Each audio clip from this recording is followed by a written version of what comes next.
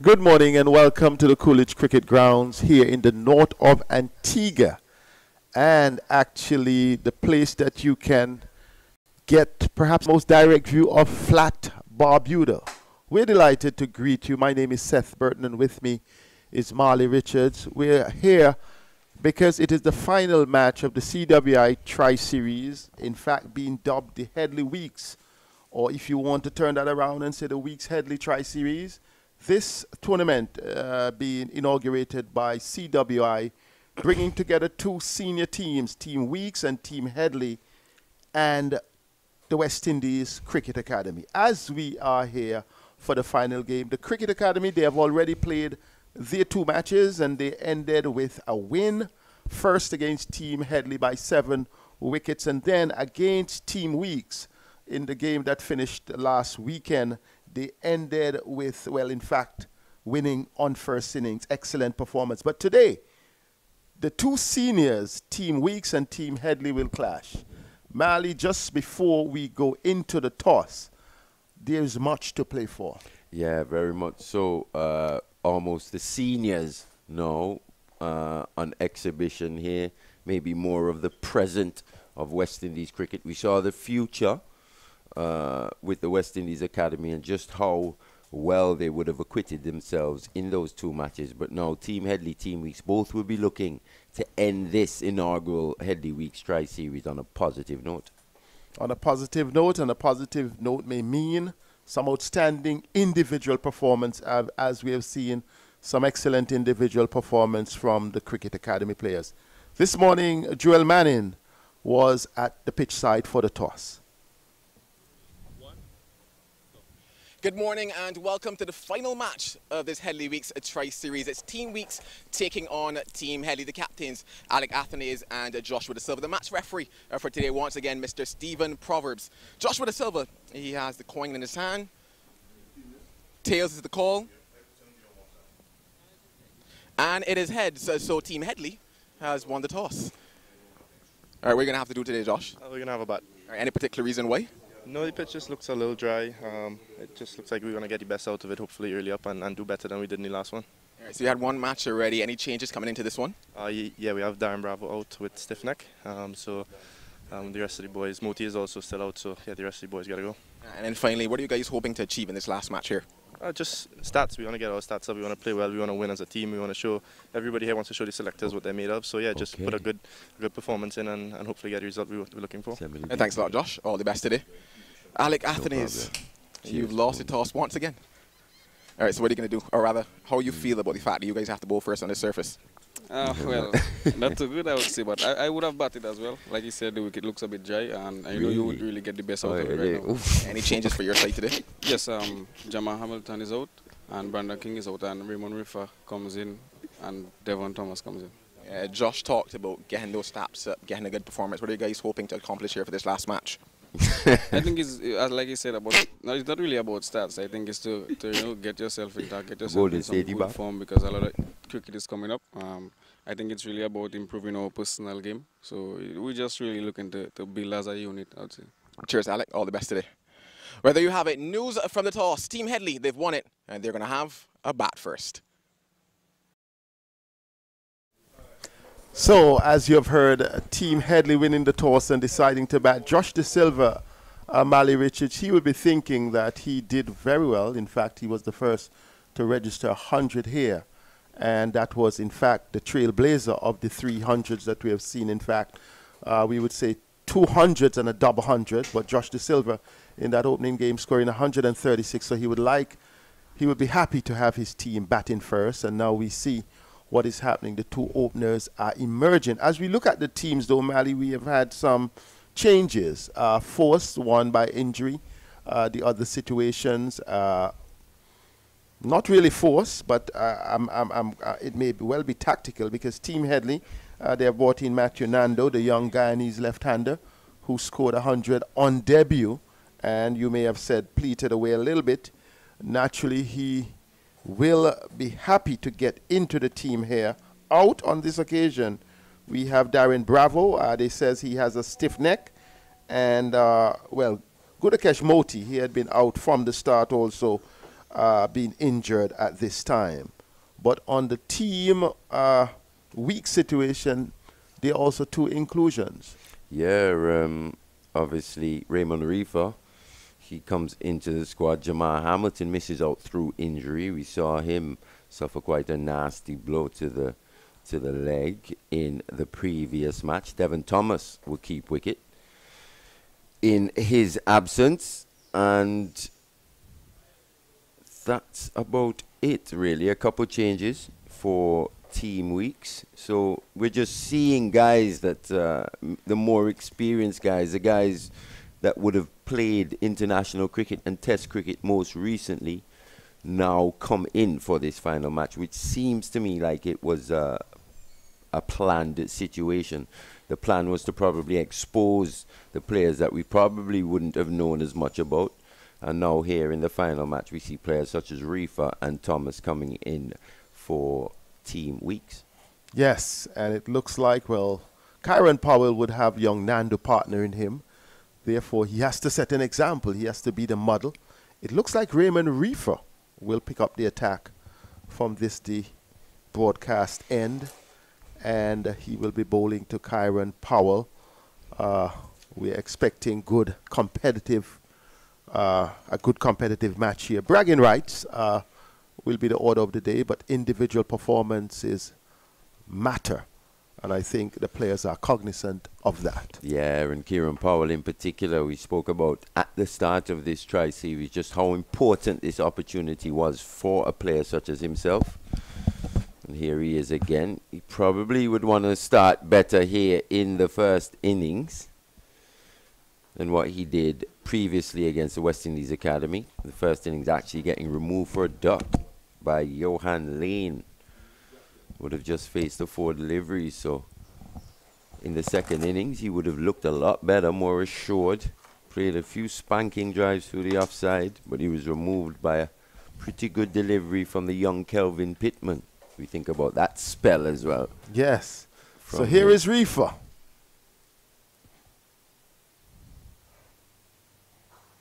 Oh, that's straight off the middle of the bat ball. One set. Greetings. That's what he says. Just easy as that. Uh, probably looking so good just on the back foot and as usual. In fact, he's adept both at the back and the front foot play. He plays that cover drive with so much assurance. Yeah, when he's playing well, uh, the offside is he's really flowing and fluent through that offside of both front and back foot, as he said. A good start. Good start. This pitch looks a pretty good pitch for batting here. Oh, that one came back late. Not Powell was not playing a stroke at it. Yeah, not quite the amount of grass that we would have seen previously in the previous two matches actually we've moved now back onto what the second third fourth fifth pitch on the square more central here at Coolidge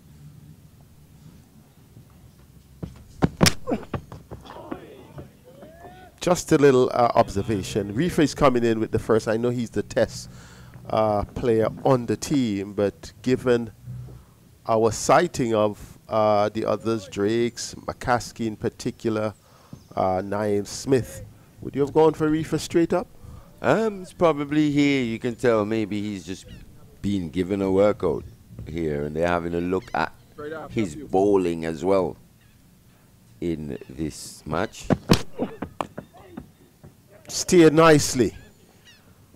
Powell looks uh, quite relaxed here at the start of the innings.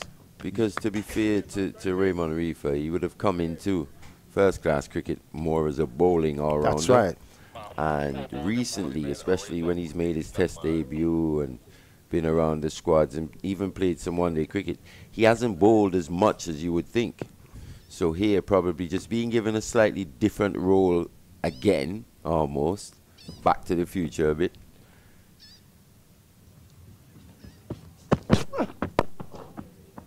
Yeah, that's a notable observation about, you know, uh, back and forth as an all-rounder. The well, I, I don't think there is any challenge in being an all-rounder. I think you're expected to be an all-rounder if you're an all-rounder. Uh, the issue is that some may, may, may, may, may taper towards batting more, some taper towards bowling more. The balanced all-rounder would just be a genuine all-rounder, but how they're used. Yeah. And to be fair, I think the challenge is physically set more than anything. As Reifer ends the first over here today. Team Headley, six without loss. Yes, you were saying the ch challenge. The challenge is is is physic physically uh, a lot, especially for genuine all-rounders, fast bowling all-rounders, batting all-rounders who bowl medium pace. It's it's it's uh, being able to deal with the physical workload more than anything, and also uh, just how much time is devoted, especially in training, to to to the different disciplines it's always a fine balance, especially when you're a genuine, genuine all-rounder. It's, it's a lot harder than you think to maintain. Yes. You know? that depends on the, the team's demand as well. Mm. You know, how balanced is the batting that you're not expected to be the mainstay for both. But what it does, though, is, is, is especially genuine all-rounders really afford the team balance. That's right. Uh, especially uh, depending on conditions. You know, if you've got that extra bowling option or, or even batting option, you know, in spin-friendly conditions, you could probably play the extra spinner. In fast bowling conditions, you can play the extra fast bowler. Even the extra batter as well. So here is Naeem Smith. Nandu was leaving that one alone. Kept a bit low for my liking. Uh, but these two know each other well. They represent the same team. So. Yeah, so I think what's happening, what's gonna happen here over the next couple of days, especially if it stays as hot as it as it is now, is that this pitch is going to be absolutely fantastic to bat on, probably today and most of tomorrow. But as this game wears on, ball's just gonna we're gonna start seeing that inconsistent bounce that we've grown to see here. Ball's just scooting through a bit lower than batters expect. Well, in fact, we're we're clear here. Today is going to be a hot day. We have already had Met, Met Office warning, okay. so we may have some of those breaks again. Yes, double the They're breaks. saying between 10 and 4, if it's possible. Yeah, avoid the sun. Yeah, and what I noticed in the uh, last game when we did have those excessive heat warnings was the breaks came every 40 minutes. That's right. As opposed to every, every hour. hour, yeah. which is good thinking on the part of the umpires here. It's amazing how, how cricket can sometimes apply that thinking to some things and not to others. Well, he gets off the mark nicely. He does so with a boundary. The youngster must be confident now. He's having a chat with Powell. Got that one though on the pads. So he could have worked it wherever he wanted. Well, Nial Smith, he's already started here uh, to the left-handed Nandu very differently to the previous match. He's forced him to play a lot more already just the three deliveries, but he's just shows you that fine balance. He's just started on a little too straight, and Nandu gets away with a sweet bit of timing through the onside. And that may be a discussion that they may have had. He has resorted to the first game line. That's what four. that's what four runs you do to you.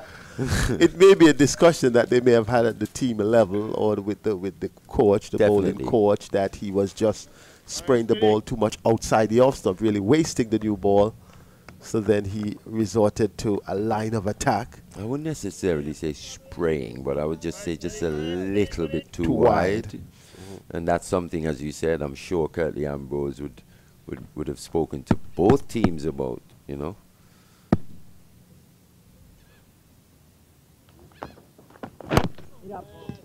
Still good on the stumps. Tight lines, tight lines here from Smith. He's made the adjustment. Not quite the, the movement yet. As we said, less green grass on this pitch. Uh, hot day. It's looking a pretty good wicket for batting. Well, you know, uh, Mali, we have our two friends from Trinidad and Tobago. I didn't quite get their name, but two very knowledgeable gentlemen. Yes, or are they back again? And they're back again. I actually call them the West Indian grumpy old men. I hope they don't hear you. Yeah, I, I told them. I, I, said that to them. They, they, they loved it. They were they laughed. Uh, One said, "Oh, do you know there's a movie like that? Ten without loss after two of us. Oh, oh, oh, there is a movie like that. Yes. Oh, so I said yes. That's why I said it. You know. but they they, have, they they they they stimulate you yeah. in terms of cricket in history. And they do. They do. I'm just wondering. I think sometime during the, the, the day we'll see if any one of them would. You must you must brush up on your movie set. Jack no, Lemmon. I'm, I'm Jack Lemmon and Walter Walter Matthau. I'm I'm terrible on movies. I, will be honest with you. I am sport news. they were funny. and business. Yeah, I'm, I'm getting there. Yeah, you know because. Sometimes you have the wife and children yes, want to watch a movie, yes, and I'm falling asleep, yes, man, in watching. the middle. Domestic life, huh? I, I will brush up. Good contest here. I like to see how Powell, in fact, every delivery that he has played, he has middled it. Yes. It has come, even the one that he stayed uh, with soft hands uh, past Gully. He looks to be in command. He looks to be uh, in touch, if we will go back. He got docked in the first innings of their game against the Academy. In the second innings, then he got at least up to 20 but really did not bat on, got a snorter from Kelvin Pittman, which really yeah, not a special delivery that yes. you won't see many more like that. For sure. To Reifer. I guess now I saw that little shuffle, uh, sort of. Second time. Yes. Yeah, he's just just looking to advance slightly to Reifer. And one of the shots that he has played, not against the pace, but against the spin, that I think has created his downfall many times, he walks down the track and he looks to hit the ball down the ground. He, he's successful on many occasions, but oftentimes is left stranded. So perhaps his thought and his mind, his mindset. This time he blazes that one for four. Authority, power, and precision. Powell is on the go. Yeah, authority indeed. That one was hit uh, on almost the top of the bounce from Reifer. Not quite a long half volley, but it was full in length. But it was the width that was prevented by Reifer. They allowed Powell to really free their hands through that one. And he started brilliantly here. And he, he will have fond memories of this ground. Yes. burst onto the scene here. Stanford T20? Yes, as a 16 year old, if I'm not mistaken. That's right, somewhere around there. You also played in that tournament. I did, yeah. For Antigua Barbuda, he played for Nevis. Nevis.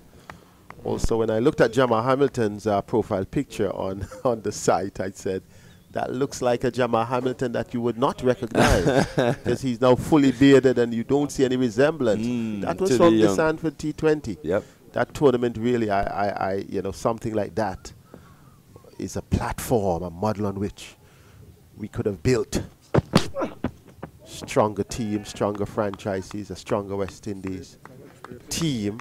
But it's almost come full circle a little bit in terms of just what you're speaking about in terms of building, because this facility here that we're That's right. was actually built by Sir Allen Stanford. It's now owned by Cricket West Indies. That's right. And uh, it's it's housing the next generation of West Indian cricketers as we speak developing. Uh, we know Cricket West Indies have got some pretty big plans for this property, for That's this right. area, to develop and you know to put a hotel and more accommodations and develop the nets even more. So a lot, a lot going on. So it would not just be the home of West Indies cricket, but the centre of excellence, I would say, of West Indies cricket. 14 without loss after three. A good start so far by Team Headley. Yeah, and Powell in particular. Just almost picking up where he left off before, as you said, he got that snorter from Kelvin. Yes. Pittman. He was looking pretty similar. Really looking good. As well, you know, uh, was playing some sweet drives, especially off that front foot through the offside. You know what he said to me? he said that delivery was specially said, I don't think he can bowl one more like that. so who else would he bowl that against? Yeah, you know. Sometimes you have this little team rivalry, and Pittman was really on a, you know, it was perhaps the best spell we would have seen from Pittman himself, in which he got three wickets. Yeah, just giving us a glimpse into to what could be. You know, we saw that with Kirk McKenzie as well. Uh, Kevin Wickham. That's right. So when we look at how things are panning out, once again Smith strays in that line. When we look, the youngsters have really uh, come up well. Kirk McKenzie, top in the batting so far, 271 runs, an average of 90.33. That is in uh, his two games here. 221 is highest score in the in the first innings of that match against Team Weekes. Uh, then we have Kevlon Anderson, 195, including his top score of 153 with an average of 65. Josh Da Silva, we mentioned that he did score big, 136 not out. He has 139 runs uh, so far.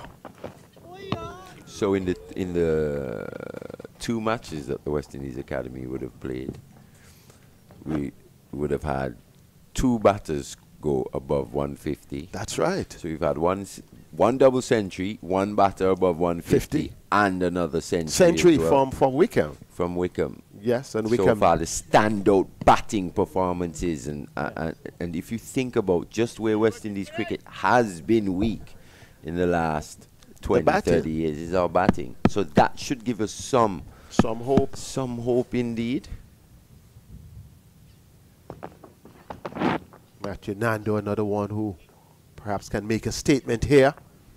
So with Wickham's 100, so we would have had uh, at least four batters scoring 100. Wickham scoring his, uh, well, 123.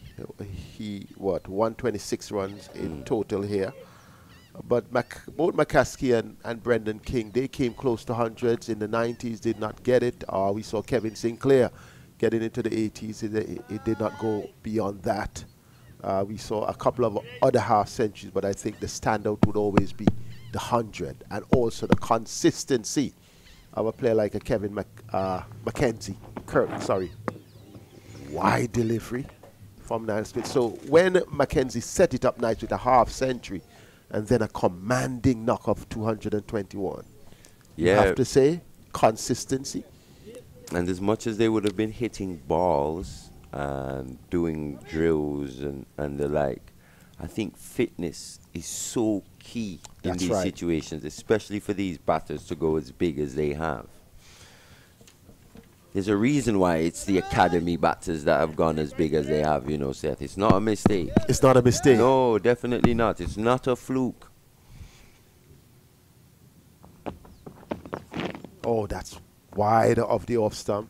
You, you look at Ashmead Nedd, you can tell just yes, how fit you did mention that. guys are. So the system is setup. working. I think the system is working. Yeah, and and and and uh, not as much emphasis I think is placed on on the fitness. Yes, the skills. Obviously, you got to have the skills, and guys are working on the skills. But the constant. Yeah, I think I think it's it's it's it's, it's a testament to, yeah. to fitness as well. When you see opening batters batting well over day. 100 overs, you know, in a day and looking fresh coming out the next day. Right. Looking for more, you know.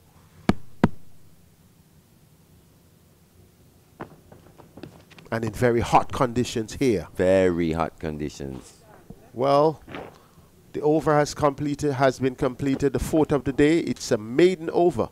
14 without loss, the first maiden of the innings, but not a particularly good penetrating over. So you have seen it, it's all uh, McKenzie with his uh, excellent 221 being the highest score of, of his 271. Again, the Academy, Kevlon Anderson, 195, including his 150. Uh, Josh Da Silva, his 139, the only player outside of the Academy to score 100. Mm. Then we had our young uh, Kevin Wickham with his 121 uh, from his 126 total. Otherwise, relatively uh, good batting performances. Reifer is not ready. Dead ball Dead ball call. We have umpire Brathwaite who is standing at the this the southern end, and umpire Leslie Reifer Jr. is it standing at the well he's at square leg now, but he stands at the northern end. So these two are ensuring that things go according to plan. On the stumps, and he gets a quick single. Reifer not happy.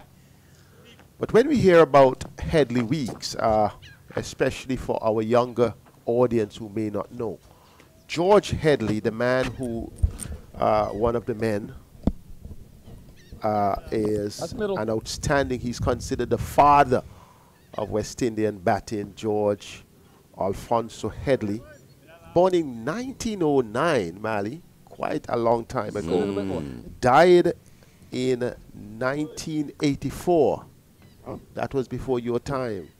No, it wasn't actually. I was one. You were one. Okay, yeah. I, I know somewhere around there. Yes, you're 1983 baby. That's right. he died at the age of 74, but George Headley was an outstanding West Indian batter. In some way, uh, when they used to call him the Black Bradman, his fans used to say, "No, Bradman is the is the white Headley."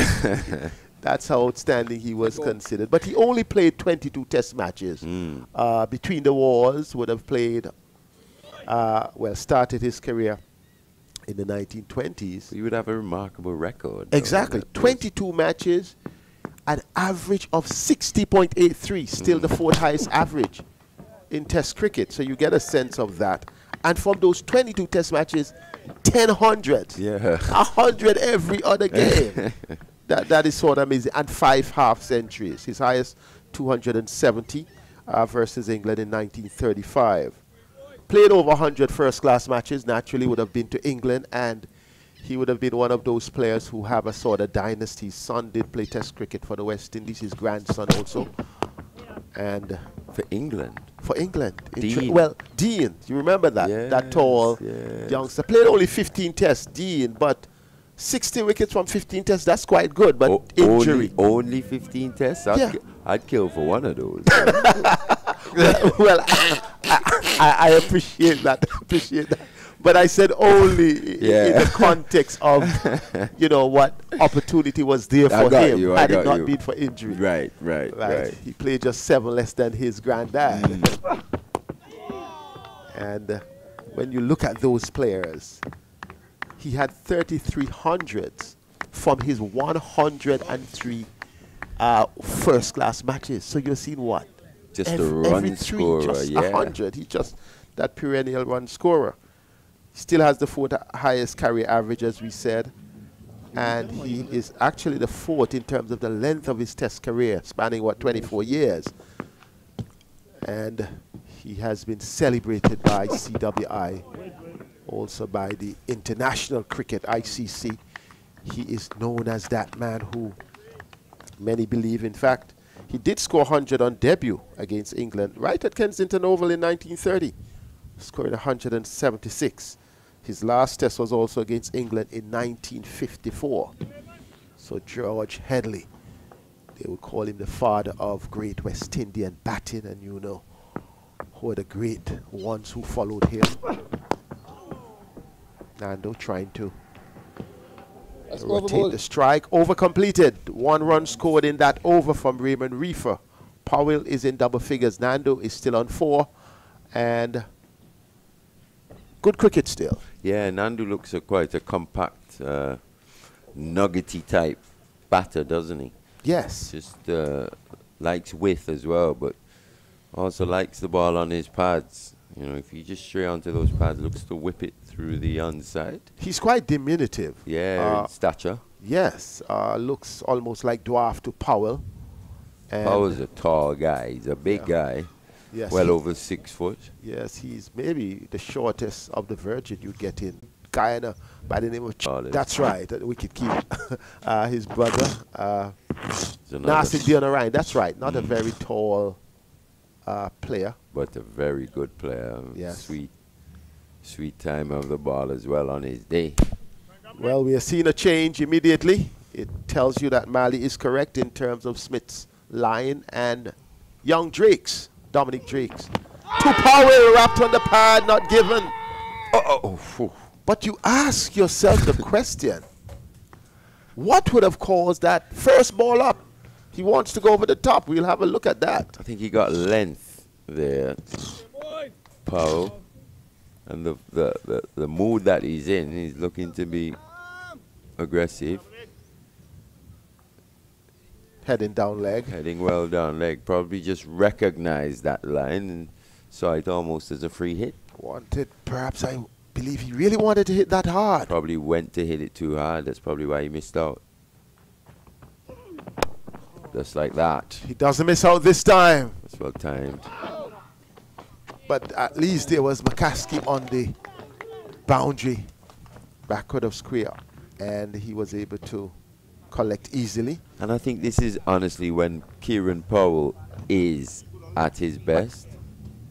Um, when he's looking to be ultra, ultra aggressive. Uh, I, I, said McCaskey, but that's Ma- McAllister. McAllister, yeah. Yes. Not ultra aggressive, but looking to be positive. When yes. he's looking to play shots. It sets him up for, for, for a better defense as well. Down the leg side again. A big chase by McAllister. But he does not stop it. Nandu gets, in fact, leg by. Signaled by umpire Reifer. The question is, one fast bowler straying too far outside off has been pulled out of the attack. The other one starts going down leg side. Yeah, and this is uh, almost a bit more of the same from what we saw from Dominic Drakes in the previous game against the West Indies Academy. Just inconsistent in his lines and lengths. At times, bowls genuine wicket taking deliveries, but at other times, just a little too inconsistent. That's a better delivery. Got some bounce on it, a little pace. Bowling to both left-handers. Uh, would need to have that line, that line just a touch outside the off stump on wicket. I thought the left armer, Ramon Simmonds, who came in as a replacement during that game for Kelvin Pittman, also showed them that you can attack stumps and hit stumps. And that's something he would have been uh, doing a lot, especially last year during the CPL uh, really honing those skills. And the covers up well.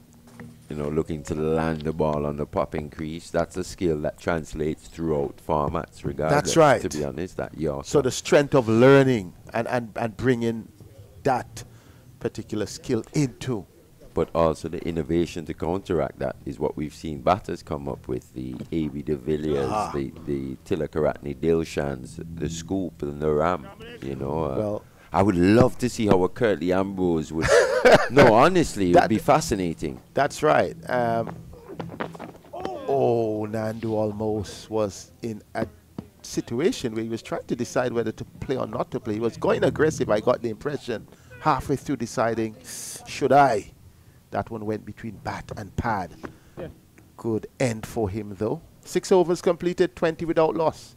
Yeah, because if you remember, Kurt was also possessed yes. slower ball. Slower ball. Known for the Yorker and that length ball and that bouncer, but that slower Slow ball, ball, that he bowled to, I think it was Ian Healy at the time, yes, properly outfoxed him. But at the time, we didn't see too many bowlers so, bowling that. So you, you're speaking about A.B. de Villiers, who is one of my favorite batters. Mm. I was trying to explain to one of my sons about your dad. And I said, okay, you would have to combine A.B. de Villiers and Virat Kohli. Mm. so my son asked me, he's so good.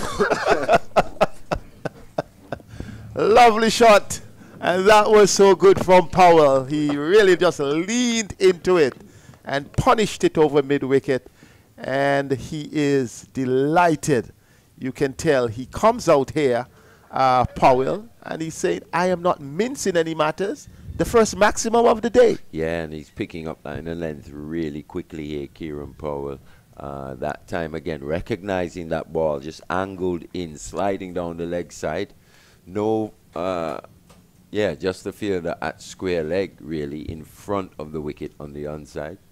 And it's a free hit. And he fully obliges. Six runs, as he said, I as they now send back the man Veerasammy Permaul in the mid-wicket boundary. I guess that was in his intention in the previous over for Drakes' first ball. That's close. That's close. he's not stopped crying. Nah, he's that's close. I, I guess why. maybe it's a bit high because the front foot is down the track. He's not even moving, and that extra decision perhaps created some doubt in umpire Brathwaite's mind. We look at it. Yeah, he's hit outside the line here as well as we see him just yes, advance outside slightly the line. again. Yes. Yes. It was also heading down. But a good shout from Raymond Reef and a good loud shout. But Powell, like the umpire, was confident that it was not. And, and sorry. But that little movement, him advancing again, just getting outside the off stump, that is what would have saved him there on that one set.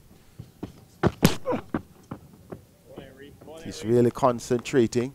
But the point I was making, and I didn't just bring it up because of your dad, you spoke about innovation, and a lot of us sort of believe innovation started just around T20. Right. But I used to see Sir Viv just move across the leg stump.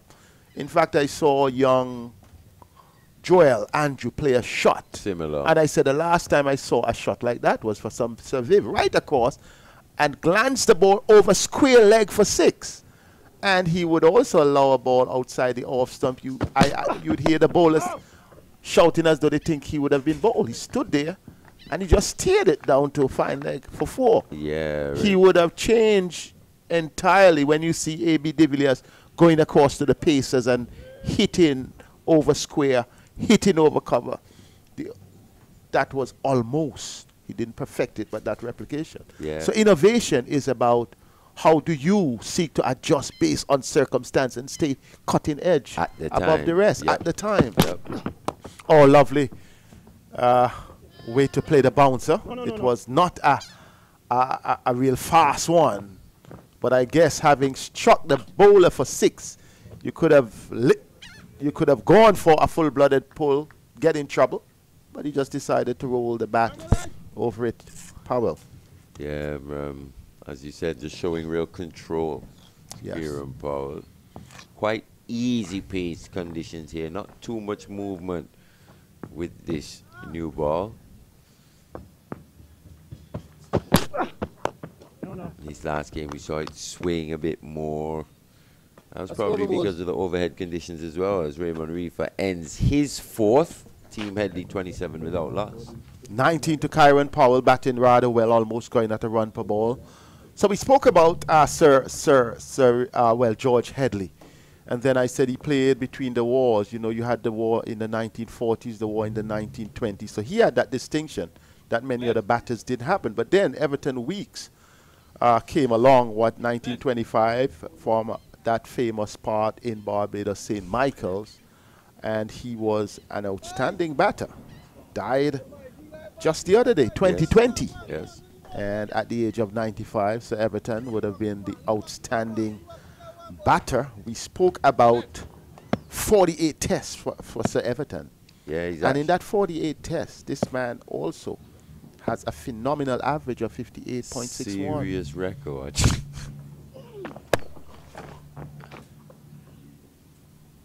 Powell still looking commanding, but 48 tests, 4,455 runs, 1,500. If you work that, that's what every three plus games you're having 100. Those were some of the great guys, and he still has a standing record, five consecutive hundreds uh, versus India. Five consecutive hundreds every time you bat in a Wow. series. You know, you make a hundred. serious purple patch that was. That's that, that's what it was. And there is a story to it. That's uh, Everton Weekes. When he was dropped after he didn't have such a good start to his career, um, they said that he would have replaced Headley, who was not available or was ill.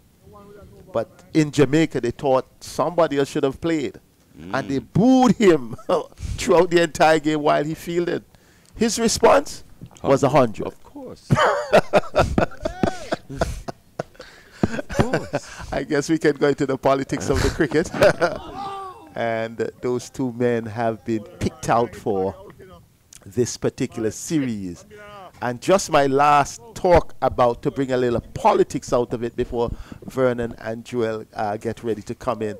I was reading something on Sir Gary Sobers, the phenomenal all-rounder, and Sir Gary was saying that when Wes Hall would have made his entry into cricket, which I was discussing with our two Trinidadian pals, He said him and Sir Everton decided to go at a particular fast bowler. Mm. And he said we went to him at him real hard. Speaking about the politics of cricket, he said, we wanted to beat him. He said we wanted Wes to play. I didn't even know another fast bowler around. And he said they, as two seniors, they went after him. And that's how Wes got into the team. Not that Wes was not good, don't get me wrong. But at times, you know, that sort of national pride is important.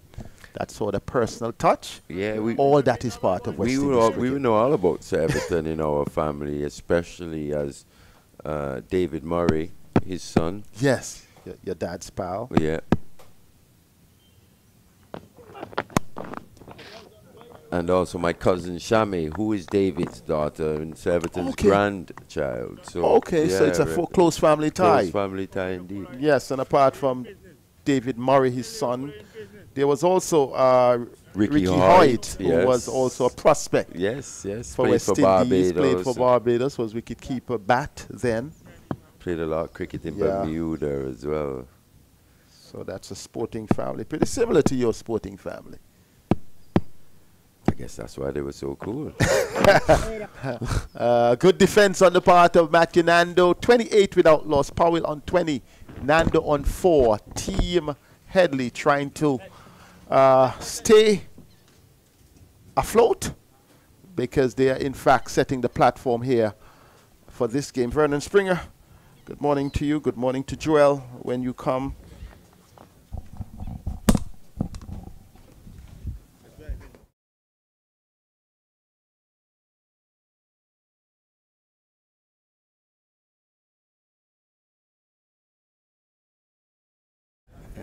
Mali Richards starting off the morning. And May has started so far. I want to say happy belated birthday to Elquemedo Willett um, out of the island of Nevis and to Sir Gordon Greenidge and to Brian Charles Lara from our entire team here and all of the folks all over the world who have been celebrating in this special month of May. We'll be back with the cricket action. Team Headley winning the toss and opting to bat first here.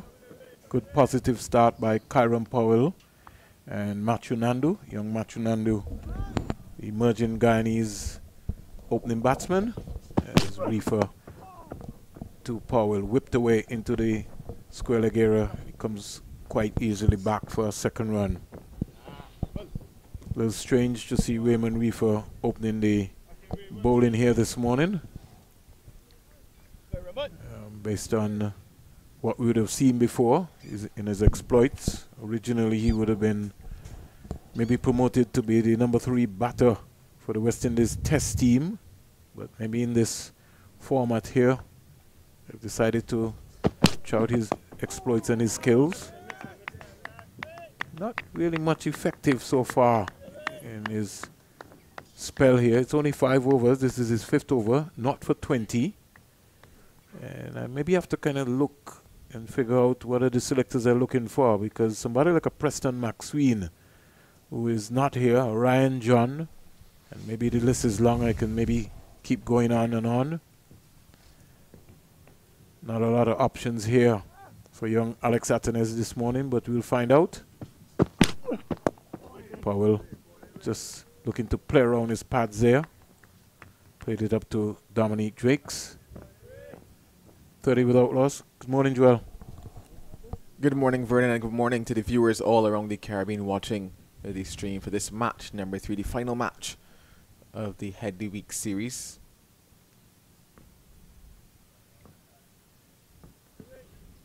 Reifer from the media centre in here, the home of Cricket West Indies, Coolidge Cricket Ground. No pace at all. This looks like a good solid batting track. And Powell has maybe decided that he's going to cash in here this morning. But it's early days yet. You always look to see what is going to happen in the first hours day's play. There's no Bravo today who can come and wobble the ball around and get a couple of wickets. There's no Brandon King. And no Jahmar Hamilton who's out injured. Reifer. Arms working, arms pumping to Powell. Powell getting a early stride out there. He looks a lot confident today. simply because you can see that stride. You can see him coming out, looks positive. I like the look of Matthew Nandu. He's certainly not going to be rushed. He's not going to be fazed. He's got good defense. Sort of remind me of Shivnarine Chanderpaul. You could look at that, that, that copy area. Sure, Chanderpaul, Shiv, Shiv Chanderpaul would have been his hero. Very much relaxed. Keeps it simple. Plays within his limitations as he does just a while ago there. So, three ones coming off of Raymond Reifer over. And the score at the end of 9 31 without loss. Yeah, for young Nandu, certainly another lovely opportunity for him here. Would have played his first first class season this season with the Guyana Harpy Eagles, and you, you could say it started off perfectly for him, getting 126 in that first innings versus Barbados Pride. But then since then, he's not necessarily gotten many of the scores that he wanted. He got a 60 versus the Windwards in his second innings. And I had a chat with him before the start of this match in an interview. You know, I asked him his thoughts with regards to how he would have assessed the season for himself. And he told me that cricket is one of those games that lifts you up one day and then it pummels you into the ground the next. And I think that was because of the fact that, you know, the expectations heaped on him from getting that 126 on debut people expected that it would have been a dream season for him, but it didn't necessarily turn out that way. He started to feel, I guess, a bit of pressure. But another opportunity for him here, coming in as a replacement for Shayne Moseley. Drakes to Powell.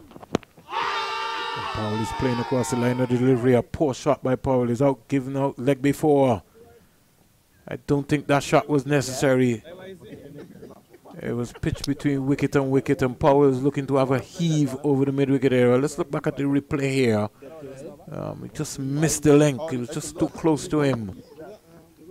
Yeah, looking to go after another one was Kieran Powell. Uh, this time, though, miss again, and certainly talking about that length a lot fuller uh, than he would have predicted for on that occasion. Looking uh, to clear deep mid wicket, finds the pad and an easy decision for umpire Nigel Duguid. In fact, sorry, umpire Leslie Reifer. So the first wicket down, it's 31 for one. Powell, he has to go for 23. And he just ended up in a, he didn't open up. He was just out of position. Um, really just lapsing concentration there from Kieran Powell. And he was cursing himself that he was coming out. He looked so good. Um, and when you look at the period, it's just now 10.40, 10.39, 10.40, and he got out. Um, you know, you when you got starts like that, you you you want to capitalize on that, and it wasn't like it was an express ball. Um, it was just a miscalculation there from Kieran Powell. So he goes back into the hut, and straight away, Team Headley loses their first wicket, or their most experienced players and test player Kieran Powell. Out comes Kavem Hodge, and Kavem Hodge has been uh, around the system also you know, maybe you know, went to England 2019, 2020, and with the, the less opportunities of really getting to play cricket and your mindset, you, you come in and you come out. You know, I just hope that you know somewhere along the line our doors are being closed. Originally, young players would have got an opportunity to go to England. That door is really closed because of the requirements. You have to play sometimes five first-class games some people maybe might only get three or only get two, then you know you don't get an opportunity. And even if you go to England, it's not a quality of cricket that you play. It's also going to be important. Drakes to Hodge. Hodge leaves alone a wide delivery. And then there are not a lot of opportunities available um, for young West Indian cricketers, maybe even to journey across to Australia. And saying that also, the entire landscape of cricket has also changed. Because if you get a big contract now, it's either to play T10 or T20. So the opportunities, uh, you know, for really playing the longer version of the game or Test cricket is more or less diminishing quietly. Here's a good positive shot by Hodge, stroking it up to cover. Tagenarine Chanderpaul comes across and knocks that down. And I think we, we have to deal with the reality to understand what we, we, we're faced with now.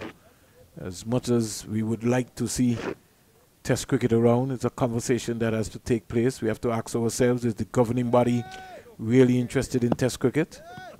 And if so, um, how are they looking to try and save the game? Lot of chatter coming now from Devon Thomas and Sinclair and Athanaze.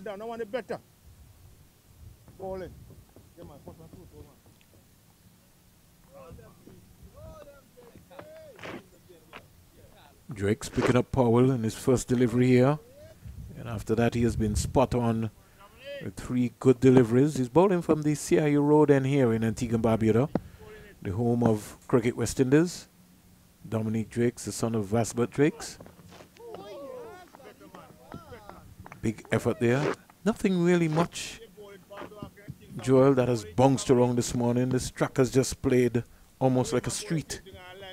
Yeah, I certainly expect that probably for first day and a half or so, but looking at that surface is by far drier than the one that we played on in match number two. And it also looks a touch drier because it's the very surface that we used in match number one. It looks just a touch drier here on day one as well. Drakes bounding away.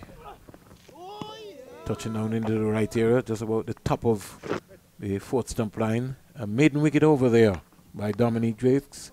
Um, a much better spell as compared to the last game. Yeah, certainly has started quite well. Has Drakes on this surface, and we probably expect that Jeremy McAllister will be introduced very soon into the piece. Uh, here he comes as well. So he's going to replace Raymond Reifer from this media center end. But yeah, just looking at the surface, you probably would tell yourself that in terms of the majority of the runs, the bulk of the runs will probably come across the first day, day and a half of this encounter because I remember being out there when one of the bowlers was marking out uh, their run up uh, at a piece that the surface came out uh, already and it told me about how dry it is underneath, so you probably don't expect that it might hold up uh, across the, the entirety of this match. A couple cracks out there as well, and not just that, but uh, the size of the cracks already, the directions that they're going. You're probably going to tell yourself that coming on to maybe the latter half of day number two into three and four, you expect the up and down nature as you would have seen in match number one, as we would have seen across the first class championship as well. For, so for the batsmen, the batters out there, they certainly would tell themselves that this is the time uh, to get their runs similar to how we would have seen that game play out between Team Headley and the West Indies Academy. I think credit will have to go to the curators and the assistants based on the lack of water to prepare these pitches all around the world. McAllister not getting it right first up.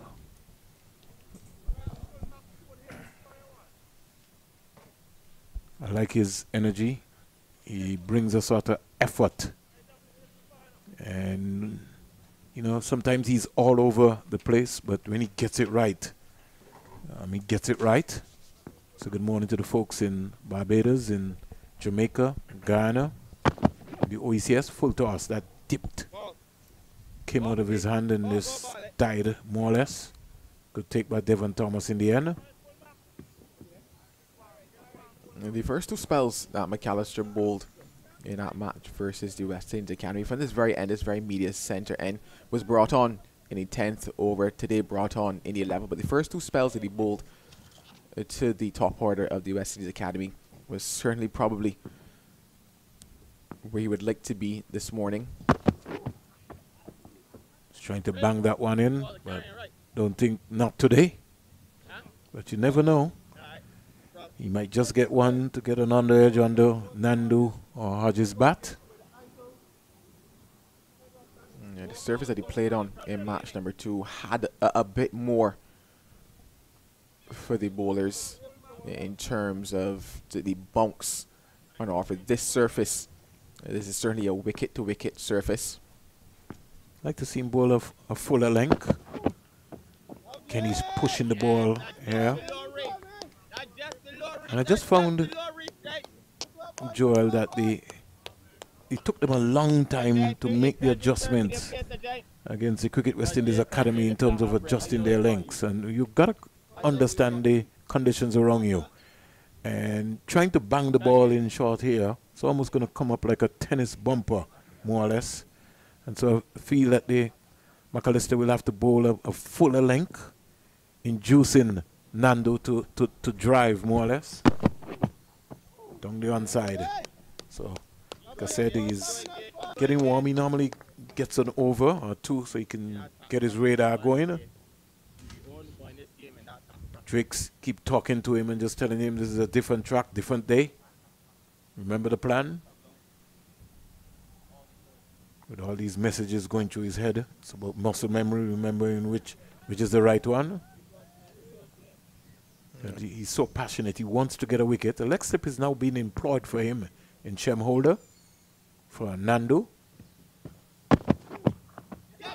Ooh, it's gone wide of him and down to the boundary for four. So leg byes, more or less. Uh, even if it went to Shem Holder, it wouldn't have been a catch, but you could understand the tactics and deploy. Yeah, certainly looking to work out Nandu, and I was actually very impressed with the fact that they made that change quite early because I was thinking back to the 100 that Nandu would have scored. And as we see there, just on the hips of Nandu, had it gotten back, you probably would have said that maybe that is what would have taken it in the direction of Shamhol, but the thigh pad uh, a bit thinner in terms of the edge. And he takes a step to his left now.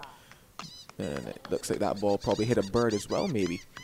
But in terms of a lot of the runs that Nandu scored in the 100 that he had versus Barbados and McAllister will remember it, a lot of them were works off of the hip, very uppish as well. The first boundary of the morning as well from Matthew Nandu was a ball he worked off the hip as well to that very similar position. Over bowled, it's 35 for 1.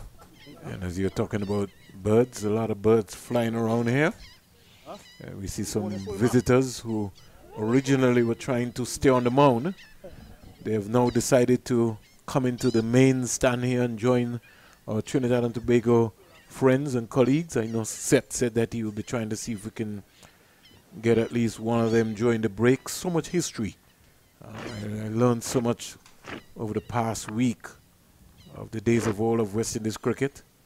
And it's so important really to be talking to to fans all around the world. There are so many people all around the Caribbean who have seen so much cricket and they can tell you of the conditions. Drake's too hard, who is not. Gets a wide delivery. Still want to get Drakes to get Hodge to play the ball got a brand new ball. And because they love cricket, they have walked straight up and found the colleagues were sitting in the stand. Sure, it'd be a better relief for them because the sun is hot. It's not only hot here in Antigua and Barbuda, it's hot around the Caribbean. Expected to have heat levels warming up.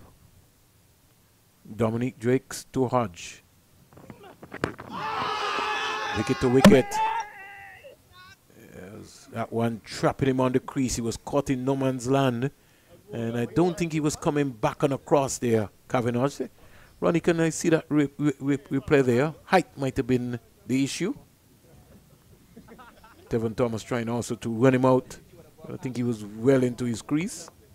If you look, his right foot really didn't go anywhere. Didn't go deep enough. And then he moved again. Height. So, good decision by Leslie Reifer Jr. I'd like Cavenagh to get deep. You know, he kind of moved once and then he tried to move his right foot again, but not really. I think maybe early in his innings, he tends to not get moving very quickly. Drakes is trying to push him back. No! That's a lot better. He's backing across and defending nicely. It's going to be a test for him. And that's what I want to see Drakes do is maybe bowl attack the stumps more often.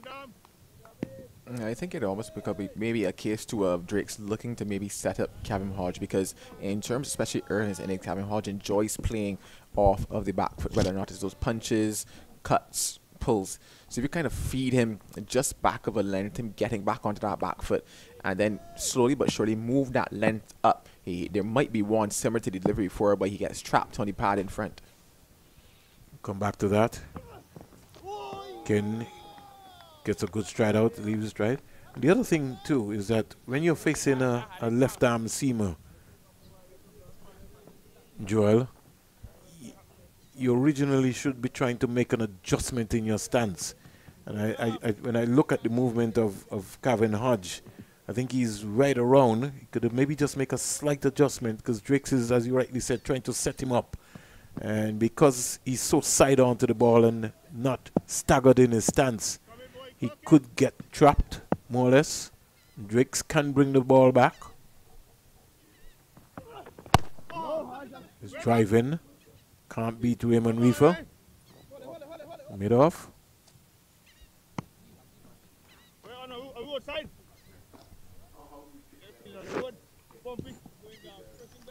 Devon Thomas is asking Drakes if he's on the roadside. There's no room for driving here today for Kavem Hodge.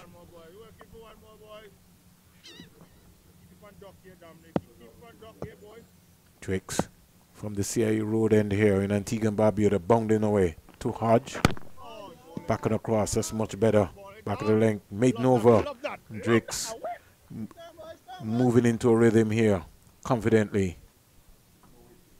Uh, that's certainly another lovely over for Dominic Drakes. And what it means is that Jeremy McAllister will have another burst at Matthew Nandu just allowing bowlers here uh, to begin to, to work on a plan of attack because they've not been able to really rotate the strike recently. So they've been able to string together some deliveries to either batter. 35 for one, some 61 dot balls here so far. Very early days still. We're inside the first hour. Wide delivery. Maybe if we were playing in the cool and smooth competition, that might have been called a wide, Joel.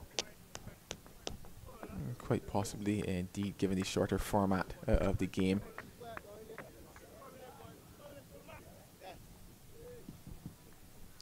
in a situation, sorry, Joel, hmm.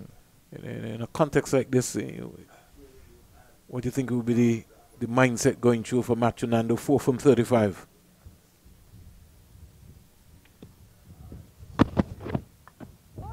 He's all caught behind.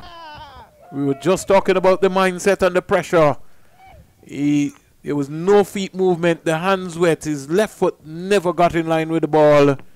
And he fished at a wide one, full of length. And just as Joel was talking, Team Headley striking. They've lost their second wicket this morning. 35 for 2. Yeah, I was just about to make the point. That was, in fact, McAllister who took the wicket uh, of Matthew Nandu in the first match that they would have played in the first class championship. A different delivery to this though. This one going across Nandu. Uh, looking to force it through the covers. Just takes the edge and the easy catch behind for Devon Thomas. Don't Ma think he was balanced there, Joel. His two feet was in the air, as you said. I, kn I know he's a short guy, um, but he was just thrown off balance um, entirely there. And good catch by Devon Thomas. Nandu walks back, disappointing, but at least he had a good outing here, more or less. This is will grow in his exposure and his confidence going forward. Uh, I don't think he probably class this one as a good outing for him. Uh, unless it was a case of just the sweat aspect of it. Uh, knowing Nandu and knowing what he's hoping to do, especially coming off of the first class season and it not necessarily registering as the mark that he would want to make, he would have said that, you know what, he could have probably put that shot away because, as I mentioned, he was looking to force that one going uh, across him, and there wasn't much in it in terms of the line of the ball. It wasn't necessarily there with the room to play the shot. So he would certainly be disappointed with the fact that he's got to walk back for four. And given the fact that I mentioned that in terms of the conditions today and into probably the first half of tomorrow, the better time to bat on this surface, he would tell himself that you know, this was not the, the, start that he, he would have wanted. So, testing time at the, the first drinks breaks. Team Headley 35 for 2. And it is now a of pressure situation for Ambrose and Cavenagh, who will have to rebuild, will have to refocus. And this track, really, in, in, in fairness, is not going to be an easy track, but it's, it's a good surface to bat on, um, less bounce, and you maybe have to grind it out here today.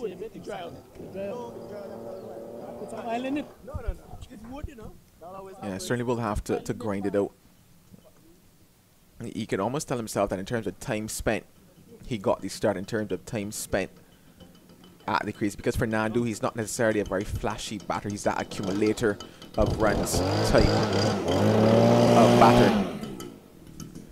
Uh, so for him, yeah, the pace of scoring would not have been uh, a problem for him. It was more so about time at the crease, and he got that because he was there almost for what we would consider the first hour of play. Got through the opening bowlers, even though they're very short spells uh, for the opening bowlers today. But just that, I guess, that additional pace factor as well uh, of Jeremy McAllister getting on to him before he got into the position to play the shot. I mentioned the fact that McAllister took his wicket in the first round of the first class championship. That time, though, it was a short delivery that rushed Nandu. So you can maybe say the pace factor is maybe the slight undoing, but he's got to go. 35 for 2 they are into over number 13. Kieran Powell, LBW to Drakes for 23 of 27 deliveries. And you heard there from Joel, Matthew Nandu going caught behind of Devon Thomas for 4 of 36 deliveries. So 35 for 2, um, 12.2 overs. Early days, yet seems like a long day. Team Headley versus Team Weekes. That's the composition for the final round of the Tri-Series encounter. Just a bit to you. Just a little bit more. Ambrose taking an off-stump guard. Pretty interesting. Bowler's right arm over. And bowler will be coming right arm over by Gregory Brathwaite, Leslie Reifer Jr., uh, the two standing umpires today. I want to say thanks to the 360 team who are in Antigua and Barbuda offering their services to us. Ronnie and the entire team have done an excellent job. Uh, we thank you guys very much for working with us. Ronnie is a master. He's a whiz. That one is hustling Ambrose. Uh, he kind of tentatively just played it into the offside. Never seems to be ruffled, um, Sonny Ambrose. Always just looks almost unconcerned. Mm, certainly is always unconcerned once he gets to the crease. He's that type of batter who likes to impose himself on the opposition. Now, we've seen it time and time again, especially in terms of how he opts to sometimes walk down to put bowlers off of their lines and limbs. really looks to get the scoreboard ticking, this Ambrose. That one going down the onside, leg by will be signaled by Gregory Brathwaite. Team Weekes putting some pressure on Team Headley. A wicket to McAllister. So he continues to pick up ones and twos. He got four wickets in the last game.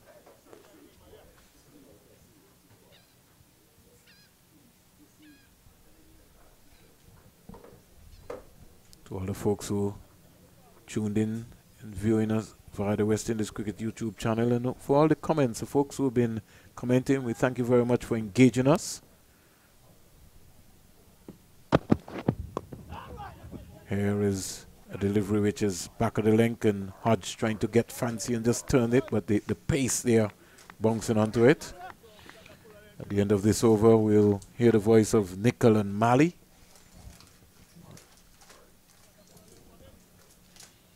Thirty-six for two.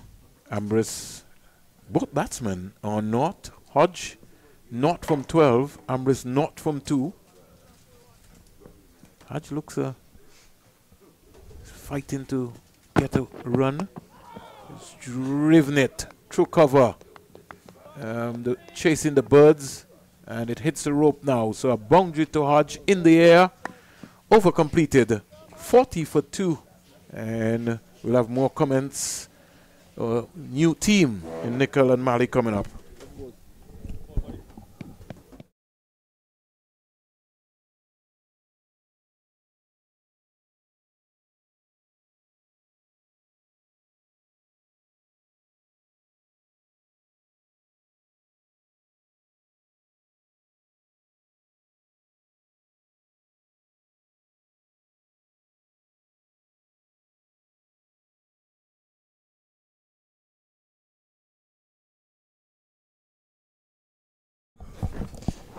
Thank you very much, Vernon Springer. Excellent conditions batting at the Coolidge Cricket Ground and what is the final opportunity for these 22 players to really show their expertise. Big year of West Indies cricket coming up, momentous year. And speaking of momentum, a man that, of course, Oh, has played at the first class it. level. Oh, stop it. Mali Richards. Hi, Nikhil. How are you doing, man? Fantastic. Dominic Drakes continuing. Mali, interesting passage of play so far. Mm. Conditions have really supported batting, given the surface, of course. Joshua Da Silva winning the toss, batting first. The two wickets that have gone, Matthew Nandu and, of course, Kieran Powell. What do you make of the way they went about things? Uh, pretty soft dismissals, dismissals in the grand scheme of things, to be honest. Powell's in particular, uh, a, a, a, a really, really wild shot. Uh, his shot selection there really letting him down. Slog sweep across the line. Wow. That's dead. I wonder if height was the problem. Drakes was convinced. He didn't even look back. Mali Richards also similarly convinced. I think he's hit that. That's the only thing that is saving Sunil Ambris on that one, to be honest. Let's have a look and see. Ronnie, you got that replay? Yes, here we go. What do you reckon, Nikhil? I. Oh, days. Probably just. Oh. Yeah, I just wonder if it was an inside edge because I initially thought it hit him high on the th- Mm. thigh pad, but on second look, hit him just above the knee roll. On the back leg as well. Was it outside the line, Mali Richards? Maybe just. Maybe just. Good decision, I think. Tell you, umpiring not an easy job. Leslie Reifer Junior standing from that end. That goes to show you, because if I was standing there, I'm giving that. You know, because to the naked eye, to in real time, it looked absolutely stone dead. But maybe just outside that off stump. In the end, Leslie Reifer, I'll say yes, good decision. Very good decision. It has been impressive what Dominic Drakes has done with this angle. Four and a half over his ball. He's only conceded two runs and, of course, picked up that wicket.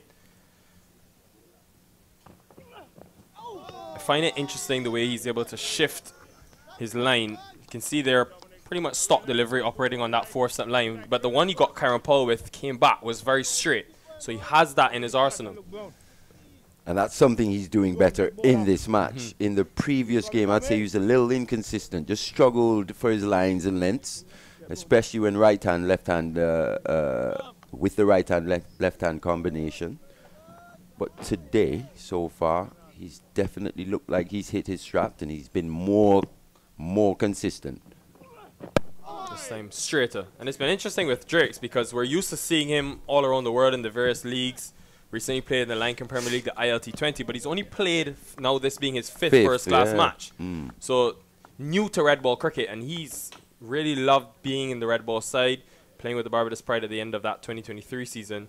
He told me that he feels it's really helping enhance his game, just playing a longer form of cricket. Well, it's a different style of bowling, isn't it? Especially, like you said, in the franchise cricket, it's more variations, especially the type of bowler he is. Cutters, back of the arm, slowies, slower bouncers as well. Another maiden for Drakes, his third, in the 14, 40 for two. But here in the first class game, the longer format, it's more seam up, isn't it? So he's got to have that wrist behind the ball more often than not, looking to snap through his action. And he's also bowling on better pitches more often than not in the for- in the uh, longer format of the game. You really got to bowl guys out as opposed to, you know, using that scoreboard pressure, or, or you've got to produce wicket-taking deliveries in this format. So far, he's looked a lot better, a lot more consistent.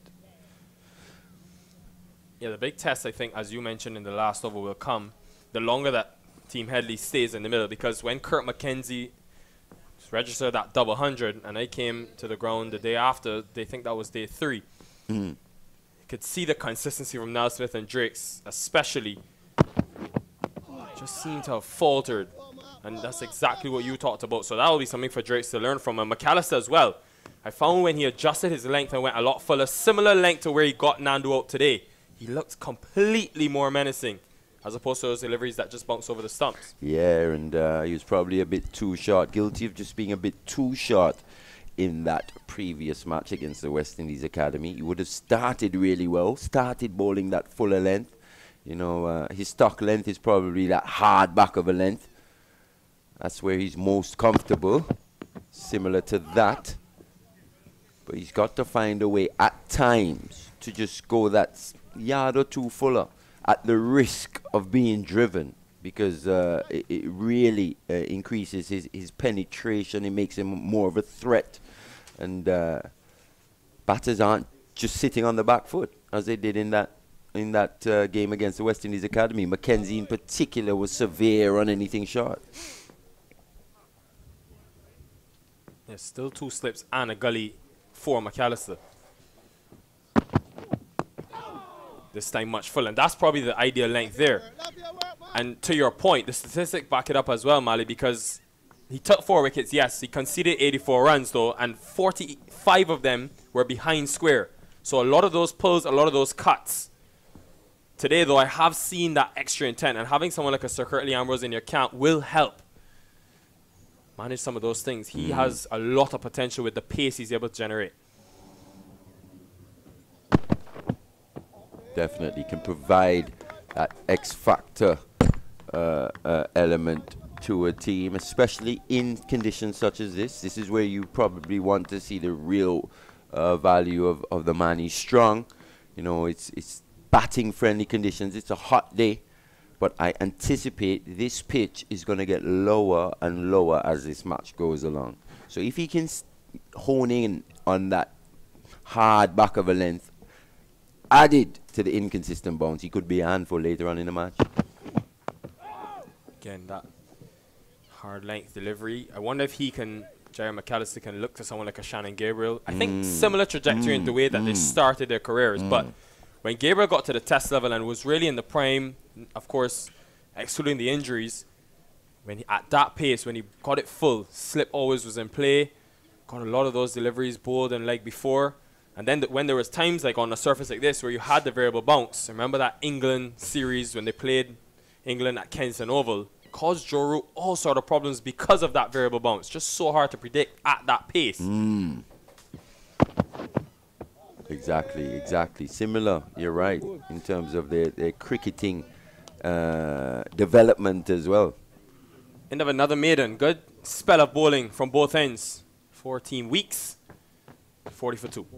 Yeah, Jair McAllister, you can tell Sh Shannon Gabriel would have improved immensely over the years. You know, I would have actually played against him when he would have first come into first class cricket, and then we would have seen him again uh, almost halfway through uh, his career, and he's just grad he's just improved steadily over the years. You know, his fitness, uh, that fitness has has aided in that improvement but he's also understood more about bowling, understood more about his body as well.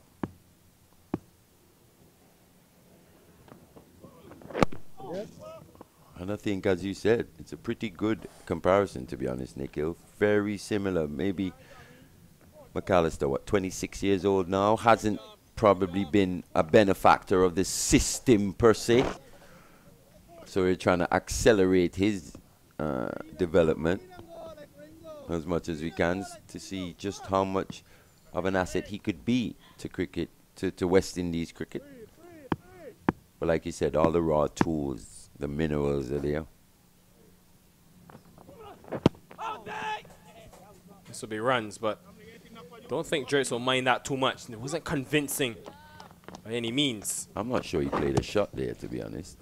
Leg by his given, so yeah. the runs will go to the overall score, but yeah, just on McAllister, mm. specifically the way that you mentioned the fact that he's just come out of nowhere because he's from the Wanderers Cricket Club, has been in and around the, uh, the local Barbadian cricket setup, but it's only really in the last two seasons where, because of the pace, he's caused and created some attention around his name. Mm. Then, of course, got into a Barbados setup, but doesn't have a benefit of someone like a Drakes who's been consistently through the Barbadian local youth system. yeah, age group cricket and the like. you know, the pathway per se. So he's trying to learn almost on the job, isn't he? But I think he's he's done a pretty admirable job so far. So how he's handled, I think, is absolutely key. And to be honest, I don't think he was probably put in the best situation to be successful last week. In I think what were more bowler-friendly conditions as well. Only bowled from this media center and throughout the match. This will be runs. Point was in the circle. Tagenarine Chanderpaul will have work to do, but it's a quick outfield at Coolidge. Ambris off the mark. Yeah, Ambris off the mark. All of a sudden, runs really hard to come by since that wicket of Kieran Powell. Just a shot out of the blue. Almost, he was in such control. Looked like he had the bowlers at his mercy, like a hundred for the taking, to be honest. And uh, that shot, I'm sure he'll have nightmares about that shot this evening. Was the first runs off the bat in 16 deliveries. Mm. So it mm. tells you how well Drakes has been bowling. That looks good. And the finger goes up. Playing across. And Dominic Drakes again. Expertise to bring the ball back and keep it very straight. Paying dividends. Yeah, this time picking up the wicket, just bringing it back to Ambris, who at times is probably just seen as a little bit, especially early in his innings as an LBW candidate, just falling over, looking to play across that one. That one came in to him, as you said, Dominic Drakes on the money. So he's come back here in this match versus Team Headley. This one's just pitched on, I think. Yep. That's probably hitting middle and leg, to be honest, Nikhil. Yeah, and he's done it with the angle as well because Ambris may be expecting left arm over ball to go across him, but Drakes has that innate ability to just bring one back. He had tried it a couple times down the leg side, didn't quite get it. That one goes straight. And anytime you're playing across the line, you're always going to be in trouble. And after a comfortable start on a good surface for batting, Team Headley again have some work to do. Tevin Walcott strolls to the middle. Yeah, and, and young Nandu looked quite compact and solid as well, but also just struggled to, to probably just rotate strike. Was fed one outside that off stump. Soft shot as well, especially in these conditions here at Coolidge. You've got to make use of this pitch, especially when it's as good as this.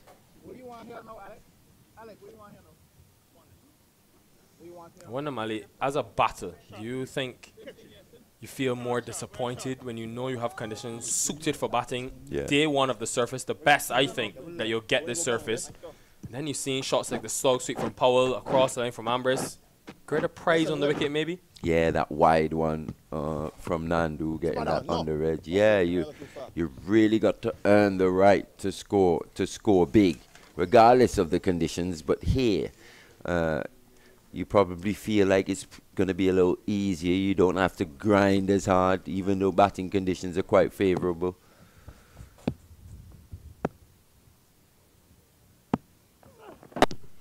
Starts well to Tevin Walcott. Both, of course, Barbadians in the middle. Drakes and Walcott. And successful over, though, for Dominic Drakes. Set up by a good spell of bowling from both ends. 46 for 3. Yeah, and what we've seen is his batters contribute to their downfall here this morning. Drake's comeback, he's been very consistent. Uh, McAllister, he's always going to run in. Maybe Nial Smith. Looking forward to see what we see from him probably later on. But the batters will be very disappointed. Team Headley to be 46 for 3. The youngsters almost showed us uh, the modus operandi of how to go about building an innings here at the Coolidge Cricket Ground in these conditions. So Hodge and Walcott, of course, both teammates from the Windward Islands this season, so we'll have a good understanding. McAllister. Walcott, who's at the non-strikers end, he was impressive. Led wicketkeepers this season for runs. New team, new challenge, and it worked well for him. A Couple of 50s, would have been, I think, disappointed he didn't kick on and get a big 100. But the fact that he has this opportunity after not getting runs against Team Academy, this is an ideal chance for him to really prove himself as someone behind the stumps and who's capable of batting as well.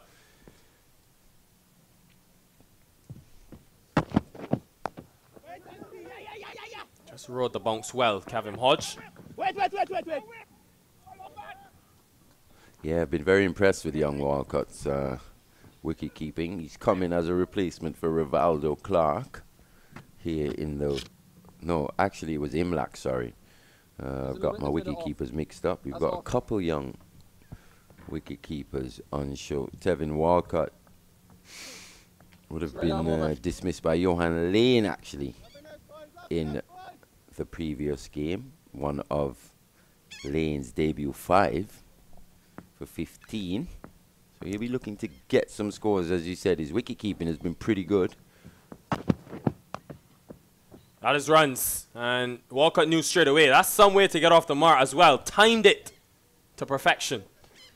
Yeah, pretty similar to what we saw from Sunil Ambris, actually. He knew straight away almost that he was out. He turned instantly, and Walcott also, that bottom hand coming off the bat, throwing the hands at that delivery. Probably similar to a shot that we saw from Zach McCaskie as well. That hand coming off the bat through the offside, but well timed. There are a couple of deliveries bowled by McAllister where he's really trying to bang them in, but because of the nature of this surface, where at Coolidge, we've grown used to seeing balls just keep a bit low. There have been a lot of times where the ball just hasn't gotten up. Yeah, and I'm interested in, in the use of McAllister, you know, in this game. Once again, he's here in from the media center and hasn't really been given a burst with, with, with the wind at his back per se from that CIU road end. This time straight and a touch fuller, but it will be more runs. And it will be a boundary, second boundary in the over. This one less convincing, but four nonetheless. Yeah, probably just sneaking down that leg side, but that inside edge coming into play for Walcott. So he's picked up two boundaries already here. Better length from McAllister. He's been predominantly on that back of fuller length here today. So we've seen him make that adjustment. that's a beauty. Excellent. If he can find that more consistently, Mali Richards, he will be a handful for batters to contend with. End of 17 overs, 55 for 3. Yeah, and it, it was his usage, you know, against the West Indies Academy. Probably Alick Athanaze, he was being asked to be more of that um, enforcer, almost, that aggressor, as we see that one again. Just angled in forcing the batter to play. It looks like it's coming in, but it just holds that line outside the off stump. Slightly wide on the crease, McAllister. So you always get that impression that the ball is coming in as a right-handed batter. Drake's into his sixth, two for six now.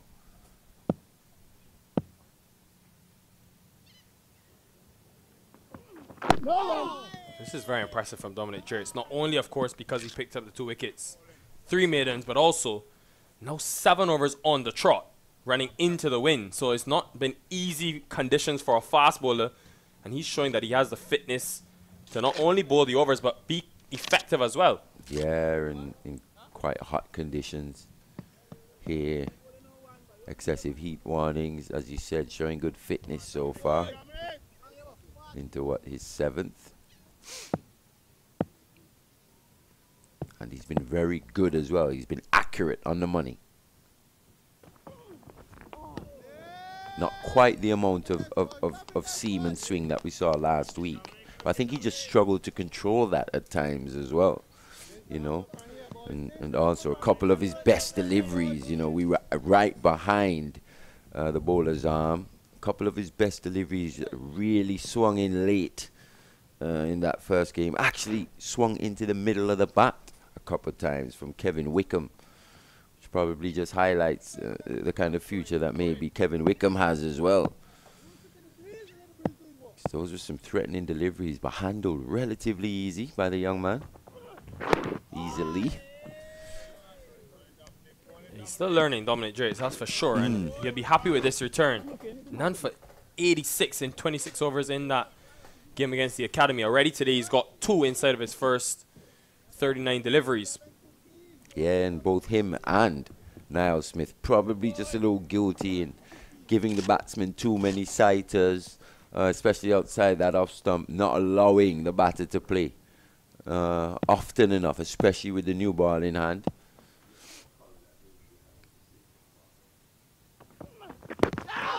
Okay. Very straight.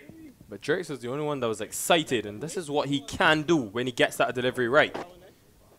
A developing bowler, a developing young seamer. Exciting stuff that we're seeing from Drakes this morning.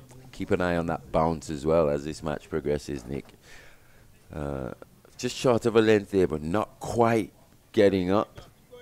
And if it stays as hot as it is, expect this inconsistent bounce Especially, I mean, the ball's keeping lower than batters expect. That's closer than you think, to be honest. Has that pitched on, Nikhil? Love to see that again.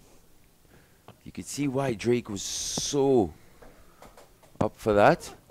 Oh, that's... Oh. Edged and gone. Doesn't matter. It could be the perfect setup. One straight and then one with the angle. And Tevin Walcott, after two boundaries, departs. Yeah, that one just holding its line outside that off stump. Regulation catch to first slip. And as you were saying, uh, Dominic Drake's in the middle of a pretty, pretty, uh, not necessarily hostile, but threatening spell in terms of his wicket taking ability. I tell you what, this is some spell of bowling from Drake's because he's getting the ball to go both ways. First, the leg before, which was very straight. As you said, that one just held its line with the angle. Mm. An easy catch. This has been deserved for the Barbadian seamer. And out walks Joshua Da Silva. And yet again, another crisis situation. Did it in the last game. Got a 100, a gutsy 100. In a game which they still lost. But similar situation for him as skipper and using his West Indies test experience. He will be needed Well, I think they were 50 odd for five, if I wasn't mistaken, when Joshua Da Silva walked to the crease. 59 for five, to be exact. Really showed all the class of a, of an international player. To be honest, looked like someone who would have been playing consistent Test cricket uh, over the past few years.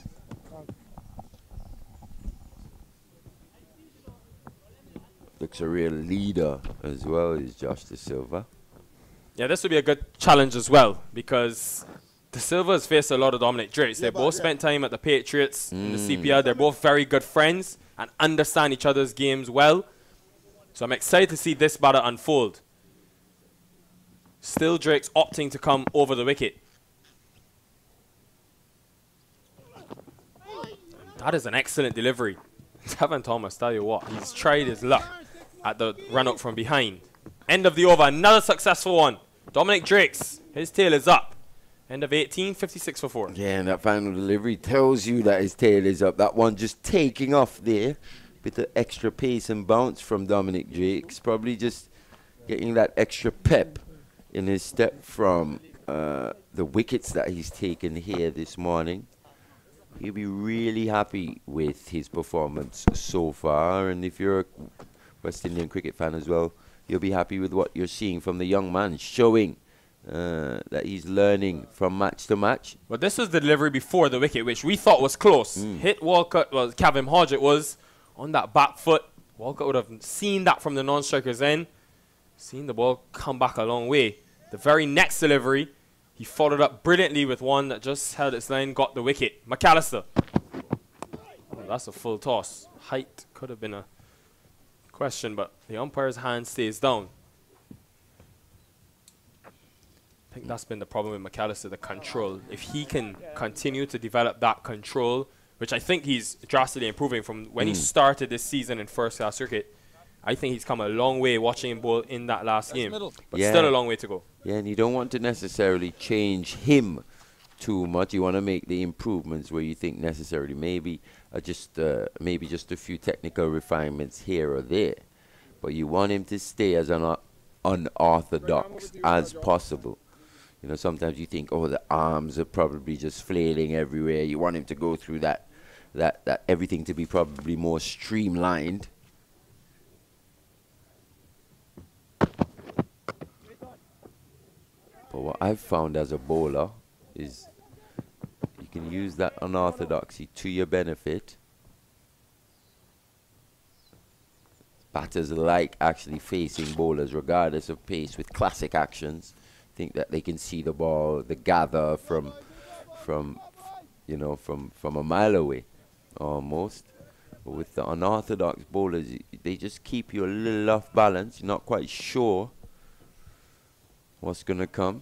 Even that full toss, you know, that plays into that. Yeah, much better length. You can see he's working on the consistency. Jair McAllister trying to put together some deliveries, building some pressure. This is the wicket again from mm. Drakes.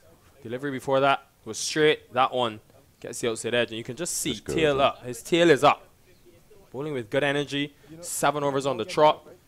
He's been a major puzzle, piece to the puzzle, I should say. Yeah, and that delivery pitched on middle and leg as well to Walcott. He had to play that one. Especially as you said, you had the context of the previous delivery just coming back to him. He would have known that's a lot closer than probably uh, everyone else would have thought. Batter as well, just getting across his crease a little bit, across his stumps. As he said, good piece of bowling from Dominic. Yeah, I just wonder with Drakes, and I'll get back to that after this delivery. Mm.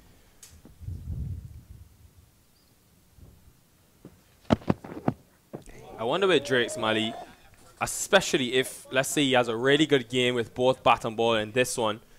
We've already seen him close the first class season well for the Barbados Pride. But he's getting no.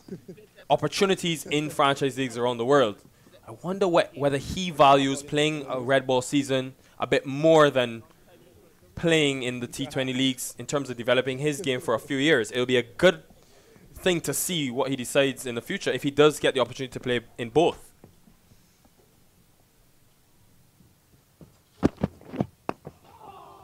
Full delivery, right on the money from McAllister, but Hodge keeps it out. Two runs from the over, 58 for four. That's a good point, Nikhil. And to be honest, that's that's that's something that these young players uh, will have to think about. You know, that will be his decision more often than not. You know, it's pretty clear. Brandon King has has an interest in playing red ball cricket. You know, as well. Now, you know, you're seeing making himself available uh, for for this series and and playing a few games as well in the season, in the just concluded season. So these young players definitely have some decisions to make, but you don't fault them when they probably choose that franchise cricket as well. When you weigh up the benefits in terms of the, the, the monetary benefits, that is, the financial benefits. Oh. It's continuing again for yet another over into his eighth. Mm. This is impressive stuff from the all-rounder. Yeah, and that's what you want to see. That's what, exactly what you want to see from these young guys, you know. That showing that that that uh, that ability not only technically but physically as well. And it's hard to, to, to actually run in continuously in hot conditions conditions such as this he said, into his eighth.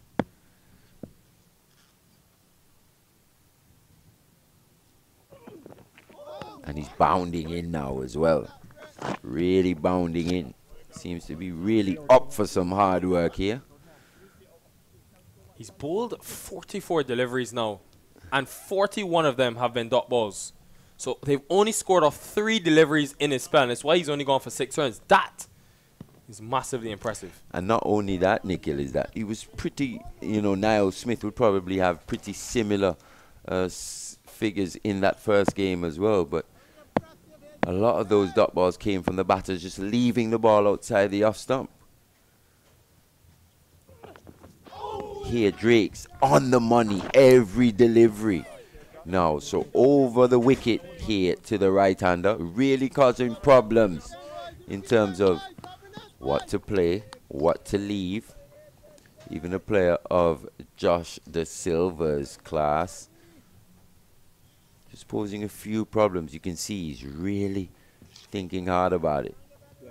Tell you what, that was a very close lead from Joshua Da Silva. Mm. Could have easily shaved the off stump.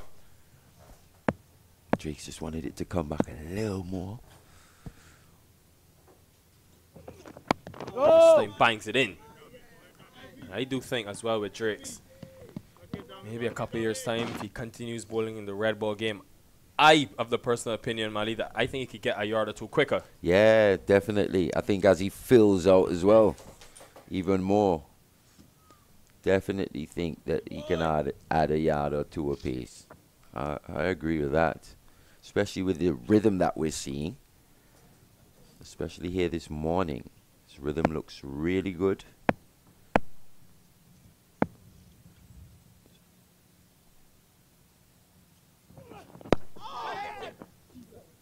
Rare miss in terms of line from Drakes. I mean, he's still a human. Expect that to come at some stage. But what was interesting, when that last delivery was replayed, the leave outside the off stump, Drakes ran down the pitch and had a word to Da Silva. And Da Silva had a stare as well. So that's something to watch. The longer Da Silva spends at the crease. We saw it with Kevin Wickham and Drakes as well. Also have a good relationship. And it was Wickham that got the wicket of Drakes. Yeah, with an absolute cracker as well. I think Dominic Drakes wasn't too happy. I'm not sure if he kept 75 of that match for you or not, because uh, uh, he really did show some dissent. Yeah, yeah, yeah. A quality spell continues from Dominic Drakes. Three for nine in eight overs. End of 20, 61 for four, and a commentary change. Vernon Springer and Seth Burton.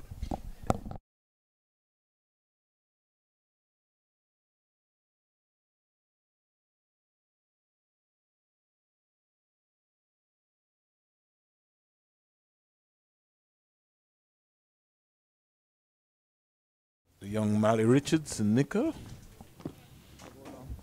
Pretty excited listening to Nikhil talk the options. Only one thing I would love to ask Nikhil. When the full Barbados squad is available, if Dominic Drakes would get into the red ball squad.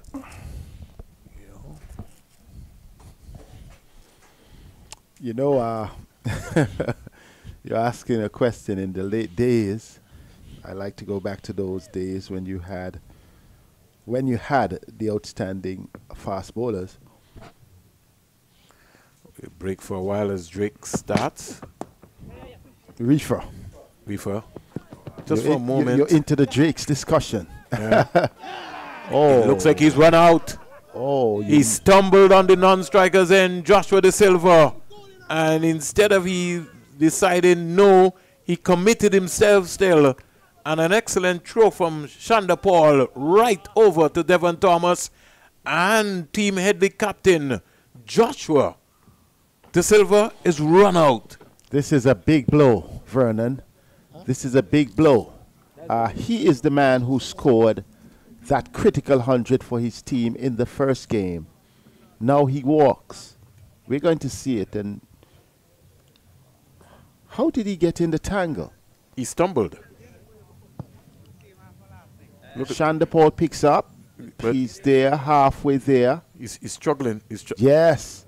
He's wobbling a bit. The return comes, and yes, he definitely is out in spite of diving in. But look at that. But I think I think when he, uh, if we get the camera guy to pick up on, on when he came on the first one set, he, he slipped, and that is what. Then try to recover, and it was too late. It and that is why it was too late for him. So the decision for the second Ooh. Yeah. Um, if we if we can just get that, and I know Ronnie the Wiz will be able to to pick that one up. That's the man you didn't want to get should, out. He, he, he committed himself to saying two, but I'm saying that he slipped and maybe he should have just, just changed his mind. Stay and just say stay. Yeah. Um, but the commitment from him to to go through, um, I think it was a costly one.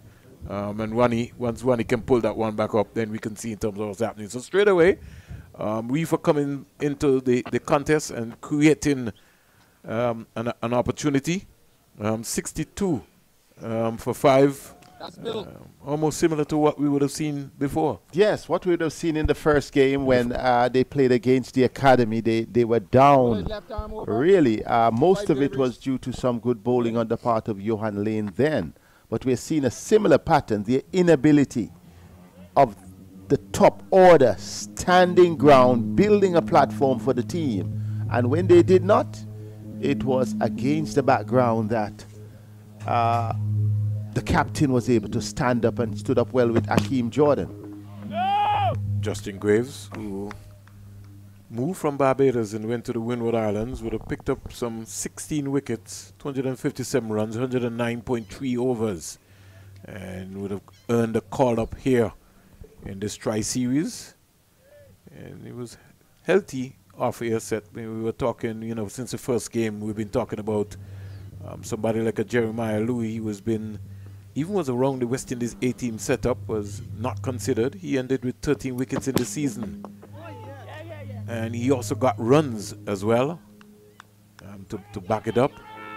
And again, a little ambling there, lackadaisical attitude here from yes from between Greaves. the wickets. Yes. They, they, they got to get it right because at this level, you'd have just seen Joshua Da Silva going as a result of calling a second, stumbling. You don't want to be run out at this stage. Uh, so they would really need to fight back here. They showed the fight in the first game. Can they show the fight in this game? Reifer looking to get into that wicket column.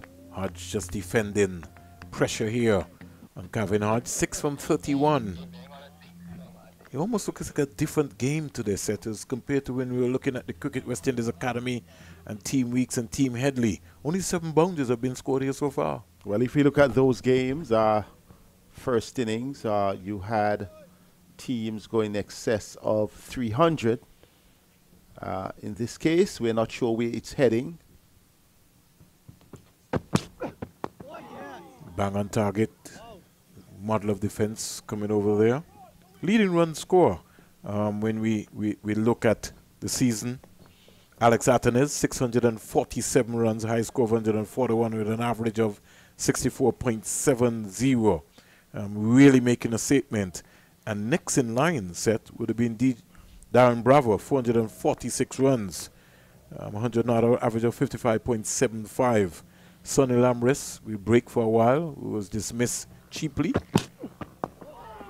Bang on target. Just think that Hodges just going set hard at the ball, really. Yes, a bit too hard, and he he is a good batter. Hodge, uh, who would have been in the thick of things uh, for quite some while, should be one of those who can make some impact, and his test would be, I think, this innings. Well, he scored 287 runs in the just concluded um, for the championship, an average of 38.70 with a high score of 137. Sunil Ambris, 363 runs, high score 79. You feel very disappointed that he didn't score 100, 45.37. Um, and then we we talk, we, you know, I spoke about Leon Johnson was retired now, 388, high score of 150. The, issue with Ambris, even though he didn't get 100, at least there was some consistency in terms of the pattern of scoring. What you find with some of the players, for instance, Bravo had two centuries in one game, but ended up with four, 446. 46. So you look at that, you know, lack of consistency in spite of a big game. Yeah. Leon Johnson 150 from 288. Here is Greaves squeezing this one through cover. Will get a couple of runs. now. Smith is serving up an easy half volley. If they want, they can get three. They have shut down. But but you spoke then of Athanaze. That was just consistency through and throughout. Yeah. In five games, getting over 600 runs is always a plus. It's always a mark. Only in the old days when you had a fixed champion West Indies team that a player with over 600 runs would not get into the team. Moseley 355, Kieran Powell 347, Zachary McCaskie 303, Kevin Sinclair. Not a bad season set, 285 runs, high score 77. And to complement that, he would also have some wickets, 18 wickets as well. So he earned Matthew Nandu. Um, you know, he, he started off with 100 here at the Sir Stadium, ended with 273 uh, when you all look at it. So in, in terms of the batsman set, is what you were talking about, the, the consistency. Yes. Walcott, um, he only scored 253 runs as compared to Jahmar Hamilton, the Leeward Islands captain, um, 241 runs. Um, and, you know, Jahmar is, is, is got that class, that capability. You know, he can score more runs consistently. In fact, he's good enough to maybe even get into any team as a batsman. Could leave again. He has one test to his name. Yeah, one would have been for the, the meantime. Would have been the A-team keeper, wicket keeper for a while. And I still consider him to be the best keeper set in the Caribbean. Has good um, his, his, glove work has just been amazing. Um, it's just for him to be able to, you know, recap back the form, you know, around about 2016, 2017. And he's got so much power now. He's a little bit more older and he thinks that he can beat the leather off of the ball sometimes. But when he catches in, you can guarantee you can get some runs from him. Well, an injury forced him out of this game because, as you know, he had an injury in the previous game. Did score 50. Did. Did uh, score a good half century in the context of the game. But once he was injured, then he has been ruled out of this game. So unfortunate. We have had at least three injuries uh, forcing players out. The Pitman issue. We have also had the Moseley issue. So Moseley for Ambris, uh, Ramon Simmonds for Pitman, and now we'd have seen Hamilton being out. Another leave again. Nial Smith coming into this championship with some 18 wickets, 362 runs.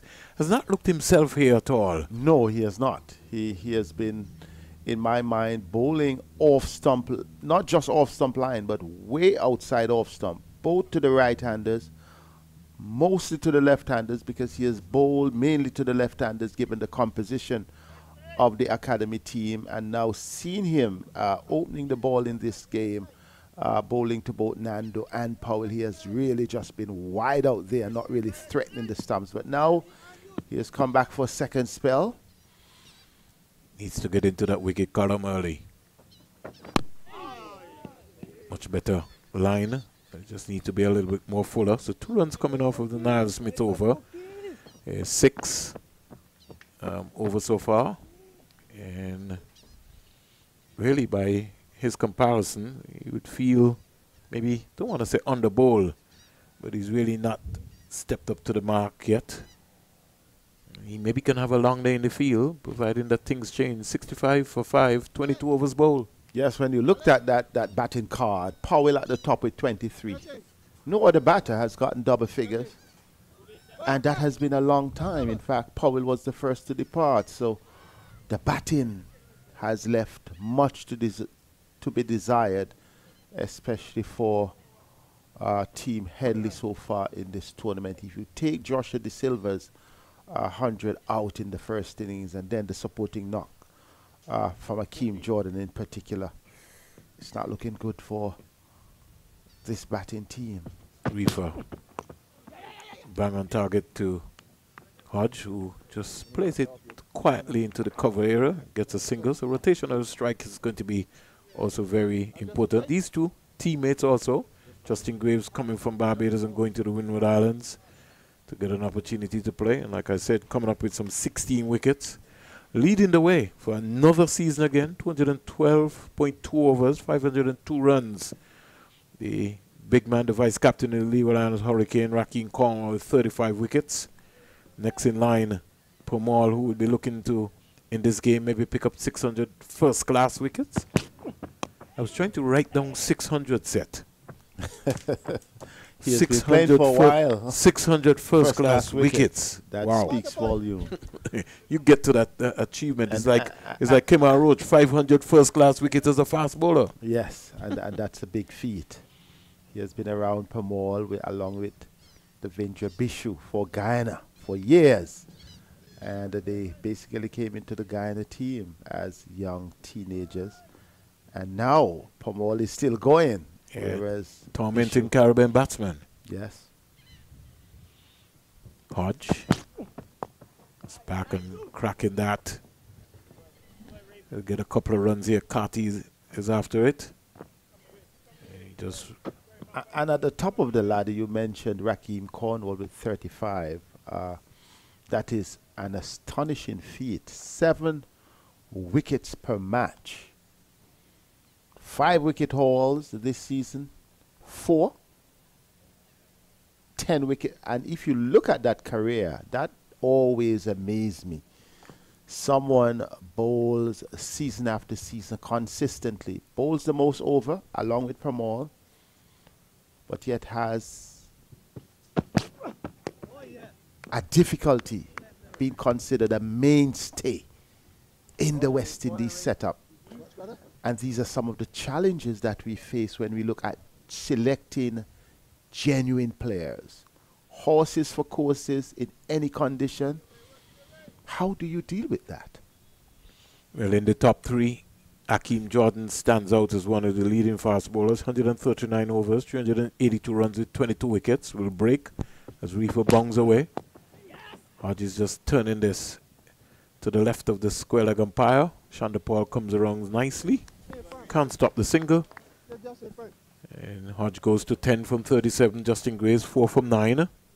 We're approaching lunch. It's 11.49 here in Antigua and Barbuda. Let's shift the equivalent, and I just wanted to make this comment quickly. If a batter scores 400s in five matches, hands down, he's okay. When a bowler takes four five wicket hauls in five matches. Well, different panels have their, their, their options. You've got somebody like a Bryan Charles um, our spinner from Trinidad and Tobago as the over comes to an end. 23 overs bowled, 70 for 5, 172 overs, 524 runs, 21 wickets. Marquino Mindley, 117.4 overs, 341 runs with 19 wickets. And like I said, Kevin Sinclair, his 121 overs, 29, 299 runs, 18 wickets. Beaten, you know, he picked up 18 wickets. And McAllister, in his first season, 18 wickets. Niall Smith, 18. Shem Holder, 18. And Preston McSween, 15. And Jeremiah Louis, um, 13 wickets. So the one round of, of five first-class games set. Um, guess Cricket West Indies will have to win the T20 World Cup if they get there and try and see if they can find some funds so that we can have an expansion of our regional four-day competition from 5 to 10 that's a good idea. Five to ten, or a few more of this type of series, or if you can't have from five to ten, perhaps extend the season to a playoff after the league. These are some of the considerations, and continue with Weekes Headley. But we can also cricket. have some second team cricket to set because we, have to start making an evaluation as to what's happening at the franchise level. And we were talking, set, let's look at somebody like a Dominic Drakes if you have a full Barbados lineup team here, will a Dominic Drakes get into a full Barbados lineup as much as you know we want him to play red ball cricket? I'll come back to that discussion. Lovely shot here by Kavem Hodge. Short ball. He had nothing on it. And he slapped it into the square leg area for four. I really like that shot in particular. He was able to rock back on the back foot and he pulled that one forward of the square leg umpire, playing it with authority without playing it in the air. If you look at it, a shot of a batsman with confidence and a shot of a batsman in form. Coming into him over the wicket, short. And let's look at it. Nicely with the front foot in the air, right, the back foot right in the crease and hammered it in good style. He looks good, has looked good for years, a number of years, has sometimes run hot and cold. He's 14, leaves alone a delivery from Nial Smith. So I was coming back to the situation set. Uh, we started the conversation. Let's look at a, a, young guy like Kevin Wickham. Kevin Wickham would has made his debut for the Barbados team this year. Um, when you have all of the stars and the Kyle Mayers and company back home, I'm, and I'm talking, I'm, I'm looking ahead next season. Will a Kevin Wickham get into a Barbados team? So, what is going to happen to a young Kevin Wickham? Well, um, he, he, he, would forward? still be at the age for the academy, I, I, would assume. Yeah, but the academy would not be in the four-day competition. So you, you see, you, you, you, see the, you see the discussion where I'm going. So we have to be careful. How, how, do we manage and systems that we put in that we put in place? No run. And I say that in the backdrop of are, will the selectors be brave enough to figure out that we're going to give a young Kevin Wickham an opportunity? We're going to give a Dominic Drakes an opportunity to advance and go forward? Um, I'm not too sure, but I'm just thinking ahead based on what's going to be happening. Well, I guess selectors have to be bold at times. Uh, you, would have had uh, unique situations in the past. Fidel Edwards, how he made his way into the West Indies team, it was he was sighted in the net. Do you take the risk? Bang on target again. Straight bat here by Kavem Hodge. But these are serious conversations that, that, we, you know, we need to begin to have. We, we're talking also about the cycle of Test cricket. Um, and so the conversation has to take place. The new cycle is going to come out soon, set. Um, I think it is unfair to a superpower like Cricket West Indies that we go to Australia to play two test matches. Right. Well, well the balance we need is at least three test matches. But again, if we're not competing and we be competitive enough, then you know we'll be just more or less offered the crumbs that are on the table. Right delivery here by Nial Smith. Over completed 74 for 5 if you're viewing and you're wondering what has gone wrong for Team Headley, is simply that after what looked like a good start between Powell and Nandu, the team really has fallen apart due to some good bowling on the part of of Dominic Drakes, who has had three of those five wickets. A run out, an indiscreet second run, uh, that also caused the fall of Josh Da Silva's wicket and we also saw a wicket for Jair McAllister.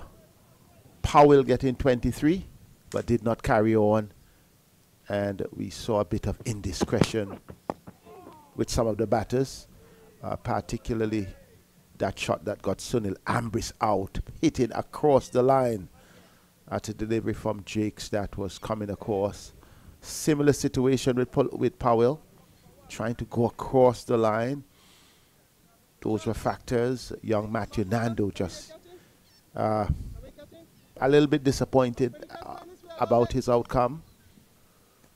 Walcott didn't give it away, got a decent delivery, uh, but was also playing with the face of the bat turned towards the onside and got nicked off. So somebody needs to stem the flow here. And Kavem Hodge looks as though he has the intent. And how long Justin Greaves would stay around. Both played together uh, for the Windwards in the first class season. The Seamers have really done the job here for Alick Athanaze. They picked up five wickets before lunch. I'll be searching to pick some more wickets up here also.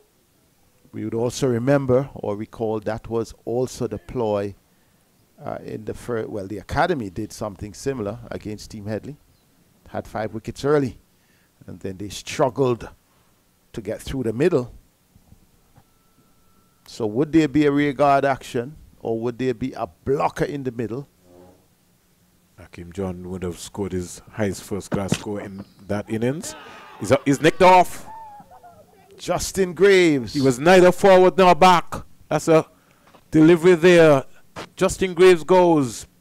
Good sharp catch by Devon Thomas going across him. And he just pushed the hands. And the sixth wicket goes down. Yes. It was a delivery from Reifer, not a lot of pace. Pitched outside off, holding its way, and then he just nibbled at it with no conviction. He was not going through for a drive. He just he was wide.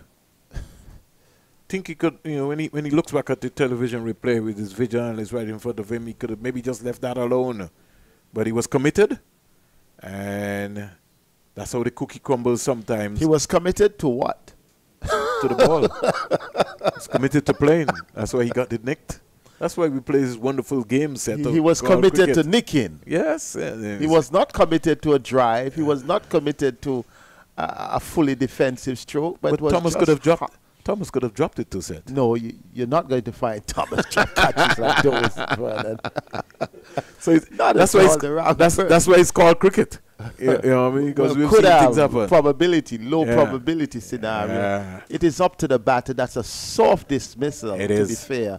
74 for six, and Akeem Jordan comes out. Perhaps he's going to say, "Okay, I did the trick. I don't have Josh Da Silva with me like I did in the academy team, but, but he has Kavem Hodge, so and he, then he, he has to deliver. start again." How important this is? It is important for Akeem Jordan not just to establish himself uh, as as a good uh, seam bowler in the context, but one who can show that he can bat and bat consistently. What I like about Akeem Jordan is his work ethic in, in, in both batting, bowling, fielding, because he finished his spell and he can still go and feel at first slip or feel at gully. So he's, de he's developing into, as you would have to say, you know, quietly uh, a bowling all-arounder. Um, and, and to complement that, he got 22 wickets so far. He scored his highest first class score um, in the first game. And he will be looking to try to make sure that he register. But he's just slowing down Raymond Reifer for a while, making him wait. Well, some guys would, would, would want to knock us to suggest that he's uh, uh, coming in to be an all-rounder because – yes, he has had some decent scores, but in the days gone by, a Bernard Julien is going to tell you to be an all-rounder. You got to produce more with the bat to be called. Franklyn Stephenson is going to be beating down your door because I can remember that 165 that he scored against the Leeward Islands. And could still come back and take five wickets. Yeah, and these guys would be saying, what all-rounder are you talking about, Vernon? Well, it's, a, it's, a, it's a work in progress um, when, when, you look at it, and you could see Jordan improving as, as, as the time go on. Well, right. And He's an improving uh, batter based on based on opportunities that are available because we only can judge Jordan from what we see here in the Caribbean. I can't judge him from anything else. Um, you know what I mean? So what's in front of me? I'm hoping I like. So then I you call Louis an all-rounder. Louis is a, is, is a, a heavy scorer, yeah. one who scores consistently. Yeah. Because he's saved. Then are the bowlers he's, who he saved Leeward. He saved the Leeward's lower half many, many, many a seasons, but I think it's gone unnoticed. Ooh. Jordan, on the other hand, is emerging into that that bowling uh, reliable batter who can uh, become an all-rounder. He would like to increase that column from uh, transitioning from his first first-class half. So it's lunch here set. 74 for 6. It's not a, a happy outing here at all no, for Team it's, Headley. It's in fact one of the lowest scoring period in, in terms of the first session that we have had.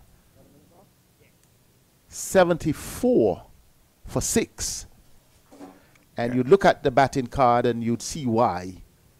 Only Powell with 23 runs.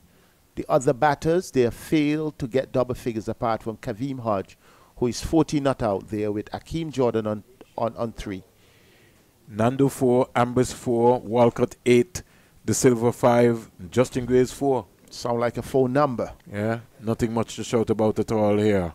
Um, but take no credit away from the, the, the bowling figure set as you exactly because there has been very good bowling. I think the standout there is Dominic Drake. He's three for nine from eight overs. That tells the story. Excellent bowling, not just moving it away but bringing it in. And he has shared, uh, well, the other two wickets being shared by Raymond Reifer, who has just gotten his first, and Jay McAllister, who has one. Uh, the other, Josh Da Silva, was run out and I think at the start of this game, it is Team Weekes having bowled 25 overs, feeling that they have had the better of the morning's play. So until then, just before you go set, uh, a total of 122 dot balls and no partnerships have been strung together so far. 74 for 6, 1 for 35, 2 for 35, 1 for 31, 2 for 35, 3 for 46, 4 for 56, 62, 74. They need some partnerships. They need something to be able to be happening after. And their savior here, as we would have to consider it, would have to be the man himself, Akeem Jordan and Kavem Hodge. So it's 74 for lunch on behalf of the entire team set. Um, Seth Burton, Malachi, Nikhil, Joel, and Vernon A. Springer as we sign off here for day one, first session of this important game, Team Headley and Team Weekes.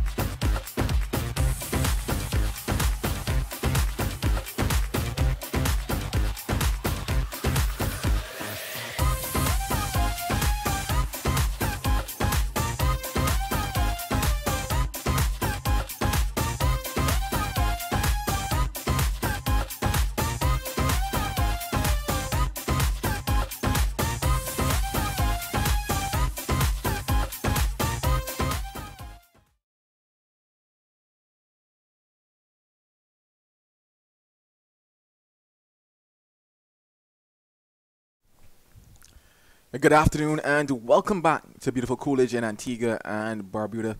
It's a post-lunch session here on day number one, match number three of the Headley Weekes series. Team Headley, they won the toss this morning, opted to bat. But since then, it's not really gone their way.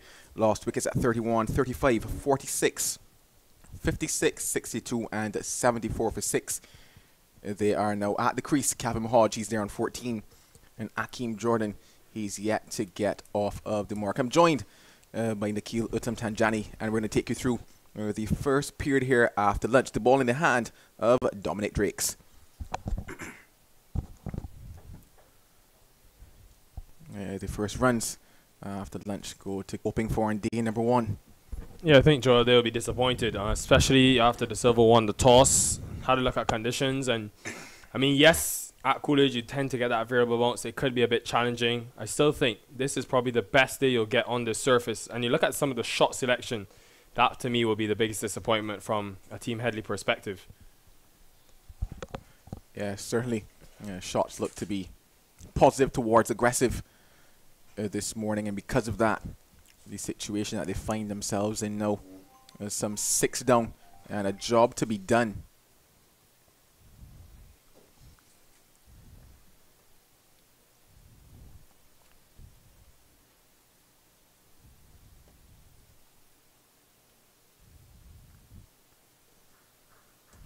Kavem Hodge, he's someone that's found himself at the crease when the Windward Islands volcanoes I've been in spots of bother. I do know they got a century. I think 387 runs in total is what Kavem Hodge would have gotten. And he'll be hoping uh, that he can do something in this situation similar to what he had to do during the first class championship. Yeah, Hodge was consistent. Was consistent this season and needed to be after he already struggled in 2022. But this innings, if he can kick on and get him something competitive,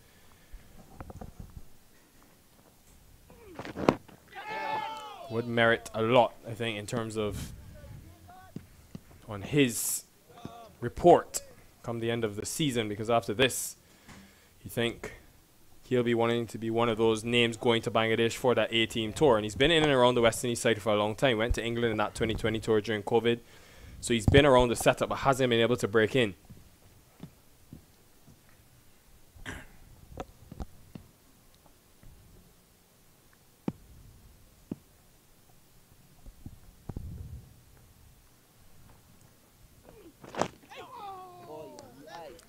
Drakes once again starting as he finished uh, before lunch, picking up uh, those three wickets. And he's really challenged both the outer edge of the bat as well as the pads of Team Headley, Nikhil. Yeah, he's been brilliant, to be honest, Dominic Drakes. And yes, he's bowled some challenging deliveries. I think the team line has been the key. But what's the big standout for me is eight overs on the trot. Hungry, wants to do well.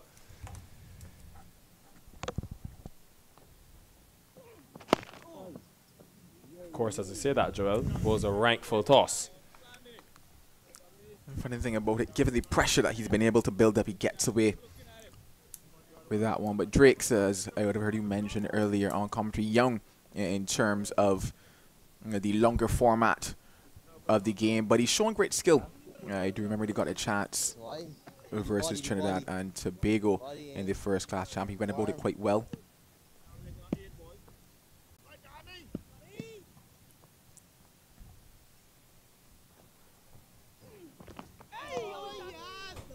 And beats the outside edge to close out uh, the first one after lunch. It's 75 for six.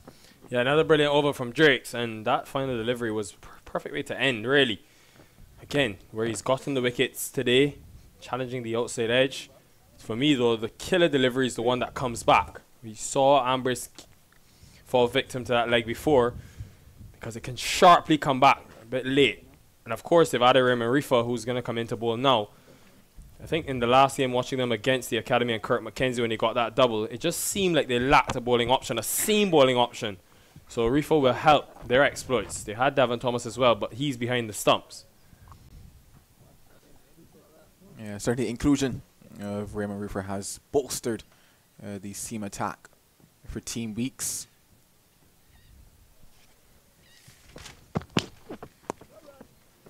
Uh, I mentioned Dominic Drakes and what he would have done, uh, but it was actually in Trinidad, not versus Trinidad. So it was in Trinidad, but versus the Leewards, and he picked up four wickets in that game. After that, he had a bit of a niggle that kept him out of the side for the final two matches. But yeah, without that experience, he's really shown up in the games that he's played.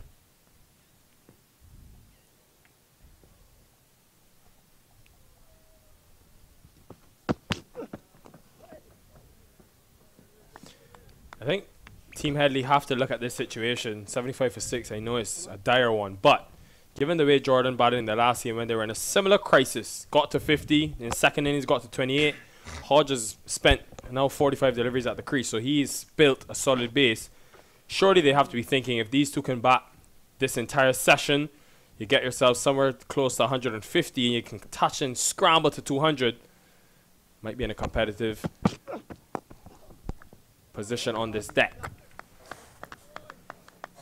Yeah, certainly you want to ensure that you get first innings runs on the board, and that's where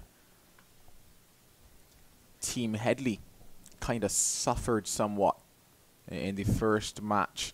Uh, you mentioned the partnership in terms of Akeem Jordan. In fact, was a fantastic one between himself and the skipper Joshua Da Silva, which really got them up to what was a very respectable total.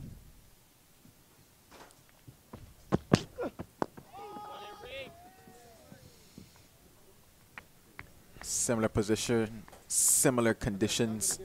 Probably this surface just a touch drier than the one that they would have played on in match number one. But definitely, as you mentioned, the best time to get runs. First innings runs will certainly be crucial uh, across this encounter, especially when you think about the fact that the dryness of the surface will favour you know, the likes of Veerasammy Permaul coming into the back end of it.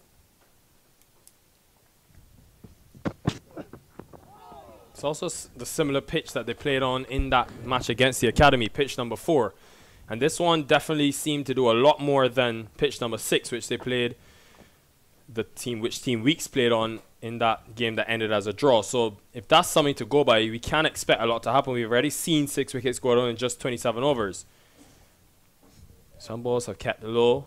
Haven't seen any spin into the attackers yet, but that'll be interesting to see because they are cracks and they will begin to open up as the days go on.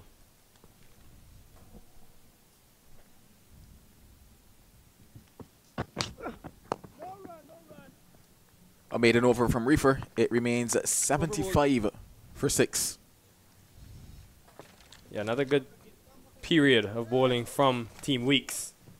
That's something I think they did really well in the first 20 overs. And really and truly, look at the breakdown of the two 10 over periods. Almost periods of two halves because they were cruising 31 for 1, going out above 3 runs and over in the first 10.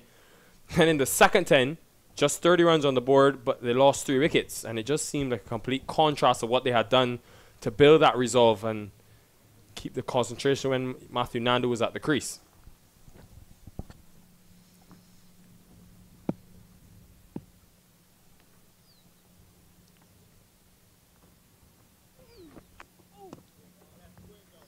Surprised, Joel, that they've not opted to keep Darren Bravo into the side? Well, in terms of Darren Bravo at the toss, the news from Da Silva was that he had a bit of a stiff neck. Okay. Yeah, that was the reason for Darren Bravo being left out of the side today. In looking at the form, I guess that certainly would have been a question. But uh, yeah, it was because of just a slight neck issue for Darren Bravo. Missing an absolute full toss there was Akeem Jordan. Yeah, missed out really Jordan on runs because that entire offside is vacant because of the amount of slips that Drakes is operating with. So massive gap between the cover region. Really thought he should have done a bit better, Jordan. Yeah, it was so interesting to see him look across uh, to umpire Gregory Brathwaite and question the height of it. Uh, I don't think that height was much of a factor or, or a question. There was more so a case of sight and the fact that he probably didn't see it and missed it. Akeem Jordan.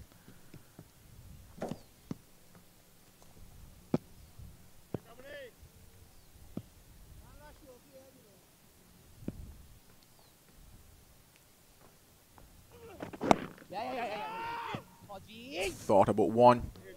And he heard him exclaim there with regards to Hodge and maybe not necessarily backing up and looking for the single Akeem Jordan. Still or not, and as many know you want to get off of the mark. Akeem Jordan is still remonstrating almost with regards to the fact that that could have been a single.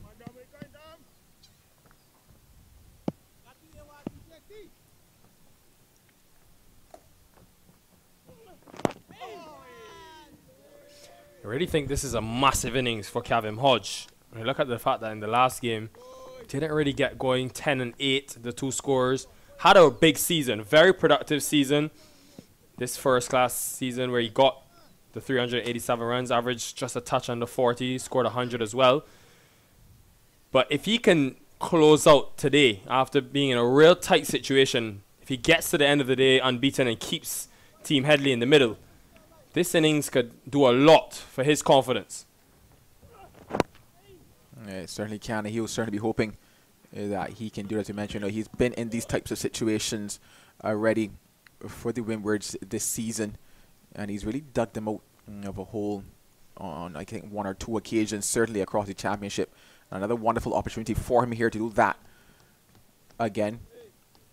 He can have faith and confidence in the fact that Akeem Jordan will stay there and bat with him as well, given that Akeem Jordan places a price on his wicket.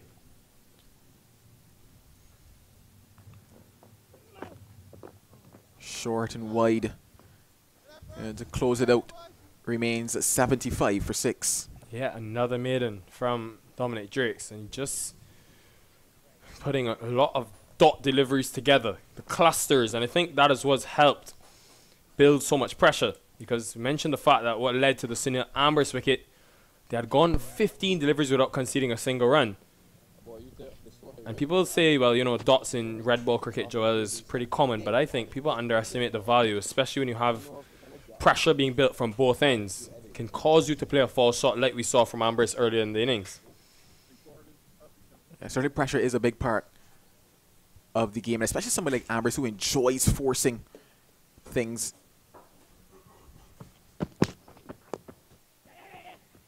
They are those types of batters who enjoy feeling bat on ball.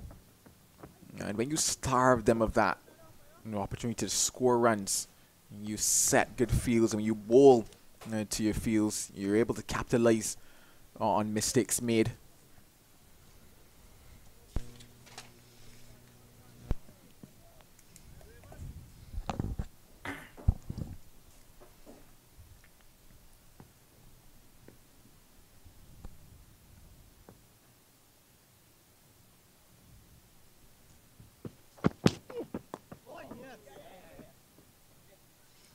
Very happy to see Reifer bowling as well because didn't expect him to take the new ball, but for me it's a sign of positivity in the right direction because he's struggled with a knee injury that has kept him from bowling a lot.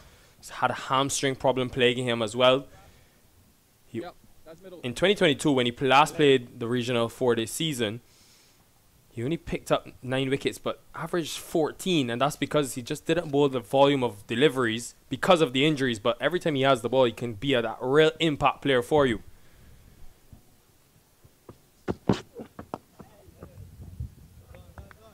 Saw him in that Zimbabwe Test series, bowl some critical overs for the West Indies as well on some placid surfaces. But I think if he keeps enhancing this bowling and can get back to full fitness, and you tell me what you think, Joel, but I think that will help enhance his position in the West Indies side as an all-round option. Uh, it certainly would, and I think that is where Raymond Reifer needs to be getting to uh, in terms of we, we know what he can do with the bat. He's shown signs of that. But then looking for options that can help you in, in both departments, and we think about somebody like a Kyle Mayers and those types of all-rounders who the bowling aspect is being used a bit more. Raymond Reifer certainly falls in to that category as what you would consider a utility player, whereby yes, he slots in down the order. The, the, I guess you could call it that middle order. Depending on how things shape, it might find himself, you know, stepping up one or two places. But if he can actually deliver, let's say, a spell of 10 here and there in between with the ball, pick up a wicket or two, keep things tight, that is certainly what he should be looking to here and beyond, especially at the highest level. Yeah, and it's been an interesting career path for him as well because mainly you would say he was a bowling all-rounder in years in previous seasons in the CPL when he was at the Barbados Tridents and contributed massively for them. It was with the death bowling and his main expertise was his left arm seam. Then one season in 2022 just went up the order and batted at three for Barbados and from there got into the West Indies side and hasn't looked back since.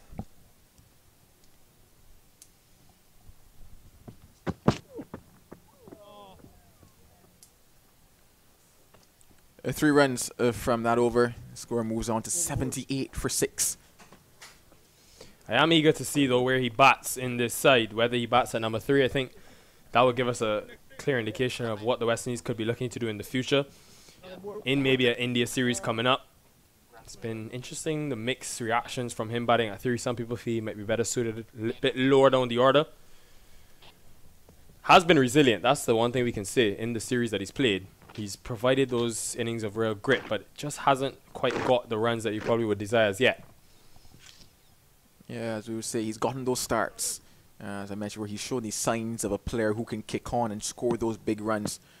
But he's still looking for those types of figures and consistently at that.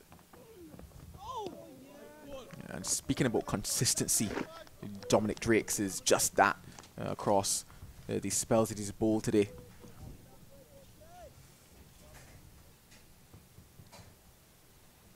Had a long spell of eight this morning.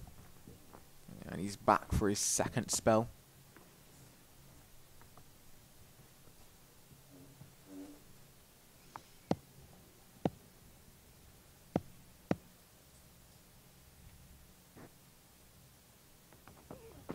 No! Yeah, very impressive for me because when I looked at him in that first game he played against Academy, and we, we always remember I think we always think that, that Drakes is so experienced, but he's only 25 years old and he's played so much cricket outside of the Caribbean. The drastic difference in his bowling from the first match when he bowled the 26 overs, didn't get a wicket to today, just seems that he's learnt so quickly in the space of a week. And he's someone that does his research and really will try to enhance and get better every game. He's done that.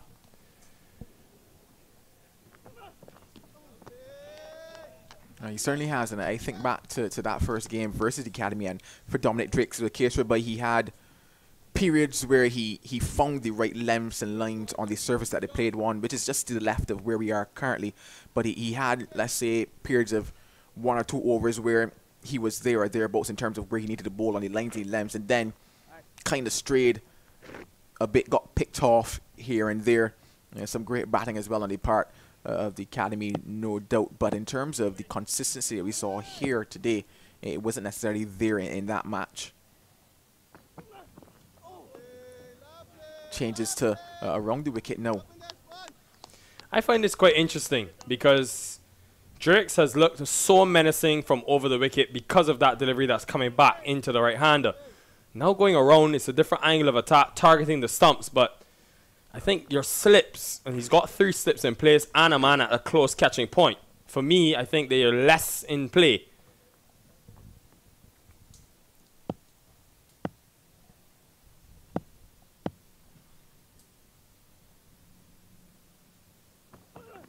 Oh, yes, yes, yes! Yeah, certainly with the ball going across uh, the right-handed batters, you would have favoured that slip cord in the man at point comes into play, especially on the drive. Uh, I think for Dominic Drakes, it can maybe a case come on to those pads, maybe get one to maybe hold its line, and still those slips come into play. But I guess just offering a different proposition uh, for Kavem Hodge, who has looked relatively decent at the crease. Maybe think probably just a little different. Maybe change his setup ever so slightly, cause him to just close up a bit. Honing in on those pads uh, to close out Another Drake's over. It's 79 for six. Two runs and three overs conceded by Drakes. 18 deliveries bowled with just two runs. And that, I think, is a testament to how consistent he's been, but also how skillful he's been. Because for me, the line has been the key. He's been very aggressive. And he's almost created that indecision outside of the off stump when he's bowled from over the wicket. It's excellent stuff from I can call him a youngster. I think he's still relatively young. The man from the other end, Raymond Reifer, much more senior. Wonder when they do get McAllister back into the attack for a burst after lunch. It's interesting that you mentioned McAllister because in that game versus the Academy, he's who took the ball directly after lunch. And uh, it was a different type of spell for him from there. Before lunch, he was given the ball, uh, as I mentioned earlier in commentary, just around over number 10. He was given the ball in over number 11 today, and he bowled it well in that game. Had two short spells with the ball. But then after lunch, things kind of got away from him. I wonder if they're looking back to that match and saying, okay, maybe bowling, let's say, the new ball at its start, here. they are bowling directly after the intervals, puts a bit more pressure on McAllister in terms of the type of the start that the team is looking for. And because of that, are going to say, okay, we're going to get through a couple overs with the more experienced guys. Then we're going to come and have a burst with him in terms of that pace that he has.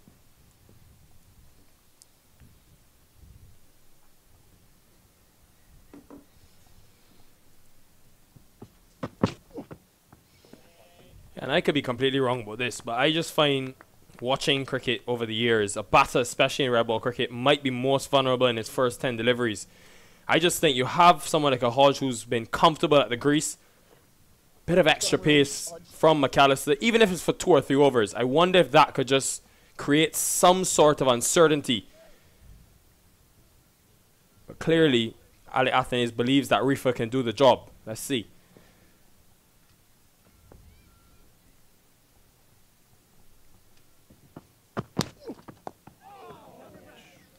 Comes around the wicket and our friend instantly causing a slight bit mm, of a problem. And there's where we, we talked even with the Dominic Drakes aspect, just having Kavem Hodge adjust his stance, the angle of the ball, just a bit different as well, coming back towards that off the type of shots that he has to play. He must probably kind of question a little bit now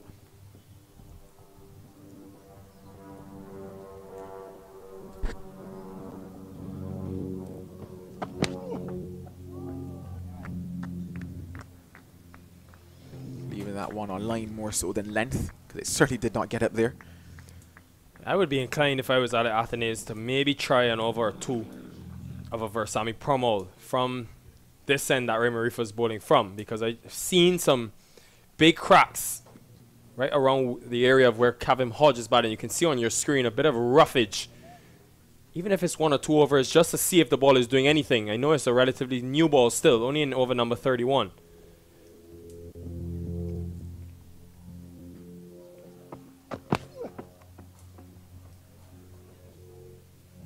Of another maiden over uh, from Reifer, 79 for 6. Yeah, impressive stuff after lunch, but they'll want to keep getting wickets team Weekes because Headley still have those that are capable. These two at the crease for sure. Um, capable partnership. We've already seen Jordan get a 50 in this series. Hasn't scored yet, but he's been resolute in his defense. Anderson Phillip got that 43 against Australia just a couple months ago at the test level, so we know he can bat as well. Shem Holder's contributed with runs for the Barbados Pride. So not all lost as yet. Dominic Drake still continuing. Joel, 12 overs on the, well, not on the trot, but 12 overs in relatively short span of time. For me, that cannot be easy. It's very hot out there. Yeah, certainly a heavy workload for Dominic Drakes, and I guess that's the reward for bowling well. I'm not sure if you want to call it much of a reward, but uh, to date he's been handling it quite well. Hasn't looked as if he's been weary from it. Uh, it's just a wonder of maybe how much longer he will continue. Uh, had to go get my notebook very quickly because of the fact that you mentioned Permaul, uh, the possibility of him bowling from this media center end. And I do recall in the match versus the West Indies Academy, in fact, the end, the choice end for him was that CIU end. It wasn't one that was very fruitful for him, especially in the first innings. bowled some 27 overs from that end, I believe. Driven nicely by Jordan. He finally gets off the mark.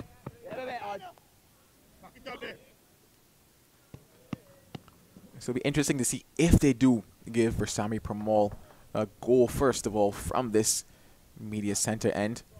Yeah, the only reason why I'm suggesting from this end is because when I looked at the surface this morning, bowlers bowling into that end, for me, I think there's a lot more roughage and a less grass to work with. So I think you could get a lot more spin bowling to that side.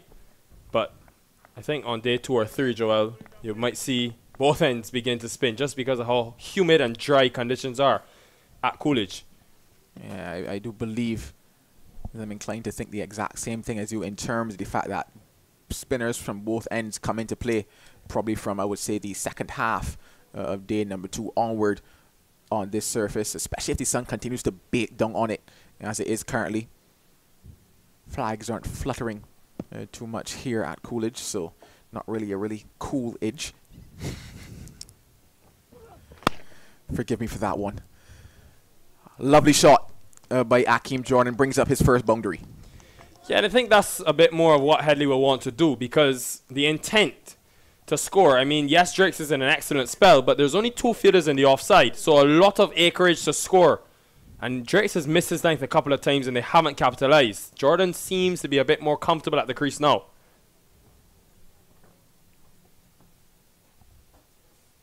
Yeah, just a bit of width. You can see what he's trying to do though, with the angle full at the stumps. Almost a, like a T20 mode of attack.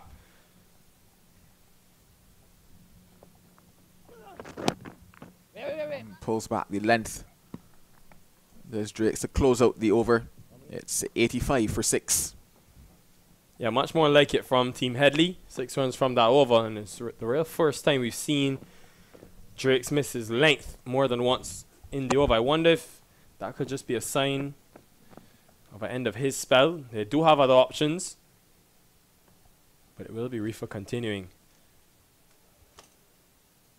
Still a lot of work to do, 14 weeks. This is far from over, given the batting that they have to come.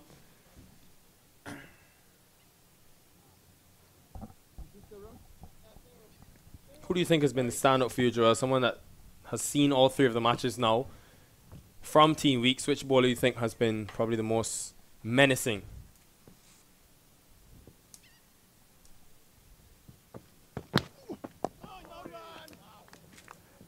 In terms of menacing uh, from Team Weekes, given how things have gone because of the fact that, well, uh, versus the Academy, there was not much menace in it. It was honestly brilliant batting on the part of the academy.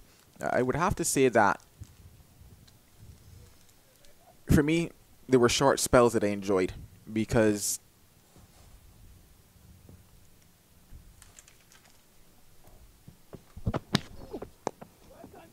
the bowlers of Team Weekes, a bit of a fumble allows them to come through for one. But yeah, the bowlers of Team Weekes would know that they didn't necessarily hit the straps that the coaches would have wanted them to hit you know, across that uh, academy match. So I would say that for me, in short burst, I would say Jair McAllister stood out to me, especially in, in, what would have been his first and second spells that he bowled to the left-handers for the academy.